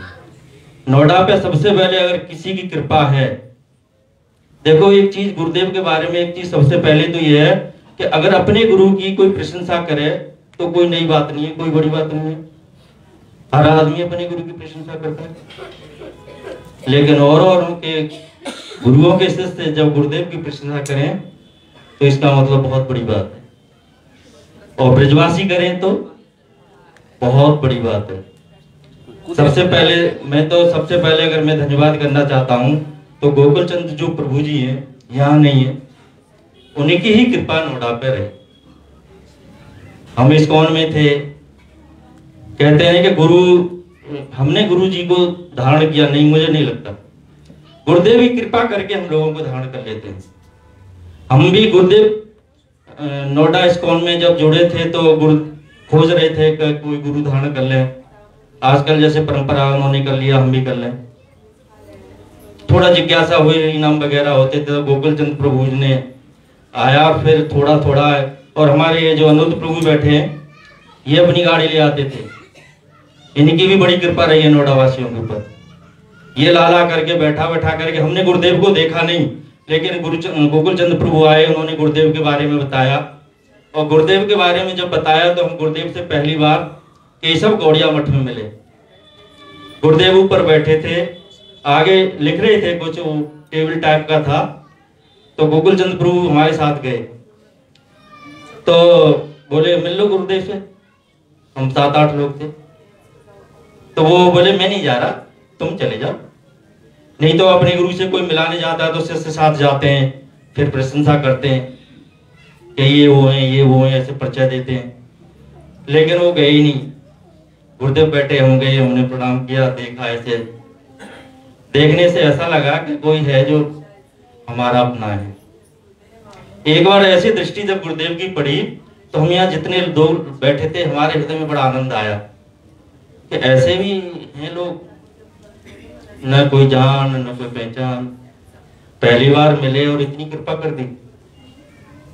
और सबसे बड़ी कृपा ये जब यहाँ गुरुदेव का जो सबसे पहली जो कथा हुई, गुरुदेव जब आए तो गुरुदेव ने सबसे पहले एक ही बात कही, सावधान। क्योंकि यहाँ जब ये कथा हुई थी तो यहाँ बहुत बड़ा पंडाल लगा, नोएडा के बहुत बड़े बड़े उद्योगपति बड़ी बड़ी गाड़ी लेकर के आते थे। गुरुदेव ने कहा, सावधान, बड़े सबके लिए। मैं यहाँ तुम्हें कोई मीठी मीठी बात करने नहीं आया। जो कड़वी से कड़वी बात है, मैं उस बात को तुमको कहूँगा। और गुरुदेव ने वही कहा, जब लोग उधर गाड़ी लगा देते थे तो इधर बहुत सारे लोग बैठे रहते थे, लेकिन वो किसी की गाड़ी में नहीं बैठते थे, गुरुदेव। सबके लोगों के बीच में होके आते थे। और जो जो एक बार देख लेते थे, बस उन्हीं का हो जाते थे। एक बार की बात है, हम गेट पे बाहर रख थे अंदर कथा चल रही थी। तो एक व्यक्ति आया इसकोन का था? भाई महाराज जी जो कह रहे हैं, जवान है क्या? मैंने कहा, नहीं, बहुत वृद्ध है। अरे, आवाज़ तो इतनी तगड़ी है। मैंने कहा, जाके देख लो, दर्शन करो तो एक दे बार गुरुदेव का जो दर्शन कर लेता था वैसे वो गुरुदेव का होता था। एक चीज़ और मैंने देखा ना, जैसे प्रेम की बात कर रहे हैं, सब गुणगान कर रहे हैं। कोई व्यक्ति किसी के साथ रह करके दस बीस साल रह ले तो कोई ना कोई एक आध दोस्त दिखने लगता है। आज तक मैंने देखा, गुरुदेव से जो एक बार अटैच हो गया, कभी उसने, किसी व्यक्ति ने, गुरुदेव के बारे में कोई भी एक ऐसा गुण नहीं बताया कि ये भाई उनके जो एक बार जुड़ जाता वही कहता नहीं मेरे को ज़्यादा प्रेम करते हैं, मेरे को ज़्यादा प्रेम करते हैं, मेरे को ज़्यादा प्रेम करते हैं। गुरुदेव का ये सबसे बड़ा गुण था। एक बार की बात है, हम गिरिराज जी की परिक्रमा कर रहे कहते ना, सतगुरु, गुरु और सतगुरु। गुरुदेव वो साधारण नहीं थे गुरुदेव। गिरिराज जी की जब परिक्रमा कर रहे थे, परिक्रमा करते करते जब गिरधार उद्धव कुंड पे जब आए तो वहाँ एक पंडित जी रहते हैं गिरधारी पंडित जी, वहीं पास में गाँव है उनका। ये जो ब्रजवासी होते हैं, किसी की उतना वो नहीं करते। हमने प्रणाम किया। प्रणाम कर दिया प्रणाम करके बोले, लाला, किसके शिष्य हो? हमने गुरुदेव का नाम लिया। अरे, अगर ब्रज में कोई साधु हैं तो केवल दो ही हैं। एक तो भक्ति विधान स्वामी प्रभुपाद जी इसको उनके जो स्थापक है, उनका नाम लिया और एक हमारे गुरुदेव का नाम लिया। क्या पूरे अगर ब्रजमंडल में अगर कोई साधु हैं तो वही दो हैं तो बोले, अरे, लाला अब बहुत वृद्ध हो गए कभी आप देखो अरे लाला, तुम नहीं जानते तुम्हारे गुरुदेव क्या है? और फिर गुरुदेव का वो गुणगान करने लगे। मैंने कि ये भी गुरुदेव का ब्रजवासी होके गुणगान कर रहे हैं। और फिर उन्होंने अपना पूरा जीवन बता दिया कि लाला, हम हाई स्कूल के पेपर दिए थे, गौड़िया मठ में रहे थे। यहाँ केशव गौड़िया मठ में रहे थे। और सबसे बड़ी बात यह है कि आज मुझे भी बहुत अच्छा लग रहा है कि गुरुदेव जहाँ एक बार जिस घर में गए वहाँ कोई ना कोई ऐसा चरण उनका रच पड़ा वहाँ उनकी याद कोई नहीं भूलता सब याद करते। बोलो गुरु महाराज की बस मैं इतना ही बोलूँगा। हरे कृष्ण। हरे कृष्ण कृष्ण कृष्ण हरे हरे। हरे बोल। हरे राम राम राम हरे हरे कृष्ण हरि बोल एक बंद कर दिया। हरि बोल हरे कृष्ण हरे कृष्ण। और दामोदर रोहिणी सुता रोहिणी नंदन आ जाओ बोलना तो। पीछे है आ जाओ। आदरणीय गुरुदेव की कृपा से। श्रीधर महाराज जी की कृपा से मैं फिर मुझे दोबारा मौका मिल गया है। मैंने कहा मैं सिर्फ़ इतना ही बोल पाऊँगा। कि मेरे आज तक के जितने भी काम हुए हैं, जितनी भी मेरी की परेशानी मेरे साथ आई है, और गुरुदेव की कृपा से सारे हल हुए हैं, और विशेष विशेष मेरे पर कृपा गुरुदेव के माध्यम से अनुज प्रभु जी और जीत प्रभु जी ने की है। जहाँ जहाँ मेरा संकट आया है, उन्होंने बोला, आप भजन करो और गुरुदेव को याद करो। गुरुदेव ने जैसे भजन बताया है, वैसे भजन करो और आपका कल्याण हो जाएगा। आज भी वैसे ही होता है, आज भी, कल भी मेरे जनकपुरी में अनुज प्रभु से बात हुआ तो उन्होंने मेरे को यही बोला कि आप जहाँ भी रहो, वहाँ भजन करो और गुरुदेव सब ठीक कर देंगे। वांछा कल्पतु के पास में विद्या पत्ता ना पार में, कोई हरे कृष्ण, हरि बोल। माइक मानता नहीं। हरि बोल, उनको, हे प्रभु जी हरे कृष्णा, दामोदर और रोहिणी सुता। हाँ। का- बुला दो। हरे कृष्णा। हरे हरे इधर आ जाओ। ये चुपचाप बैठा हुआ। आ जा इधर आ जा। हरी बोल।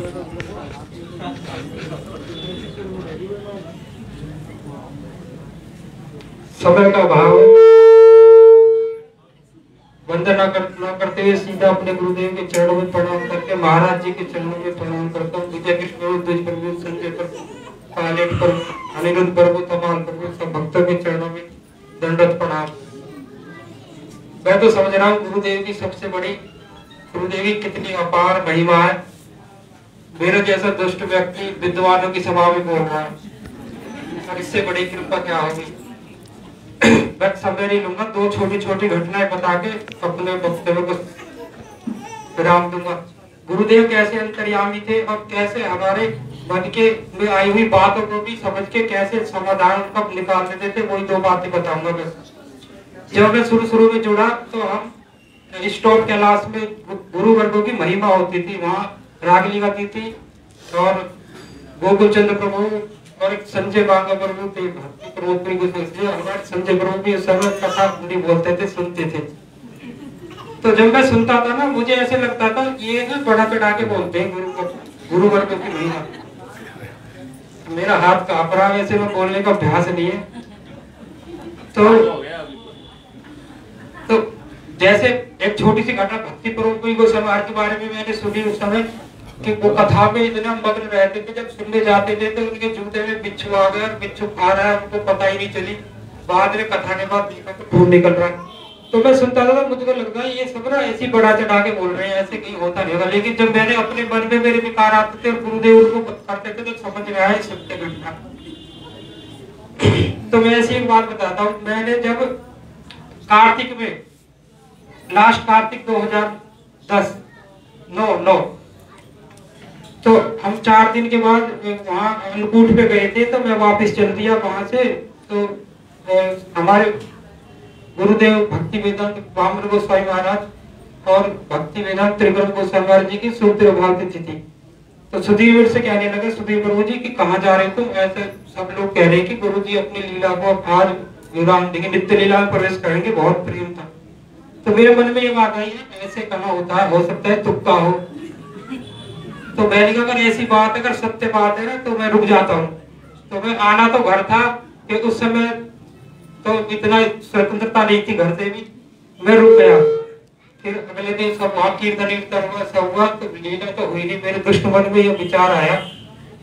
ये ऐसी वैसी बात है सब। तो जब गुरुदेव ने लीला में प्रवेश किया तो जीत गुरु ने चार बजे फ़ोन किया, मेरे पास और वो रो ही रो रहा था। कुछ शब्द बोल नहीं पा रहा, बस रो ही रो रहा था बहन की, भाई, ये तो बता ले या रो ले। सुबह सुबह चार बजे सोते हुए को फ़ोन कर दिया, एक शब्द नहीं बोल पा रहा रो ही रो रहा है। फिर बस उसने ये कहा कि गुरुदेव चले गए। अब मुझे जाना है बीस हज़ार रुपए लेके आ जा।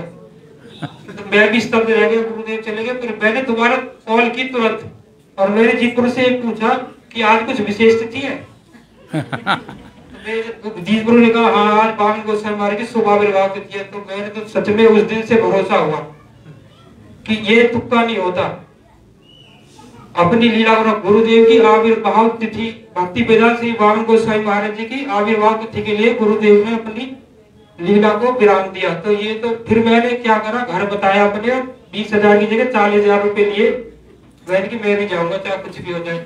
मैं जीत के पास गया मैंने की मैं चालीस हज़ार रुपए लाया मेरा भी टिकट करा दो। फिर अनिरुद्ध ने टिकट कराया तो हम गए। तो इसका मतलब ये, गुरुदेव कैसे विकारों को दूर करते थे और सच में गुरुदेव सामान्य नहीं है, अंतर्यामी है। एक और छोटी सी घटना बता, बताता हूँ, मैं ये सोचता था कि गुरुदेव की महिमा तो कभी सुनने को मिली उस समय हमें, लेकिन एक भगवान के परी परी है तो फिर गुरुदेव ने शादी क्यों की? छोटे छोटे बच्चे छोटे छोटी तो ये मेरे दिमाग में चलता रहता था। तो 2007 की बात है। गुरुदेव जो है परकम्बा के आखिरी दिन सुबह सुबह गौर पूर्णिमा से अगले दिन पूरे में राउंड मारते थे। जहाँ पे प्रसाद हो रहा, वहाँ भी वहाँ भी। उस समय मैं ये सोचता था, गुरुदेव देखने आते क्या क्या बचा हुआ है। ये भी बाद में समझ में आया। ये भी बाद में समझ आया गुरुदेव क्यों आते थे। क्यों सबका अगले दिन टिकट रहता था, सब दौड़ दौड़ में भगे रहते थे। ये समझ में जब आया कि गुरुदेव तो कृपा करते किसी के पास समय है किसी के पास नहीं है। कोई भग रहा ट्रेन के लिए, गुरुदेव कृपावत सबको दर्शन दे रहे। नाट्य मंदिर से वहाँ प्रसाद, हॉल तक, जहाँ प्रसाद पा रहे, सब जगह गुरुदेव कृपा करके जाते लेकिन ये बाद में समझ में आई, हमारा अपनी दुष्ट बुद्धि थी। तो 2007 की बात है, मैं लेट हो गया ऐसे दर्शन करने में तो मैं भाग के सुबह की ट्रेन के अंदर गया तो संजय प्रभु की कृपा से मैंने कहा कि गुरु जी के दर्शन नहीं हुए करा दो। इन्होंने जो है, अंदर भेज दिया। तो रोहित रोहित प्रभु है ना, दिल्ली वाले, उनकी पंद्रह सोलह लोग उठ के गए थे, गुरुदेव अकेले थे। पता नहीं क्यों मेरे दिमाग से बगैर किसी योजना के बगैर किसी सोचे समझे गुरुदेव ऐसे बैठे थे, और मेरे मुँह से सिर्फ़ ये निकल गया, गुरुदेव मैंने ब्रजमंडल परिक्रमा भी बीच बीच में की सभी हमारे मंदिरों के दर्शन भी किए और ये गौरमंडल परिक्रमा की। इस सब के आनंद को अगर एक जगह रख देना और केवल आपके दर्शन में जो आनंद आया ना, वो कहीं नहीं टिकता।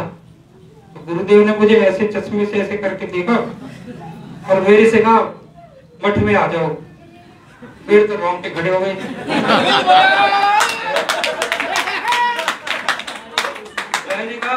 अब पता नहीं कैसे निकला। देखो कि सोच के बोलते हैं कोई। लेकिन ये क्यों निकला ये भी बाद में समझ में आया क्यों निकला। अभी तो बताता हूँ क्यों निकला। फिर ये तो गड़बड़ हो गई। मैं अपने मन में सोच रहा था और गुरुदेव मुझे देखे थे गुरुदेव तो जानते मन की स्थिति सब विकार जानते गुरुदेव बन के सब जानते हृदय की बात भी जानते स्पीकर को पीछे कर दो मेरे से कहा ऐसे थोड़ी पीछे कर दो। अच्छा आपका विवाह हो गया मैं गुरुदेव विवाह तो हो गया। स्क्रीन को स्क्रीन को थोड़ा इधर कर दो। ही हाँ ठीक है। अपनी पत्नी को, अपने बच्चों को गुरुदेव को भगवान के दास दासी समझो और तुम भी भगवान ठाकुर जी को मध्य में रखो, अपने हृदय में गुरुदेव और भगवान को स्थान देना। है आसक्ति संसार में ही लगानी तो मैंने तो उस समय तो मैंने कहा, ठीक, बहुत अच्छा हुआ। मैंने गुरु जी को प्रणाम किया और मैं आ गया बाहर। लेकिन बाद में जब मुझे समझ में आया धीरे धीरे धीरे फिर मेरी शादी हुई थी तो फिर बच्चा हो गया, फिर लड़की होगी फिर आसक्ति होगी बच्चों से। फिर मुझे समझ में आया कि गुरुदेव ने ये क्यों कहा? जी मैंने मुँह से क्यों निकला, क्यों ये कहा? मैंने फिर समझ में आया कि हम तो सिर्फ़ गुरुदेव ने मेरे सिर्फ़ ये कहा कि आसक्ति घर से छोड़ के, घर में ही रह के भगवान के चरणों में जो गुरुदेव के को देना तो वो गुरुदेव ने लीला हम जैसे लोगों के लिए की कि मैं तो तुम्हें सिर्फ़ घर में रहते हुए छोड़ आसक्ति छोड़ने कह रहा मैंने तो करके दिखाया। नहीं तो फिर मेरे दिमाग में फिर ये बात आई कि सच में ये सामान्य नहीं है। जब भी गुरु जी ने ये लीला की कि हम जैसे दुष्टों के मन में समझ में आए कि और गुरुदेव की महिमा,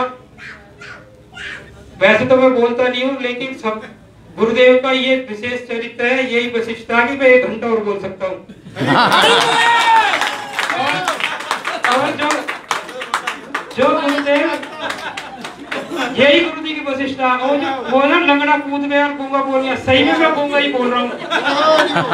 ये गुरुदेव की हमारे हमें तो प्रार्थना ये और एक और मैं धन्यवाद विशेष विशेष करना चाहूँगा विजय करूँगा। आप सोचो कि जो गुरुदेव की मधुर स्मृति चलाई है अभी तो मौसम ठीक हो गया उससे दो महीने तीन महीने पहले ठंड के मौसम में। सोचो कड़कड़ानी ठंड में अपने बेडरूम में अपनी रजाई में। गुरुदेव की मधुर स्मृतियाँ इतनी बढ़िया आ रही है कि कहीं जाना पड़ रहा है हृदय में आनंद आया और ऐसे ऐसे भक्तों की महिमा सुनने को मिली। मैं तो मैं तो ये समझता हूँ कि मेरे जैसा दुष्ट व्यक्ति गुरुदेव थे जब उस समय इतनी गुरुदेव की महिमा में समझ नहीं पाया और सारा समय ऐसे निकाल दिया। और मेरे तो महाराज जी के चरणों में और भक्तों के चरणों में यही प्रार्थना है कि मैं तो ये इसमें मेरे गुरुदेव का कोई दोष नहीं है मेरा अपना दोष है कि मेरी आसक्ति संसार के प्रति घर के प्रति बच्चों के प्रति हो रही है। और गुरु वैष्णव महाराज के साधु संत सेवा के लोग कोई उपाय के लिए मेरे हाथ भी काँप रहे। हैं आपसे यही निवेदन है कि मेरे जैसे दुष्ट को बस अपनी सेवा में लगा के रखो। मैं तो किसी भी सेवा के किसी के लिए योग्य नहीं है। गौर ब्रह्मानंदे हरि बोल। हरि बोल। हरे कृष्ण उसको। ऋषि प्रभु की। हरि बोल। हाँ देखो ये सवेरे सवेरे उठ कर ना एक लाख हरिनाम करता है ये। मतलब गुरुदेव भी, एक गुरुदेव भोजन से पहले, प्रसाद से पहले एक लाख हरिनाम किए बगैर कोई भोजन नहीं करते थे। इसलिए कहते ना गुरु जी का जो जो गुण है, शिष्य में भी संचारित होता है। ये ऐसे निष्ठा और ये मठ के लिए हर समय तैयार रहता है। सुख दुख में हर चीज़ में ये तैयार रहता है। आकर के सारे काम को करना और छोटे भाई जो जीत है, ये दोनों भैया अपना एकदम जी जान लगा कर हर तरह से सेवा के लिए तैयारी हर समय रहती है। केवल ये नहीं, उनका पूरा परिवार तैयार रहती है। बोलो।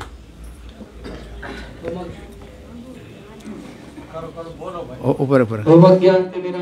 ज्ञानाञ्जनशलाकया हरि बोल, हरे कृष्ण। हरे कृष्ण, हरि बोल हरि बोल। रोहिणी नंदन, उसको बुला पीछे। प्रभु नित्यानंद श्री गौर भक्त वृंद बोलो हरे कृष्णा हरे कृष्णा, कृष्ण कृष्ण, हरे हरे हरे राम हरे राम राम राम, हरे हरे। सर्वप्रथम गुरु पाद पद्म, नित्य लीला प्रविष्ट जयम विष्णु पाद अष्टोत्तर सतयुगाचार्य श्री श्रीमद भक्ति वेदांत श्री नारायण गोस्वामी गुरु महाराज जी के चरणों में अनंत कोटि साष्टांग प्रणाम करता हूँ और उनके हित कृपा की वांछा करता हूँ। तदुपरांत शिक्षा गुरु पाद पद्म पूज्य पाद श्री श्रीमद भक्ति वेदांत श्री श्रीधर गोस्वामी महाराज जी के चरणों में प्रणाम करता हूँ। पूज्य पाद विजय कृष्ण प्रभु संजय प्रभु, सबके चरणों में प्रणाम करता हूँ। उपस्थित कथा प्रकाश भक्त सबके चरणों में दंडवत प्रणाम करता हूँ। महाराज जी ने मैं तो बाहर कुछ बात कर रहा था बुला लिया। मेरे पता नहीं को आवाज़ लगा रहा। तो गुरुदेव के विषय में मेरे पास, जैसे शासक प्रभु जी बहुत सारा बोले, प्रभु जी बोले बोले, मेरे पास कोई अनुभूति नहीं है।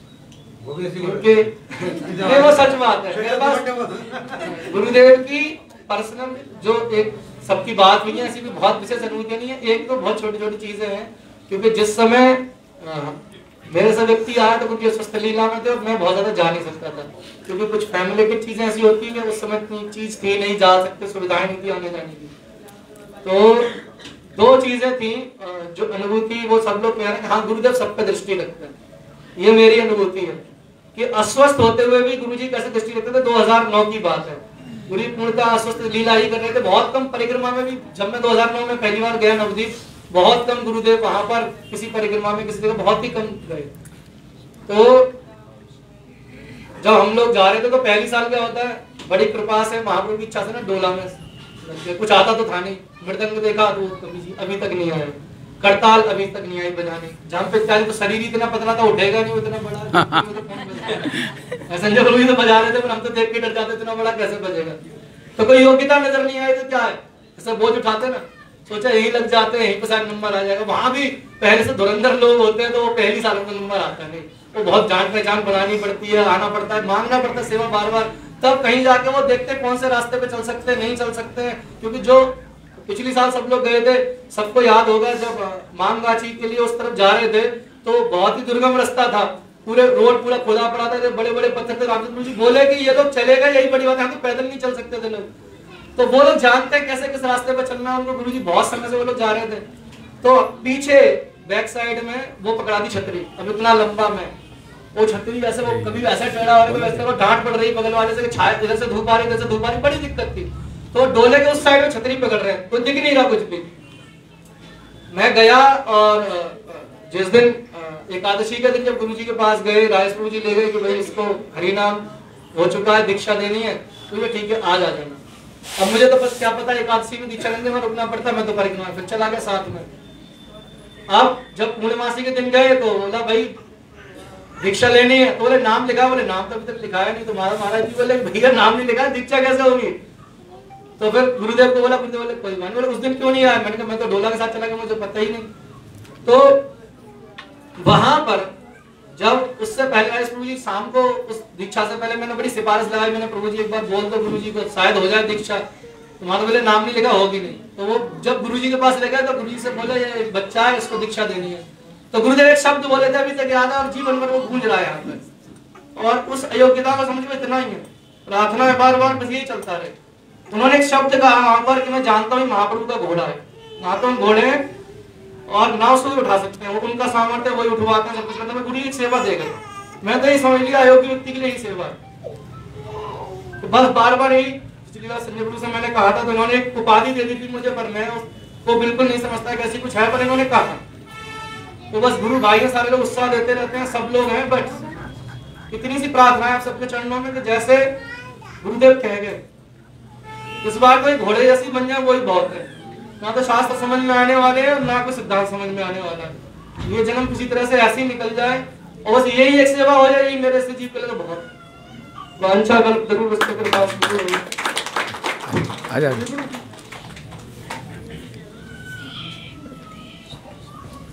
हरी बोल, हरे हरी बोल, जीत प्रभु जी है ना? उनको बुला दो इधर।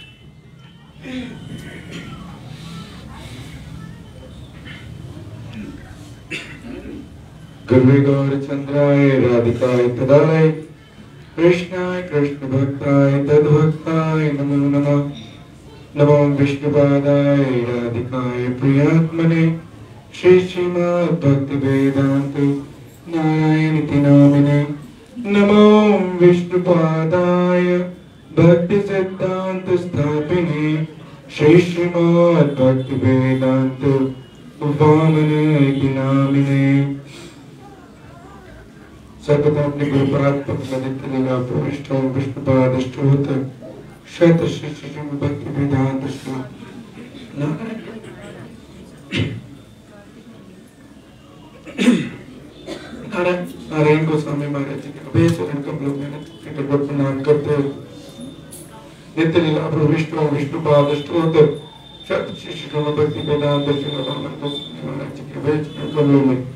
आनंद को निरंतर प्रणाम करते हुए उन सबकी आपकी कृपा की प्रार्थना करता हूँ कि हम इन दोनों गुरुवर्गों का हम, ये पूरा वर्ष हम उनका शतवार्षिकी उत्सव मना रहे हैं। जैसे पद जीव पर हम सब आश्रित जनों पे आप अपनी कृपा सदैव बनाए रखें। मन चाची मंचासी भुजगणपति वेदांत शुक्ल महाराज जी एवं समस्त ब्रह्मचारीगण गुरु भाई ज्येष्ठ गुरु भाइयों के चरणों में नदन और प्रणाम पुस्तक वैष्णव वैष्णव। पहले तो मुझे क्षमा करने का मेरा गला पूरा बैठा हुआ है। आवाज़ भी नहीं निकलती है, अंदर भी कुछ नहीं है जो मैं निकाल सकूँ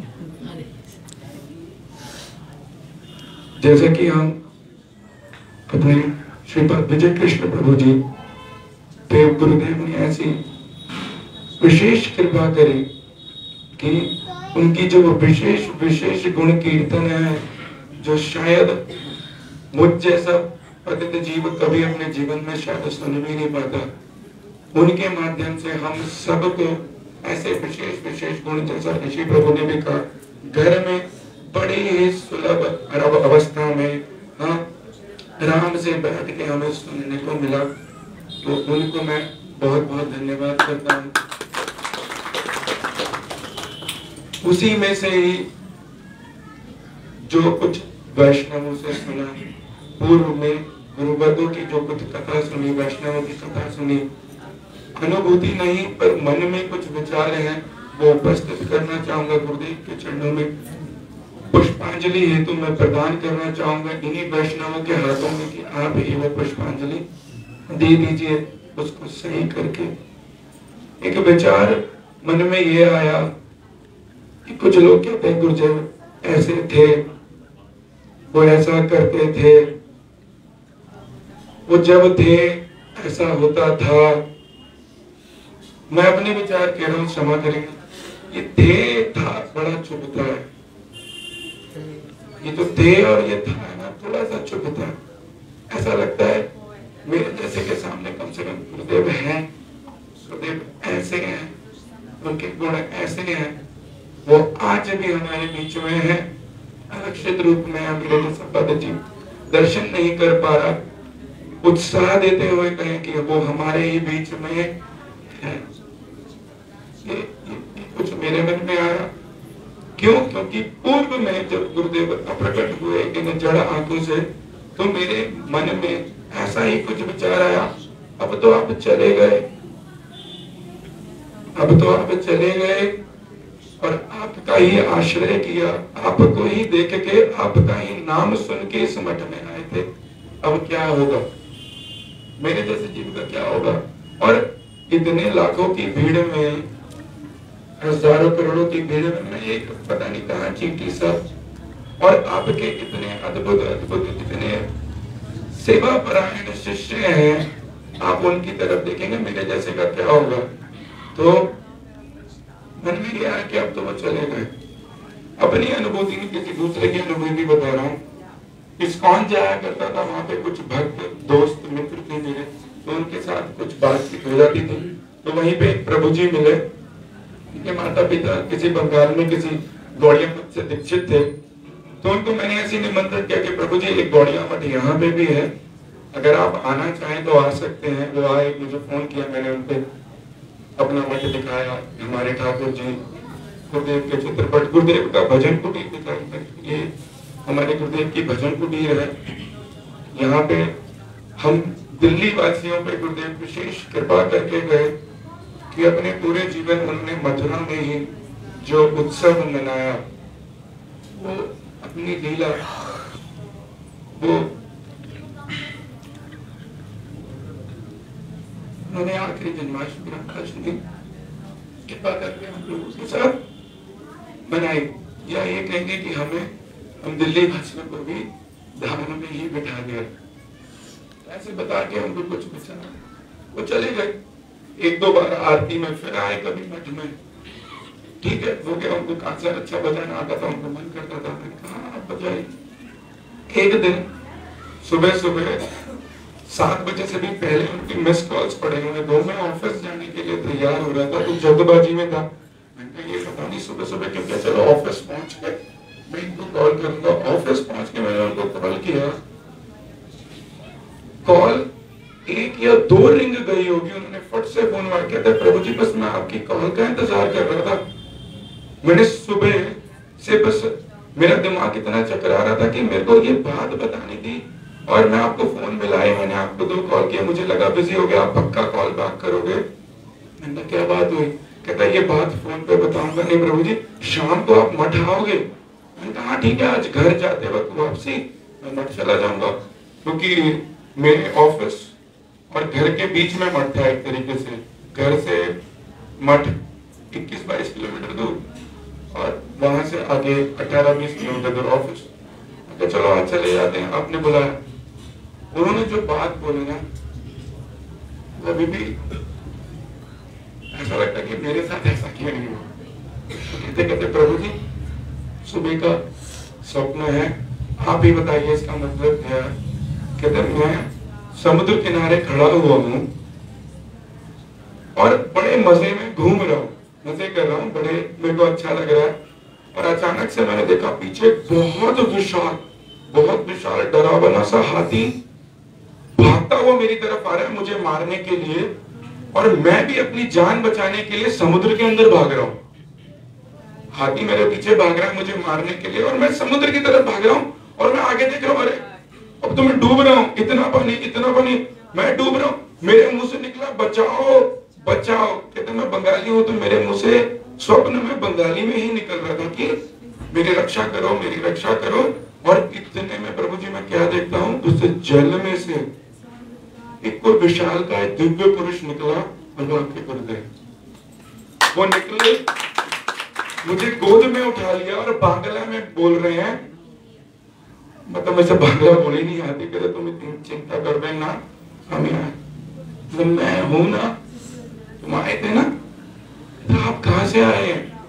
कहते, कहा से क्या आया हूँ? तुम गए नहीं थे? मेरे कमरे में भी तो गए थे। मैं उसी कमरे में रहता हूँ। मैं उसी कमरे में रहता हूँ, जब भी मुझसे मिलना हो ना, वहाँ आ जाना, मैं वहीं रहता तब उन्होंने ये बात बताई तो मुझे लगा कि ये ये ये ये मेरी ही गड़बड़ है। कुछ दिनों के बाद कोई सेवा थी। रात को मठ में रुकने का, रात को मठ में रुक गए। तो माला करते करते ऐसी चक्कर लगा रहा था तो गुरुदेव का दरवाज़ा, किचन का दरवाज़ा किसी ने खोला छोड़ दिया। पहली बार डर लगा। वही डर लगा कि अंदर गुरुदेव भी है माधव महाराज भी हैं, अंदर झांकना नहीं।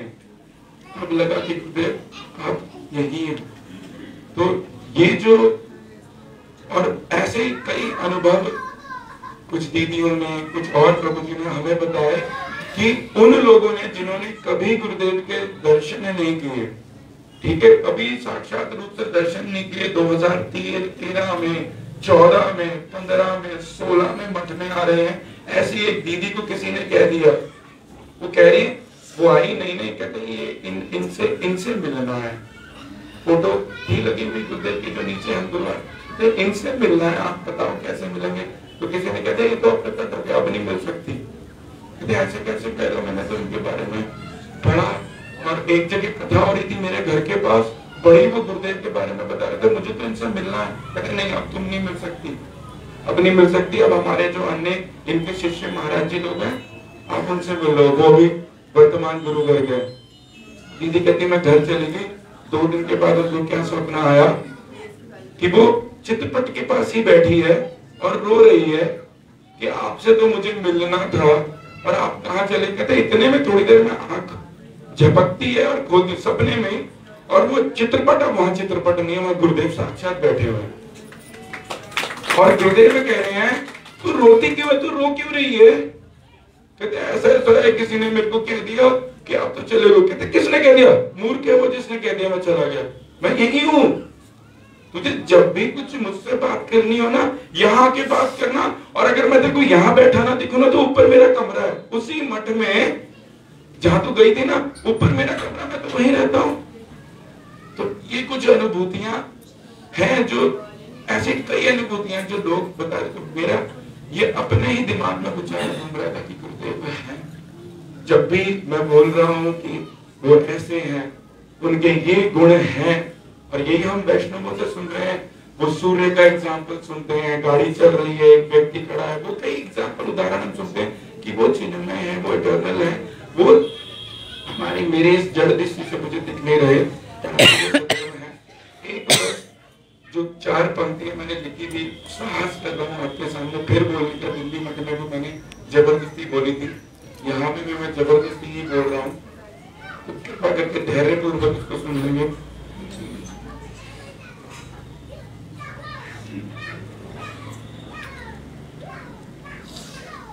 वो नीली नीली आँखें हैं जो, करुणा का गहरा सागर है वो। जिस जिस पर दृष्टिपात किया, भक्ति रस ने उसको डुबो दिया।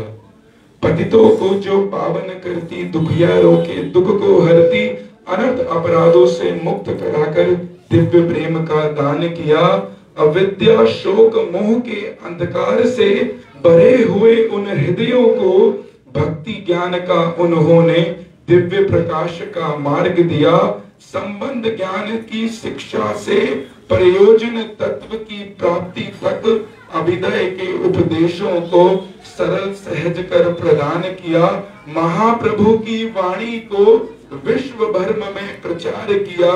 श्रद्धा से राधा दास्यम तक हर तत्व का है ज्ञान दिया। श्री रूप रघुनाथ की धारा का ऐसा सुंदर विस्तार किया।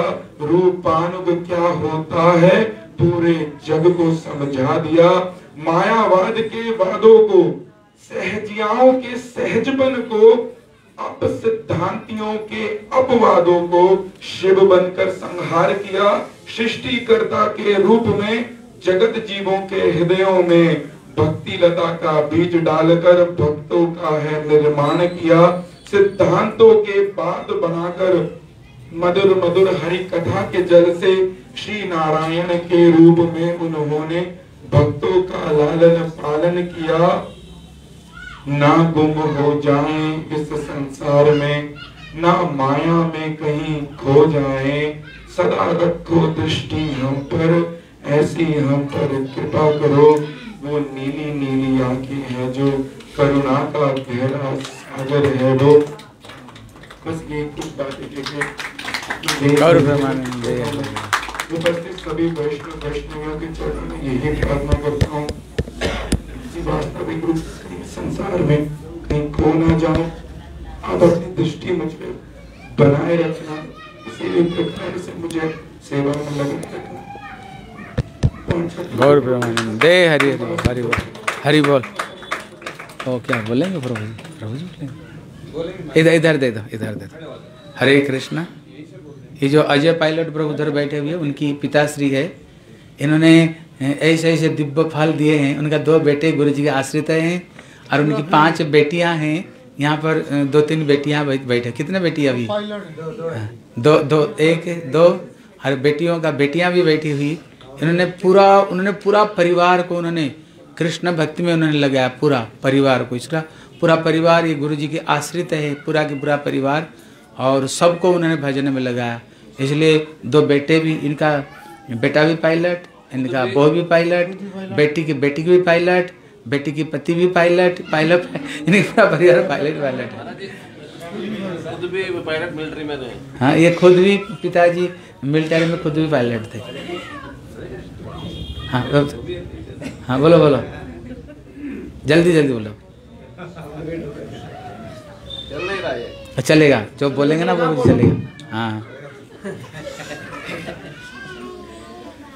तुम अज्ञान के निरंतर ज्ञान अंजन चला दिया चक्षुरुन्मिलितं तस्मै श्री गुरुवे वंशा कल्पतरुस्य कृपा सिन्धुभ्यश्च पतितनां पावनेभ्यो वैष्णवेभ्यो नमो महावदान्याय कृष्ण कृष्णचैतन्याय कृष्णाय कृष्ण चैतन्य नामने हे कृष्ण करुणा सिंधु दीनबंधो जगत्सखे गोपेश गोपिका कांत राधा कांत नमस्ते।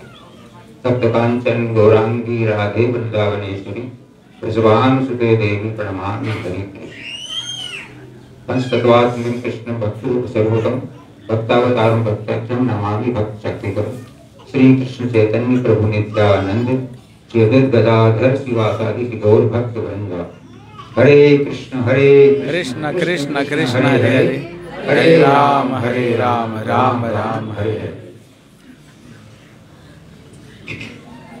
सर्वप्रथम मैं अपने परम आराध्यतम गुरुदेव नित्य लीला प्रविष्टोम विष्णुपाद परमहंस परिव्राजकाचार्य अष्टोदर्शक श्री युगाचार्य श्री श्रीमद भक्ति वेदांत श्री नारायण भूषण महाराज जी के अभय चरणार कमलों में अनंत कोटि दंडवत प्रणाम करता हूँ और उनके अहतु की कृपा की वांछा करता हूँ। तत्पश्चात नित्य अभिष्टम विष्णुपाद अष्टोत्तर श्री भक्ति वेदांत श्री वामन गोस्वामी महाराज, व नित्य विष्णु प्रधान श्री त्रिविक्रम गोस्वामी महाराज जी के चरण कमलों में अनंत कोटि दंडवत प्रणाम करता हूँ। तत्पश्चात समस्त रूपारूप गुरुवर्ग के चरण कमलों में अनंत कोटि दंडवत प्रणाम करते हुए उनसे भी हेतु की कृपा की वांछा करता हूँ। उपस्थित भक्ति वेदांत श्रीधर महाराज जी, श्री दिव्या कृष्ण प्रभु जी, श्री विजय कृष्ण प्रभु जी, संजय प्रभु जी और अजय कृष्ण प्रभु सभी भक्तों के और वैष्णव, वैष्णवी, उपस्थित सभी भक्तों के चरणों में मेरा दंडवत प्रणाम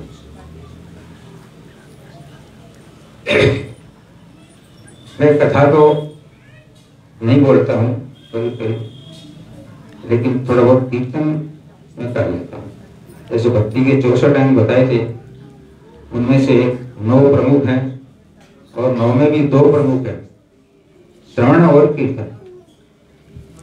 तो पहले तो बहुत श्रवण किया। वैष्णव से गुरु जी से और बोलने का अभ्यास है नहीं मुझे। हाँ एक कीर्तन सुना दो और क्या? हाँ, ये कीर्तन सुना दो दो मिनट सुना दो वैसे सुना दो वैसे ही सुना दो हाँ अच्छा जो जो कीर्तन गाते हैं। हूँ। नहीं दो दो दो मिनट सुना दो मृदंग बजा देगा। भगवान के नाम हाँ। इन्हीं का कीर्तन है। हाँ। इसमें कोई अपना वो सांसारिक कीर्तन नहीं है। जो शादी ब्याह में नाचा करते हैं वो नहीं है। भगवान का नाम हो और उनका ही जो है कीर्तन करना चाहिए। भगवान के सामने नृत्य कर सकते हैं। तो उससे हमको भगवान की कृपा मिलेगी। हरे तो कृष्ण। गुरु जी जैसे मिलते हैं तो भगवान की कृपा से ही मिलते हैं। जब भगवान भगवान की कृपा होती है तो गुरु जी का ही कोई परिकर या कोई भक्त हमसे मिल जाता है और उसके द्वारा हम गुरु जी तक पहुँचते हैं।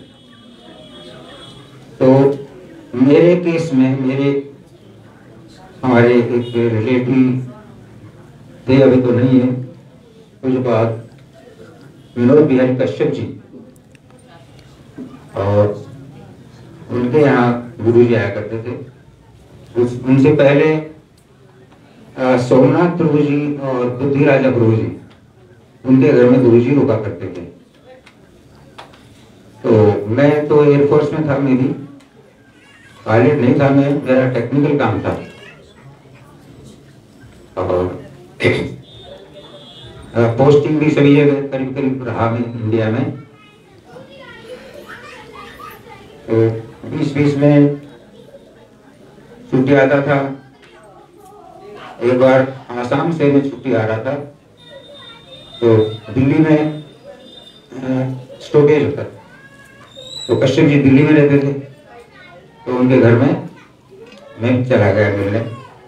विशेष थी और मैं तो वहाँ पे सब लोगों ने एकादशी कर रखी थी। और जब हम गए तो बोले, भाई, इनके लिए भोजन बनाओ। कहा, भाई, आप लोग नहीं खाएँगे क्या? कहते, हमारा तो व्रत है एकादशी में। उस समय मैं एकादशी नहीं करता था। तो हमने कहा, भाई, देखो, हमारा भी एकादशी आज से शुरू वायुसेना में थे, फौज में थे। हालाँकि शाकाहारी रहकर मैंने जीवन बिताया।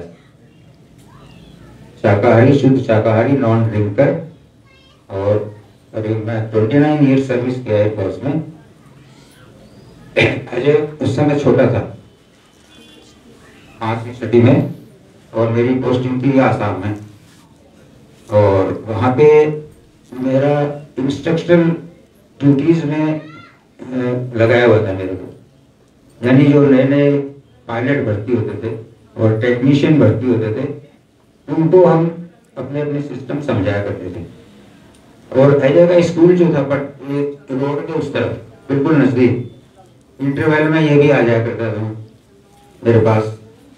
और ये वहाँ देख के इनको थोड़ा इंटरेस्ट जागा कि मैं भी पायलट बनूं या मैं भी एयरफोर्स में जाऊँ। मैं वहाँ जो नए पायलट होते थे, उनको भी अपना सम- समझाया करता था एयरफ्रेम के बारे में, इसमें क्या क्या सिस्टम होते हैं क्या क्या होता है। तो इनको इंटरेस्ट जागने से फिर बाद में ये भी जो है वायु इसमें वायुसेना में चले और एनडी के थ्रू पायलट बन गए। सेवाएँ दी काफ़ी। जेट एयरवेज में आ गए फिर जेट एयरवेज बंद हो गई। उसके बाद भी ये तो हाँ तो ये गुरु जी की कृपा से ये सब हुआ। हमको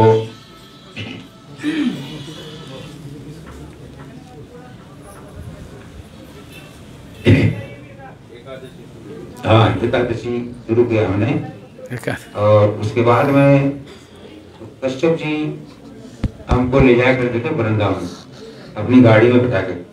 टाटा सुमो गाड़ी थी उनके पास और वहाँ सब दर्शन करवा के और फिर बाद में बांके बिहारी जी के दर्शन करके वहाँ गली में लस्सी की दुकान तो वो सबको लस्सी बिठाया गया और वो एक तरह का वृंदावन जाने का वो हमको एक तरह का लालच सा हो गया। जब भी जाएँगे वो हमको ले जाएँगे। अजय फिर उनके साथ में रहा करीब डेढ़ डेढ़ साल, दिल्ली में ही। तो इनका ज़्यादा वो रहा संपर्क रहा वैष्णव का। वैष्णव से, गुरु वैष्णव के दर्शन, उनके कथा कीर्तन सुनते थे। मैं तो कभी आसाम में हूँ तो कभी पश्चिम बंगाल में हूँ। अलग अलग जगह पोस्टिंग होती थी। तो मेरा तो कम रहा, इनका ज़्यादा रहा अजय का। और दीक्षा में भी ये मेरे से सीन है। मैं तो दो साल बाद में मैंने दीक्षा ली। इन्होंने दो साल पहले ली। तो जब पहली बार सोमनाथ जी के घर में दर्शन तो हो गए, गुरु जी के। लेकिन हरिनाम फिर बाद में दोबारा जब मैं छुट्टी आया उस समय मथुरा के मठ में गुरु जी के कमरे में गए कश्यप जी थे अजय भी थे और मैं था। तो महाराज कमरे में जाने के बाद इन्होंने बोला कि ये इनको इनाम लेना है। मेरे को देखते ही महाराज ने बोला, भाई अच्छा मैं भी ये, महाराज ये पूजा बहुत करते पूजा पाठ तो मैं करता था लेकिन मुझे कृष्ण भक्ति के बारे में कोई जानकारी ज़्यादा नहीं थी। मैं हनुमान जी का भक्त था। हनुमान जी की सेवा करता था मंगलवार का व्रत करता था पहले। तो फिर गुरु जी ने बोला कि देखो ये मंगलवार सोमवार बुधवार गुरुवार शुक्रवार शनिवार ये जितने भी व्रत हैं देवी देवताओं के हैं इनको करने की बजाय एकादशी का व्रत करो। और एकादशी के व्रत करने से सभी व्रत हो जाते हैं। उन्होंने एक श्लोक भी बताया कि यथा तरोर मूल निषेचन तत्यंती प्रतिस्कंद भुजोक शाखा। प्राणोपहाराच यथा इंद्रियाणाम तथैव सर्वारणम अच्युत ईजा इसको भावार्थ भी समझाया। कि देखो, यथा जिस प्रकार से तरोर मूल वृक्ष की जड़ में जल सींचने से यथा तरोर मूल निषेच ने प्रत्यंती तत्स्कंद भुजोक शाखा। उस वृक्ष की सभी शाखाएँ, उप शाखाएँ और सभी कुछ तृप्त हो जाता है। यदि जड़ में हमने जल सींच दिया और प्राणोपहाराच यथा इंद्रियाणाम जैसे आहार के द्वारा हम अपने प्राणों को तृप्त कर लेते हैं। तो हमारे शरीर की सभी इंद्रियाँ तृप्त हो जाती हैं। इस तरह से यदि आपने कृष्ण की पूजा कर ली प्राणोपहारा यथा इंद्रियाणाम तथे कृष्ण की पूजा। तो वो सभी की पूजा हो गई। सभी देवी देवताओं की पूजा हो गई। और उपवास भी जैसे सोमवार का शिव जी के लिए करते हैं, मंगलवार का हनुमान जी, गुरुवार गणेश जी सरस्वतार ऐसे अलग अलग पूजा करने की ज़रूरत नहीं है। एकादशी का उपवास कर लो, व्रत कर लो और उसमें सारे व्रत हो जाते हैं। तो ये दो चीज़ें उन्हें महाराज ने बताई और परिणाम दिया, सोलह माला कम से कम करना है। तो ये हमने नियम बाँध लिया। और खान पान के बारे में तो पहले से ही हम लहसुन प्याज नहीं खाते थे। हरे बोल हरे कृष्ण। बाकी बाकी बाद में बोल देना। हरे हरे कृष्ण बहुत टाइम हो रहा है ठीक। और प्रेमानंद कृपा सिंधु जय प्रभु की जय। प्रभु दयाल प्रभु की जय। प्रभु प्रभु को देता पास में देता नहीं तुम हो गया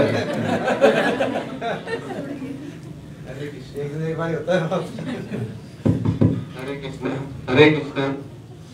गुरुवे गौरचंद्राय राधिकाय तदाय जी जी। कृष्ण भक्ताय जीत जीत जीत प्रभु जी जीत प्रभु जी जीत प्रभु जी जो अब आ जाओ आशीर्वाद देने के लिए। अब कथा नहीं अब कथा नहीं होगी। ये प्रभु जी का लास्ट कथा है। इसके बाद में सबको प्रसाद मिलेगा। इसलिए बहुत लेट हो गई। फिर कल फिर हमारे पचपन सेक्टर में बारात हल में प्रोग्राम है। इसलिए आप कथा बोलो बोलो। हरे कृष्ण। बहुत सारा गुरु महाराज जी की महिमा के विषय में आप लोगों ने सुन लिया है। मैं बस एक छोटी सी बात आप लोगों को बतलाना चाहता हूँ। देखिए, एक बात को समझिए ध्यान से।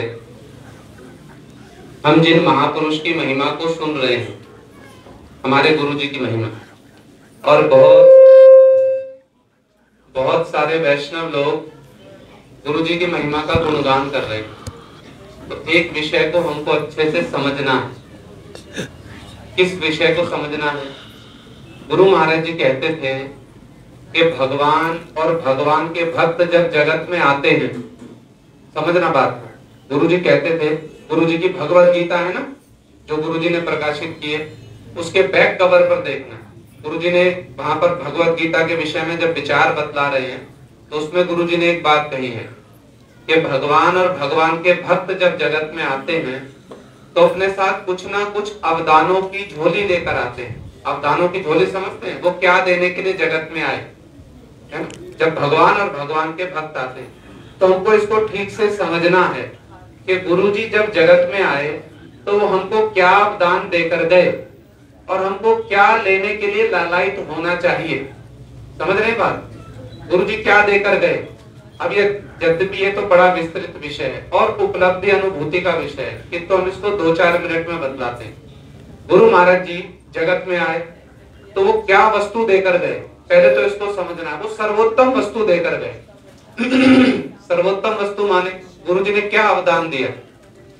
श्री प्रबोधानंद सरस्वती जी का नाम सुना आप लोगों ने? वो राधा जी की तुंग विद्या सखी है, वो एक स्थान पर कह रहे हैं यस्या कदापि वसनांचल खेलनुत धन्याति धन्या पवनेन कृतार्थ माने। योगिंद्र दुर्गम गतिर मधुसूदन। कुछ अनुभव होगा। गुरु जी क्या वस्तु देकर के क्या है? यस्या कदापि वसनांचल खेलनुत धन्याति धन्या पवनेन कृतार्थ माने। योगिंद्र दुर्गम गतिर मधुसूदन। ये जो भगवान मधुसूदन है ना? मधुसूदन कौन? कृष्ण वो बड़े बड़े योगियों के लिए भी बड़ी दुर्गम गति है। बड़े बड़े योगी लोग कोटि कोटि जन्म तपस्या करके भी चेष्टा करते कृष्ण को अपने हृदय में ले आए, नहीं ला सकते। ब्रह्मा जी, शिव जी ये चेष्टा करते हैं, कृष्ण का हमको दर्शन मिल जाए। बड़े बड़े देवता, साधारण देवता नहीं, शिव और ब्रह्मा कौन है? देवताओं में सर्वश्रेष्ठ।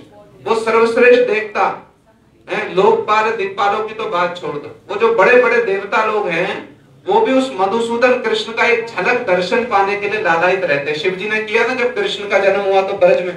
खड़े रहे ना कृष्ण के बाहर मैया हमको एक बार दर्शन करा दे। ब्रह्मा जी को तो दर्शन भी नहीं मिलता। ये बड़े बड़े जो देवता लोग हैं बड़े बड़े योगी लोग, ये कृष्ण का दर्शन करने के लिए लालायित रहते, दर्शन नहीं मिलता। और वो कृष्ण, उनकी क्या अवस्था है? वो राधा जी का जो ये वस्त्र होता है ना उतरिया वस्त्र, इसको स्पर्श करके वायु चली, पवन। राधा जी को स्पर्श नहीं किया।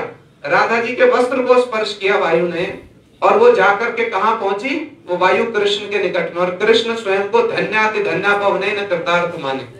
वो कृष्ण स्वयं को कृतार्थ मान रहे हैं। समझ में आ रही बात? कितनी राधा जी की महिमा है। कितनी राधा जी की महिमा? है? बड़े बड़े देवता लोग लोकपाल दिक्पाल कृष्ण का दर्शन करने की चेष्टा करते हैं, उनको दर्शन नहीं मिलता। और वो कृष्ण स्वयं राधा जी का दर्शन तो छोड़ो। उनकी जो सखियाँ हैं मंजरियाँ हैं, उनकी सेविकाएँ, उनसे प्रार्थना करते हैं, हमको कुंज में जाने दो। और उनकी सखियाँ, उनको कुंज में प्रवेश नहीं करने देती। कितनी उनकी महिमा है? कृष्ण ने वरारूप धारण किया। किया ना? वरारूप। और वरारूप धारण करके क्या किया? पृथ्वी को अपनी दाढ़ों में ले आए, दाढ़ों में, उठा करके। इतने बलशाली कृष्ण है। कुंज में प्रवेश नहीं कर सकते। कर सकेंगे कुंज में प्रवेश? जिनका एक अंश का अंश भरा देव पृथ्वी को अपनी दाढ़ों पर उठाकर ले आए, वो कृष्ण कुंज में प्रवेश नहीं कर सकते। क्यों? मंजरियाँ उनको जाने नहीं देती। राधा जी ने आदेश कर दिया, वो धूर्त है, लंपट है। आज किसी भी काली वस्तु का हमारे कुंज में प्रवेश नहीं होगा। हमारे केशों को भी ढक दो। और वो भीतर नहीं जा पाते कृष्ण। जिनकी इतनी महिमा है वो कुंज में प्रवेश नहीं कर पा रहे। राधा जी की क्या महिमा होगी? हमारे गुरु जी कहते राधा जी की महिमा तो छोड़ो। उनकी ये छोटी छोटी मंजरियाँ जो हैं, इनकी महिमा क्या होगी? कृष्ण उनके निकट में अनुनय विनय कर रहे हैं। अरे, तुम भी अपनी स्वामी राधा जी जैसी निष्ठुर हो गई हो। हमको भीतर प्रवेश करने दो। कहते, नहीं, हमको आदेश नहीं है। तुमको नहीं जाने देंगे। तो कृष्ण उनके भी पैर पकड़ रहे हैं। अरे, जाने दो हमको भीतर। क्या बिगड़ जाएगा तुम्हारा? जाने दो हमको भीतर। वो जाने नहीं देती इतनी महिमा उन मंजरियों की। इतनी महिमा राधा जी की तो समझ में आ रही बात, कितनी उन्नत वस्तु है ये। और उसको गुरु महाराज जी ने कितने सरल रूप में दिया। तो समझो इस बात को, हम सब समझे इस बात को, गुरु जी कितने धनी हैं। कितने धनी हैं गुरु जी, जो उन्होंने इतनी उन्नत वस्तु को इतने सरल रूप में दे दिया। कैसे दिया? गुरु महाराज जी ने एक समय विदेश में इस बात को कहा। कहते, मेरे निकट में जो भी आया है मैंने उसको ऐसा पावरफुल इंजेक्शन दिया है जो उनको राधा जी की दासी बना देगा। ये उनके मुख्य शब्द है। बड़े सहज सरल रूप में प्रातः काल परिक्रमा करने जाते थे ना, जिसको हम साधारण भाषा में कहते थे गुरु जी वॉक करने जाते थे, सैर कर रहे वो परिक्रमा करने जाते थे। तो वही भक्तों के साथ में वार्तालाप होता था। कितने सरल रूप में गुरु जी कहते कहते हैं कि मैंने जो भी मेरे निकट में आया, मैंने उनको ऐसा इंजेक्शन दिया है जो उनको राधा जी की दासी बना देगा। राधा जी के दास से भाव लेकर जाएगा। एक और तो इतनी उन्नत वस्तु जिसके लिए कृष्ण भी लालायित हो रहे हैं राधा जी का दर्शन पाने के लिए और उनका दास्य भाव गुरु जी ने कितने सरल रूप में दे दिया। गुरु जी मथुरा में अपनी हरि कथा में कह रहे इस बात को, और हमको भी किस वस्तु के लिए लालसा करनी चाहिए? हमको गुरु जी से क्या प्रार्थना करनी चाहिए? इस बात को समझना चाहिए कि गुरु जी किस रीति से भजन करते थे। इतने सरल रूप में गुरु जी बतलाते थे ये उनका वैशिष्ट है। रूप गोस्वामी जी का नाम सुना आप लोगों ने? उनका ऐसा वैशिष्ट है कि जब साधारण विषय उपदेशामृत का वर्णन किया तो इतना सहज सुलभ वर्णन है कि साधारण लोगों को भी हृदयंगम होगा। और जब उज्जवल नीलमणि में इतने दिव्य भावों का वर्णन कर रहे हैं तो रूप गोस्वामी जी का वैशिष्ट है, साधारण से साधारण वर्णन को भी बड़े गुरुत्वपूर्ण उपाय से करते हैं। और गुरुत्व से गुरुत्व पूर्ण जो विषय है, उसको भी बड़े साधारण रूप में परिवेशन करते हैं। गुरु महाराज जी की हरिकथा सुनिए। जब राधा जी की महिमा कहेंगे, इतनी मार्जिक भाषा में, इतनी संशोधित भाषा में कहेंगे और इतने अभूतपूर्व रूप में कहेंगे कि साधारण से साधारण व्यक्ति के मन में भी क्या आ जाएगा? बस हमको तो यही भाव चाहिए। यही भाव चाहिए और कुछ नहीं। हम लोग मथुरा में थे, इस बात को प्राय सुनाते हैं। एक छोटी सी बच्ची मथुरा की, पाँच वर्ष की।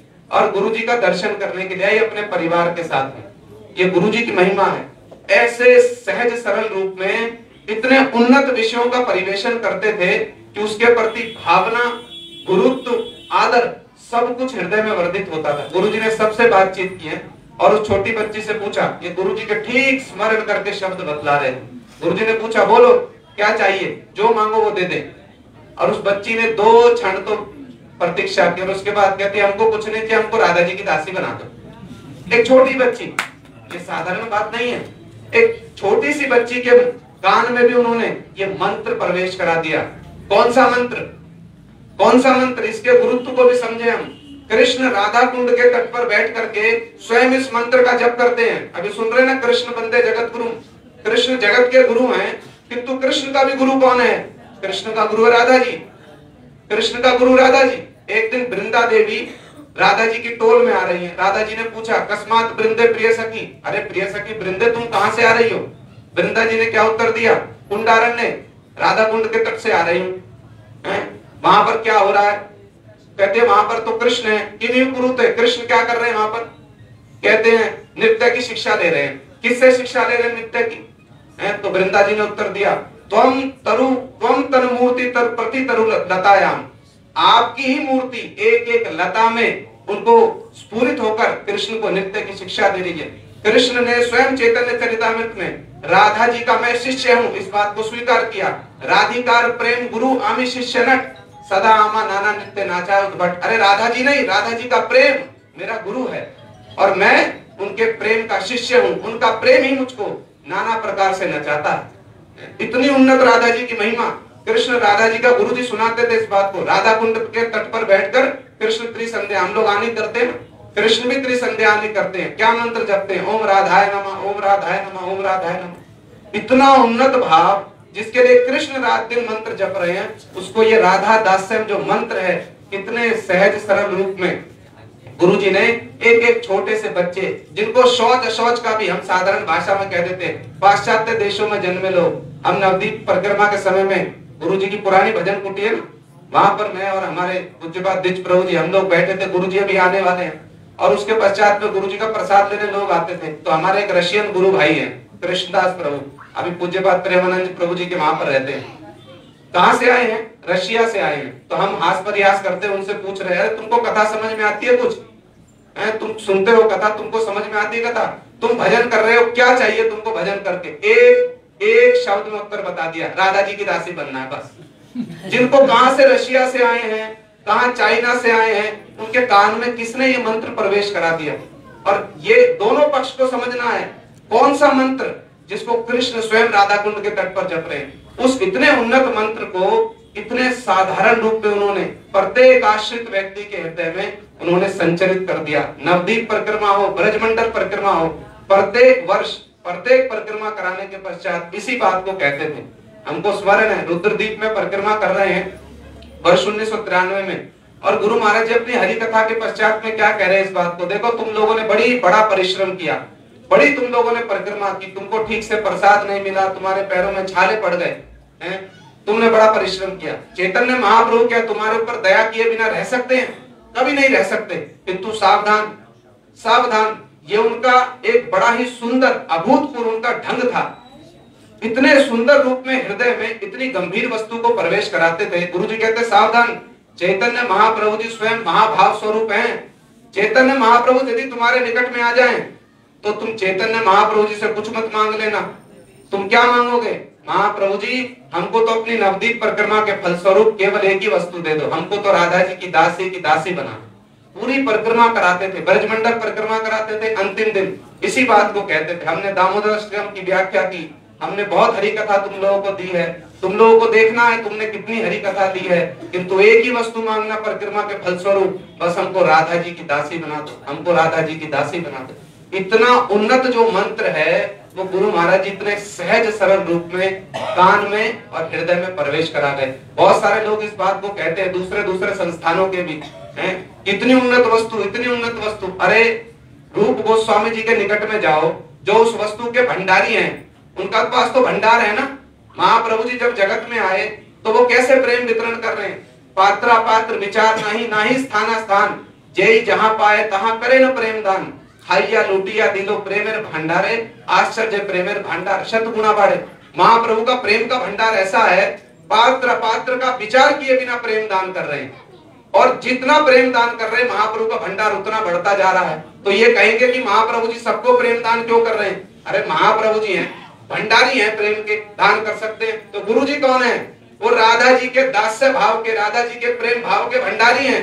वो सबको दान कर सकते हैं और उन्होंने दान किया है। वो सबको दान कर सकते हैं और उन्होंने दान किया है। और इसी बात का परिचय है आज कि गुरु जी के संग में किसी भी छोटे से छोटे बालक से आप पूछ लीजिए रूपानु भक्ति क्या है? ये ब्रज की भक्ति क्या है? बड़े सहज सरल रूप में सुन रहे हैं ना छोटे छोटे बच्चे, जिन्होंने जो मुख से तो कह रहे गुरु जी का संग नहीं किया। यही प्रभाव है, यही नित्य होने का प्रमाण है, जिन्होंने साक्षात भी दर्शन नहीं किया, उनके मुख से भी आज ऐसी ऐसी कथा निकल रही ये प्रमाण है। देखो, एक छोटी सी बात और बतला दू, क्योंकि समय हो गया। समझने की बात है बड़े ध्यान से। संघ किसको कहते हैं? संघ का प्रभाव क्या है? यदि वास्तव में प्रभावशाली व्यक्ति का संग किया है ना तो उसका फल दिखलाई देगा, उसका लक्षण दिखलाई देगा। चैतन्य महाप्रभु जी, समझना बात को ध्यान से। जिस समय में दक्षिण भारत की यात्रा करते करते महाराष्ट्र में एक स्थान है सोलापुर जिला। वहाँ एक स्थान है पंडरपुर पंडरपुर एक स्थान वहाँ संत तुकाराम जी का नाम आप लोगों ने सुना होगा। उनको महाप्रभु जी ने हरिनाम दिया। है? उस स्थान पर जब महाप्रभु जी पहुँचे तो वहाँ पर महाप्रभु जी के गुरु जी के जो गुरु जी हैं, श्री माधवेंद्र पुरीपाद जी समझना बात को ध्यान से, बड़ा मधुर विषय है? संग किसको कहते हैं? गुरु जी के संग का क्या प्रभाव है? किसी को एक बार भी स्पर्श कर दिया ना उसमें ऐसा एक बीज उन्होंने छोड़ दिया रूपानु भक्ति का रागानु भक्ति का, राधा जी के दास्य भाव का। ये समझने की बात है, कितने प्रभावशाली आचार्य थे, कितने प्रभावशाली आचार्य। किस वस्तु के वो धनी थे, राधा जी के प्रेम के, और किस परिमाण में धनी थे। इस बात को हमको समझना है। तो महाप्रभु जी जब पहुँचे ना पंडरपुर में, एक ब्राह्मण ने उनको निमंत्रण दिया, है?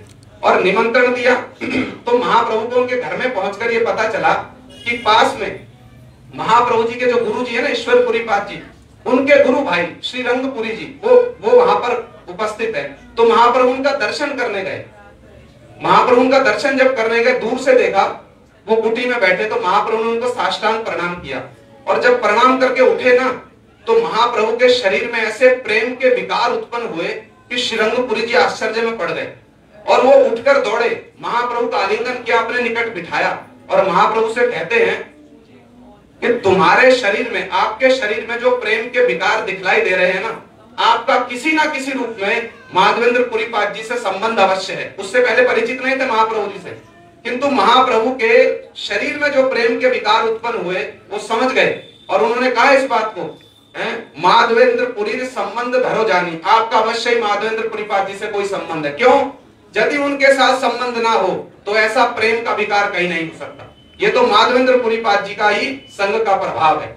ऐसे ही महाप्रभु जी जब मथुरा में आए ना केशव देव जी के मंदिर में तो माधवेंद्र पुरीपाद जी के एक शिष्य थे ब्राह्मण।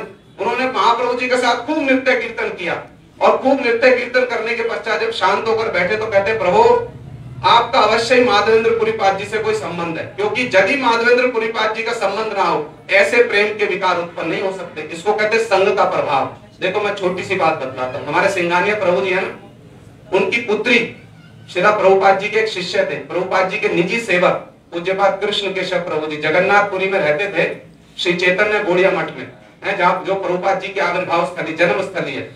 प्रभुपाद जी के निजी रसोईया थे वो, पूज्य बात कृष्ण केशव प्रभु जी। प्रभुपाद जी के शिष्य, हमारे गुरु जी उनके निकट जाते थे, उनको प्रणाम करने गुरु जी के शिक्षा गुरु हुए, हैं। उनके निकट में कौन गई? सिंगानिया प्रभु जी की पुत्री, हमारे गुरु भाई हैं, सिंगानिया प्रभु जी। और उन्होंने जाकर के उनसे प्रश्न किया। किससे प्रश्न किया? पूज्य बात कृष्ण केशव प्रभु जी से। प्रश्न किया कि प्रभु जी, हमको बतला दीजिए। रूपानुगा भक्ति के विषय में हमको कुछ बतला दीजिए। उन्होंने उत्तर देने से पहले क्या कहा? तुम नारायण महाराज जी का संग करती हो। समझ में आ रही बात? उत्तर देने से क्या कहा? पूर्व क्या कहा? तुम नारायण महाराज जी का संग करते हो। उनका संग किए बिना हृदय में ये प्रश्न नहीं आ सकता। रूपानुगा भक्ति क्या है रागानुगा भक्ति क्या है राधा जी के सब भाव क्या है? इसको कहते संग का प्रभाव। ये गुरु महाराज जी के संग का इतना प्रभावशाली प्रभाव है, एक बार भी यदि किसी ने, जो हम दर्शन की बात कर रहे हैं ना, एक बार भी दर्शन है, पवित्र करो। पवित्र माने क्या होगा? शरीर की पवित्रता? ये तो होगी शरीर की पवित्रता। किंतु भीतर में आत्मा आत्मा यद्यपि अब अपवित्र नहीं हो सकती, किंतु उसके ऊपर में जो विकार है ना, वो सब विकार पवित्र होकर, जो ये मंत्र है, सर्वोत्तम मंत्र राधा जी का दास्य भाव, ये उन्होंने इतने सहज सरल रूप में दे दिया, हम इससे अनुमान लगा सकते हैं, वो किस, कितने उन्नत धन में, कितने उन्नत परिमाण में वो धनी थे, या छोटे से छोटा बच्चा भी। ये राधा जी की भक्ति की बात रूपानुगा शिला प्रभुपाद जी कहते थे गोल सेटल्ड फ़र्स्ट हम भजन साधन तो कर रहे हैं। भजन साधन करते, करने से पहले हमारा जो लक्ष्य है ना, लक्ष्य वो सबसे पहले निर्धारित होना चाहिए। यदि लक्ष्य निर्धारित नहीं हुआ, भजन किसके लिए कर रहे हैं? क्या प्राप्त करेंगे? वो लक्ष्य गुरु जी ने निर्धारित किया। बार बार इस बात को कहते थे, खबरदार, कृष्ण से कभी कोई जागतिक वस्तु मत मांगना, बस एक ही वस्तु मांगना। क्या?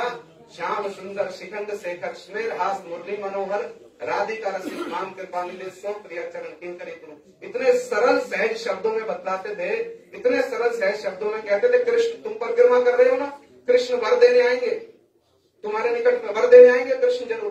किंतु तुम कृष्ण से क्या वर मांगोगे? कहते कि पहले कृष्ण की स्तुति करना। हे श्याम सुंदर, कृष्ण आप तो श्याम सुंदर हो। शिखंड शेखर, आप तो बड़े रसिक हो, हैं? आप मुरली मनोहर, कितनी सुंदर आप मुरली वादन करते हो। तो कृष्ण प्रसन्न हो जाएँगे। अरे तो मेरी बड़ी स्तुति कर रहा है। तो फिर कृष्ण कहेंगे, अब तुम वर मांग लो। प्रसन्न हो जाएँगे ना? तो कृष्ण ये गुरु जी सिखलाते थे, कितनी सरल, सहज भाषा में। और कितने सरल रूप में। कहते जब कृष्ण प्रसन्न हो जाएँगे तो उनसे क्या मांगोगे? कृष्ण कहेंगे ना, कोई वर मांग लो। तो कृष्ण से क्या मांगना राधिका, पद तले कृति स्थिति। तो बड़े कृपालु आप तो प्रसन्न भी हो गए, हमको वर भी दे रहे हो। तो क्या दे दो? हमको राधा जी की दासी बना दो। कहते ऐसे कृष्ण से वर मांग लेना। बड़े सरल, सहज रूप में और हँसते हँसते गुरु जी कहते थे, देखो शिव जी जी ने रास में प्रवेश किया। किया ना रास में प्रवेश? रास में प्रवेश हुआ। उल्टा ब्रज गोपियों ने गुच्चे मार मार करके शिव जी को रास से बाहर कर दिया। तो शिव जी कृष्ण के बड़े भक्त हैं। किंतु कृष्ण कितने चतुर हैं? कितने चतुर? शिव जी को ये वर दे दिया। आपकी कृपा के बिना किसी को रास में प्रवेश नहीं मिलेगा। किंतु आपको भी नहीं मिलेगा।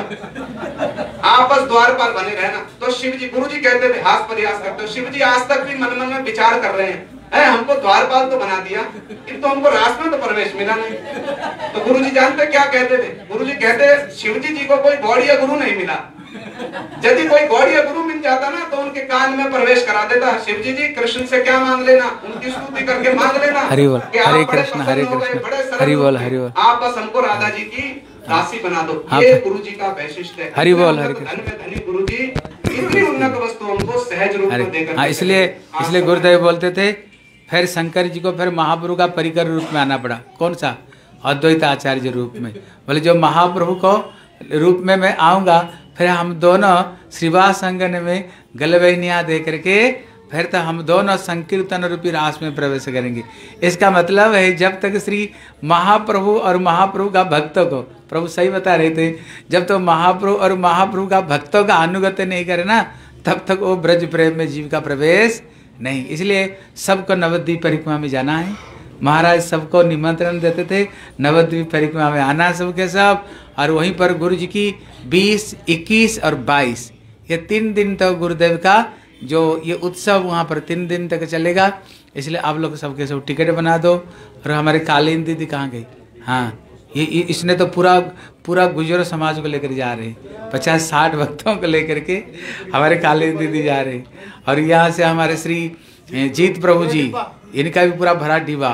और हमारे दामोदर प्रभु जी अभी भर कर डिब्बा लेकर जा रहे इसलिए जिन लोगों को जाना, पहले से टिकट बना दो, ठीक है? और नवद्वीप धाम में भी गुरुदेव की तिथि होगी इसलिए हमारे जीत प्रभु दे दो, आशीर्वाद दे दे। हाँ तुम कर तुम कर, तुम तुम कर दो खड़े हो जाओ खड़े हो जाओ वैष्णव दर्शन करें। अरे हमारे जीत प्रभु जी, कितना दिन से सारे वैष्णवों को निमंत्रण दे करके, और अभी भी सारा दिन, यहाँ तीन दिन से तो उत्सव चल रहा है। आज तक तीन, सवेरे से ही बोले उत्सव, फिर दोपहर में भी यहाँ पर उत्सव चला। अभी रात में भी उत्सव, ये दिन रात को बराबर करते हुए अपना, अप्राण चेष्टा कर रहे हैं। जैसे गुरुदेव का, है शतवार्षिक उत्सव यहाँ पर हो, बहुत कष्ट से ये सब भक्तों को निमंत्रण दे करके बुला कर करे। इसलिए इनके लिए जोरदार ताली बजा गुरु जी इनके ऊपर में कृपा करें और गुरुदेव का आशीर्वाद इनका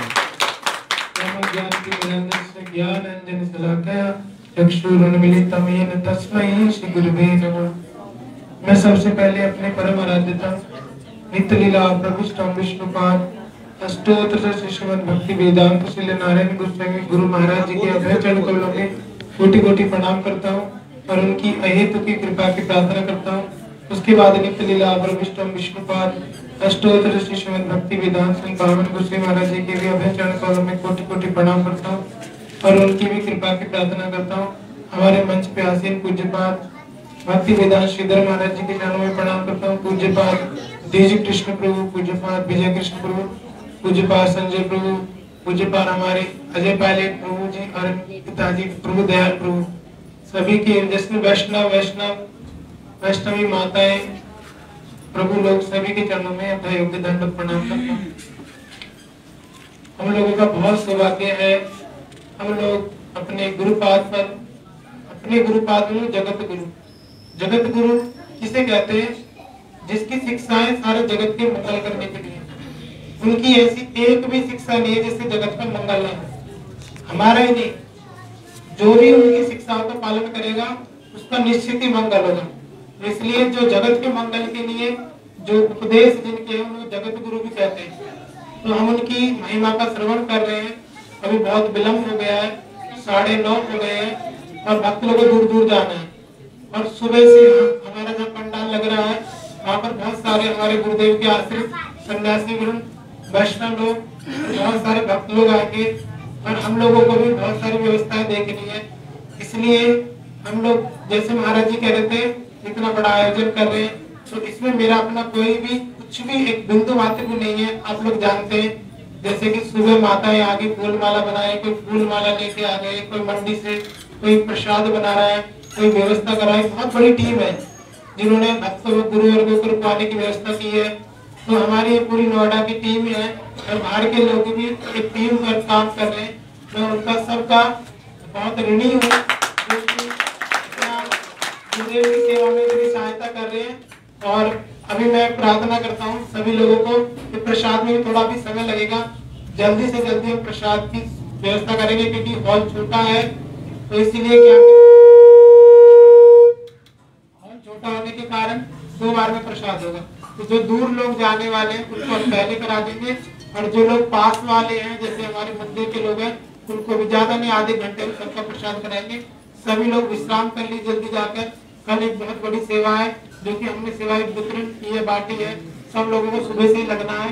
तो इसलिए मैं यही, यहीं रह के अपनी वक्तव्य को समाप्त करता हूँ। और जितने जो विशेषकर हमारे जो धीज प्रभु है, जो इतना परिश्रम करके वृंदावन इतना बड़ा आयोजन किया इन्होंने अकेले ही। बहुत सारा, सुंदर नगर संकीर्तन, सभी सन्यासी, वैष्णव गौड़ी मठ के भक्तों को बुलाकर कीर्तन कराया और गुरुदेव के लिए इतने सुंदर सुंदर व्यंजन बनाए और गुरुदेव की इतनी सुंदर रसोई की सेवाएँ भी की है और नवदीप में भी बहुत सेवाएँ करते हैं। वो उनके अनुगत्य में सारा कार्य कल कर रहे हैं और बड़े उत्साह के साथ वो पंडाल में लग गए थे, आते नहीं सेवा में लग गए। इस सेवा जो मूर्ति होती है ना, वो आते नहीं सेवा में लग गए उन्हें पकड़ के हम संजय प्रभु हमारे प्रार्थना करके लेके आए हैं। और ये अभी भी कह रहे हैं, वहाँ पर जाना है। तो ऐसे जो वैष्णव लोग हैं, जो हमारा उत्साह बढ़ाते हैं और सेवा की शिक्षा देते हैं गुरु जी ने क्या सिखाया? जैसे मैंने अपने गुरुवर्गों की सेवाएँ की है, वैष्णव सेवाएँ की है, सेवा ही एक जीवन है। सेवा ही करने से हम बड़े बन सकते हैं और सेवा से हमारा मंगल होगा था तो ऐसे बहुत सारी टीम हमारी लगी हुई है जो सेवा करती है, मेरे को उनसे बड़ी प्रेरणा मिलती है। मैं कुछ भी नहीं करता, परंतु फिर भी मेरे को जो ऐसी सेवा की मैं गुरु जी के चरणों में, महाराज जी के चरणों में प्रार्थना करता हूँ, ऐसी सेवा की भावना मेरे हृदय में भी आए और मैं कभी गुरु जी की सेवा करता हूँ। इसलिए बोलो परम आराध्य, तम नित्य लीला, प्रविष्ट विष्णुपाद अष्टोदश भक्ति वेदांत नारायण गुरु गुरु महाराज की जय। तदीय सतवार्षिक व्यास पूजा की की जय। भक्ति वेदांत श्री बावन गुरु महाराज की जय। कृपानु समस्त गुरुवर की की जय, हरि बोल। वैष्णव भक्त वृंद की जय।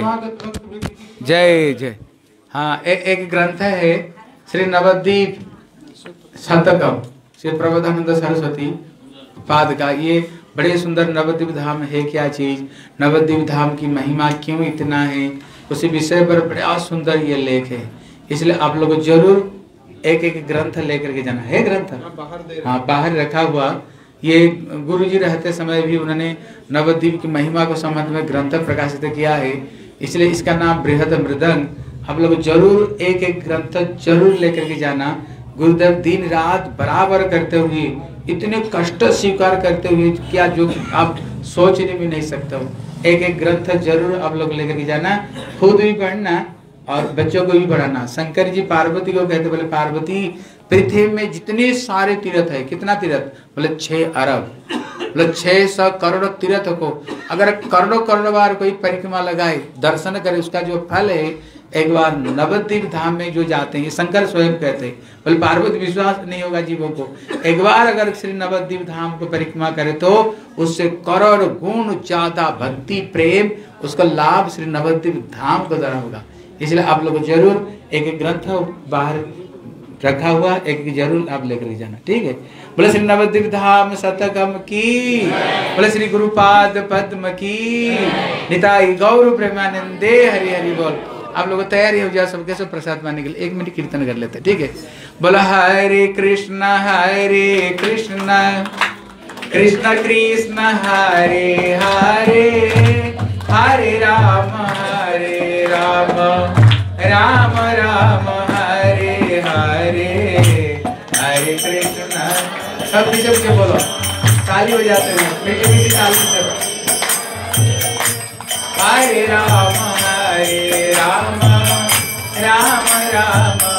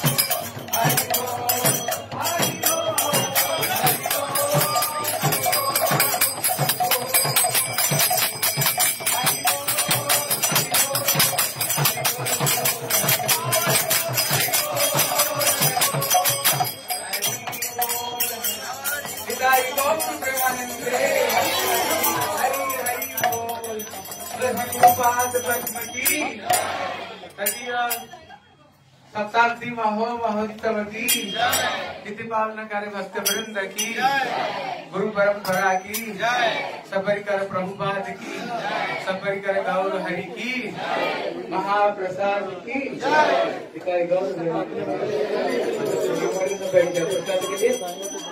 आसन उठा दो तो आसन उठा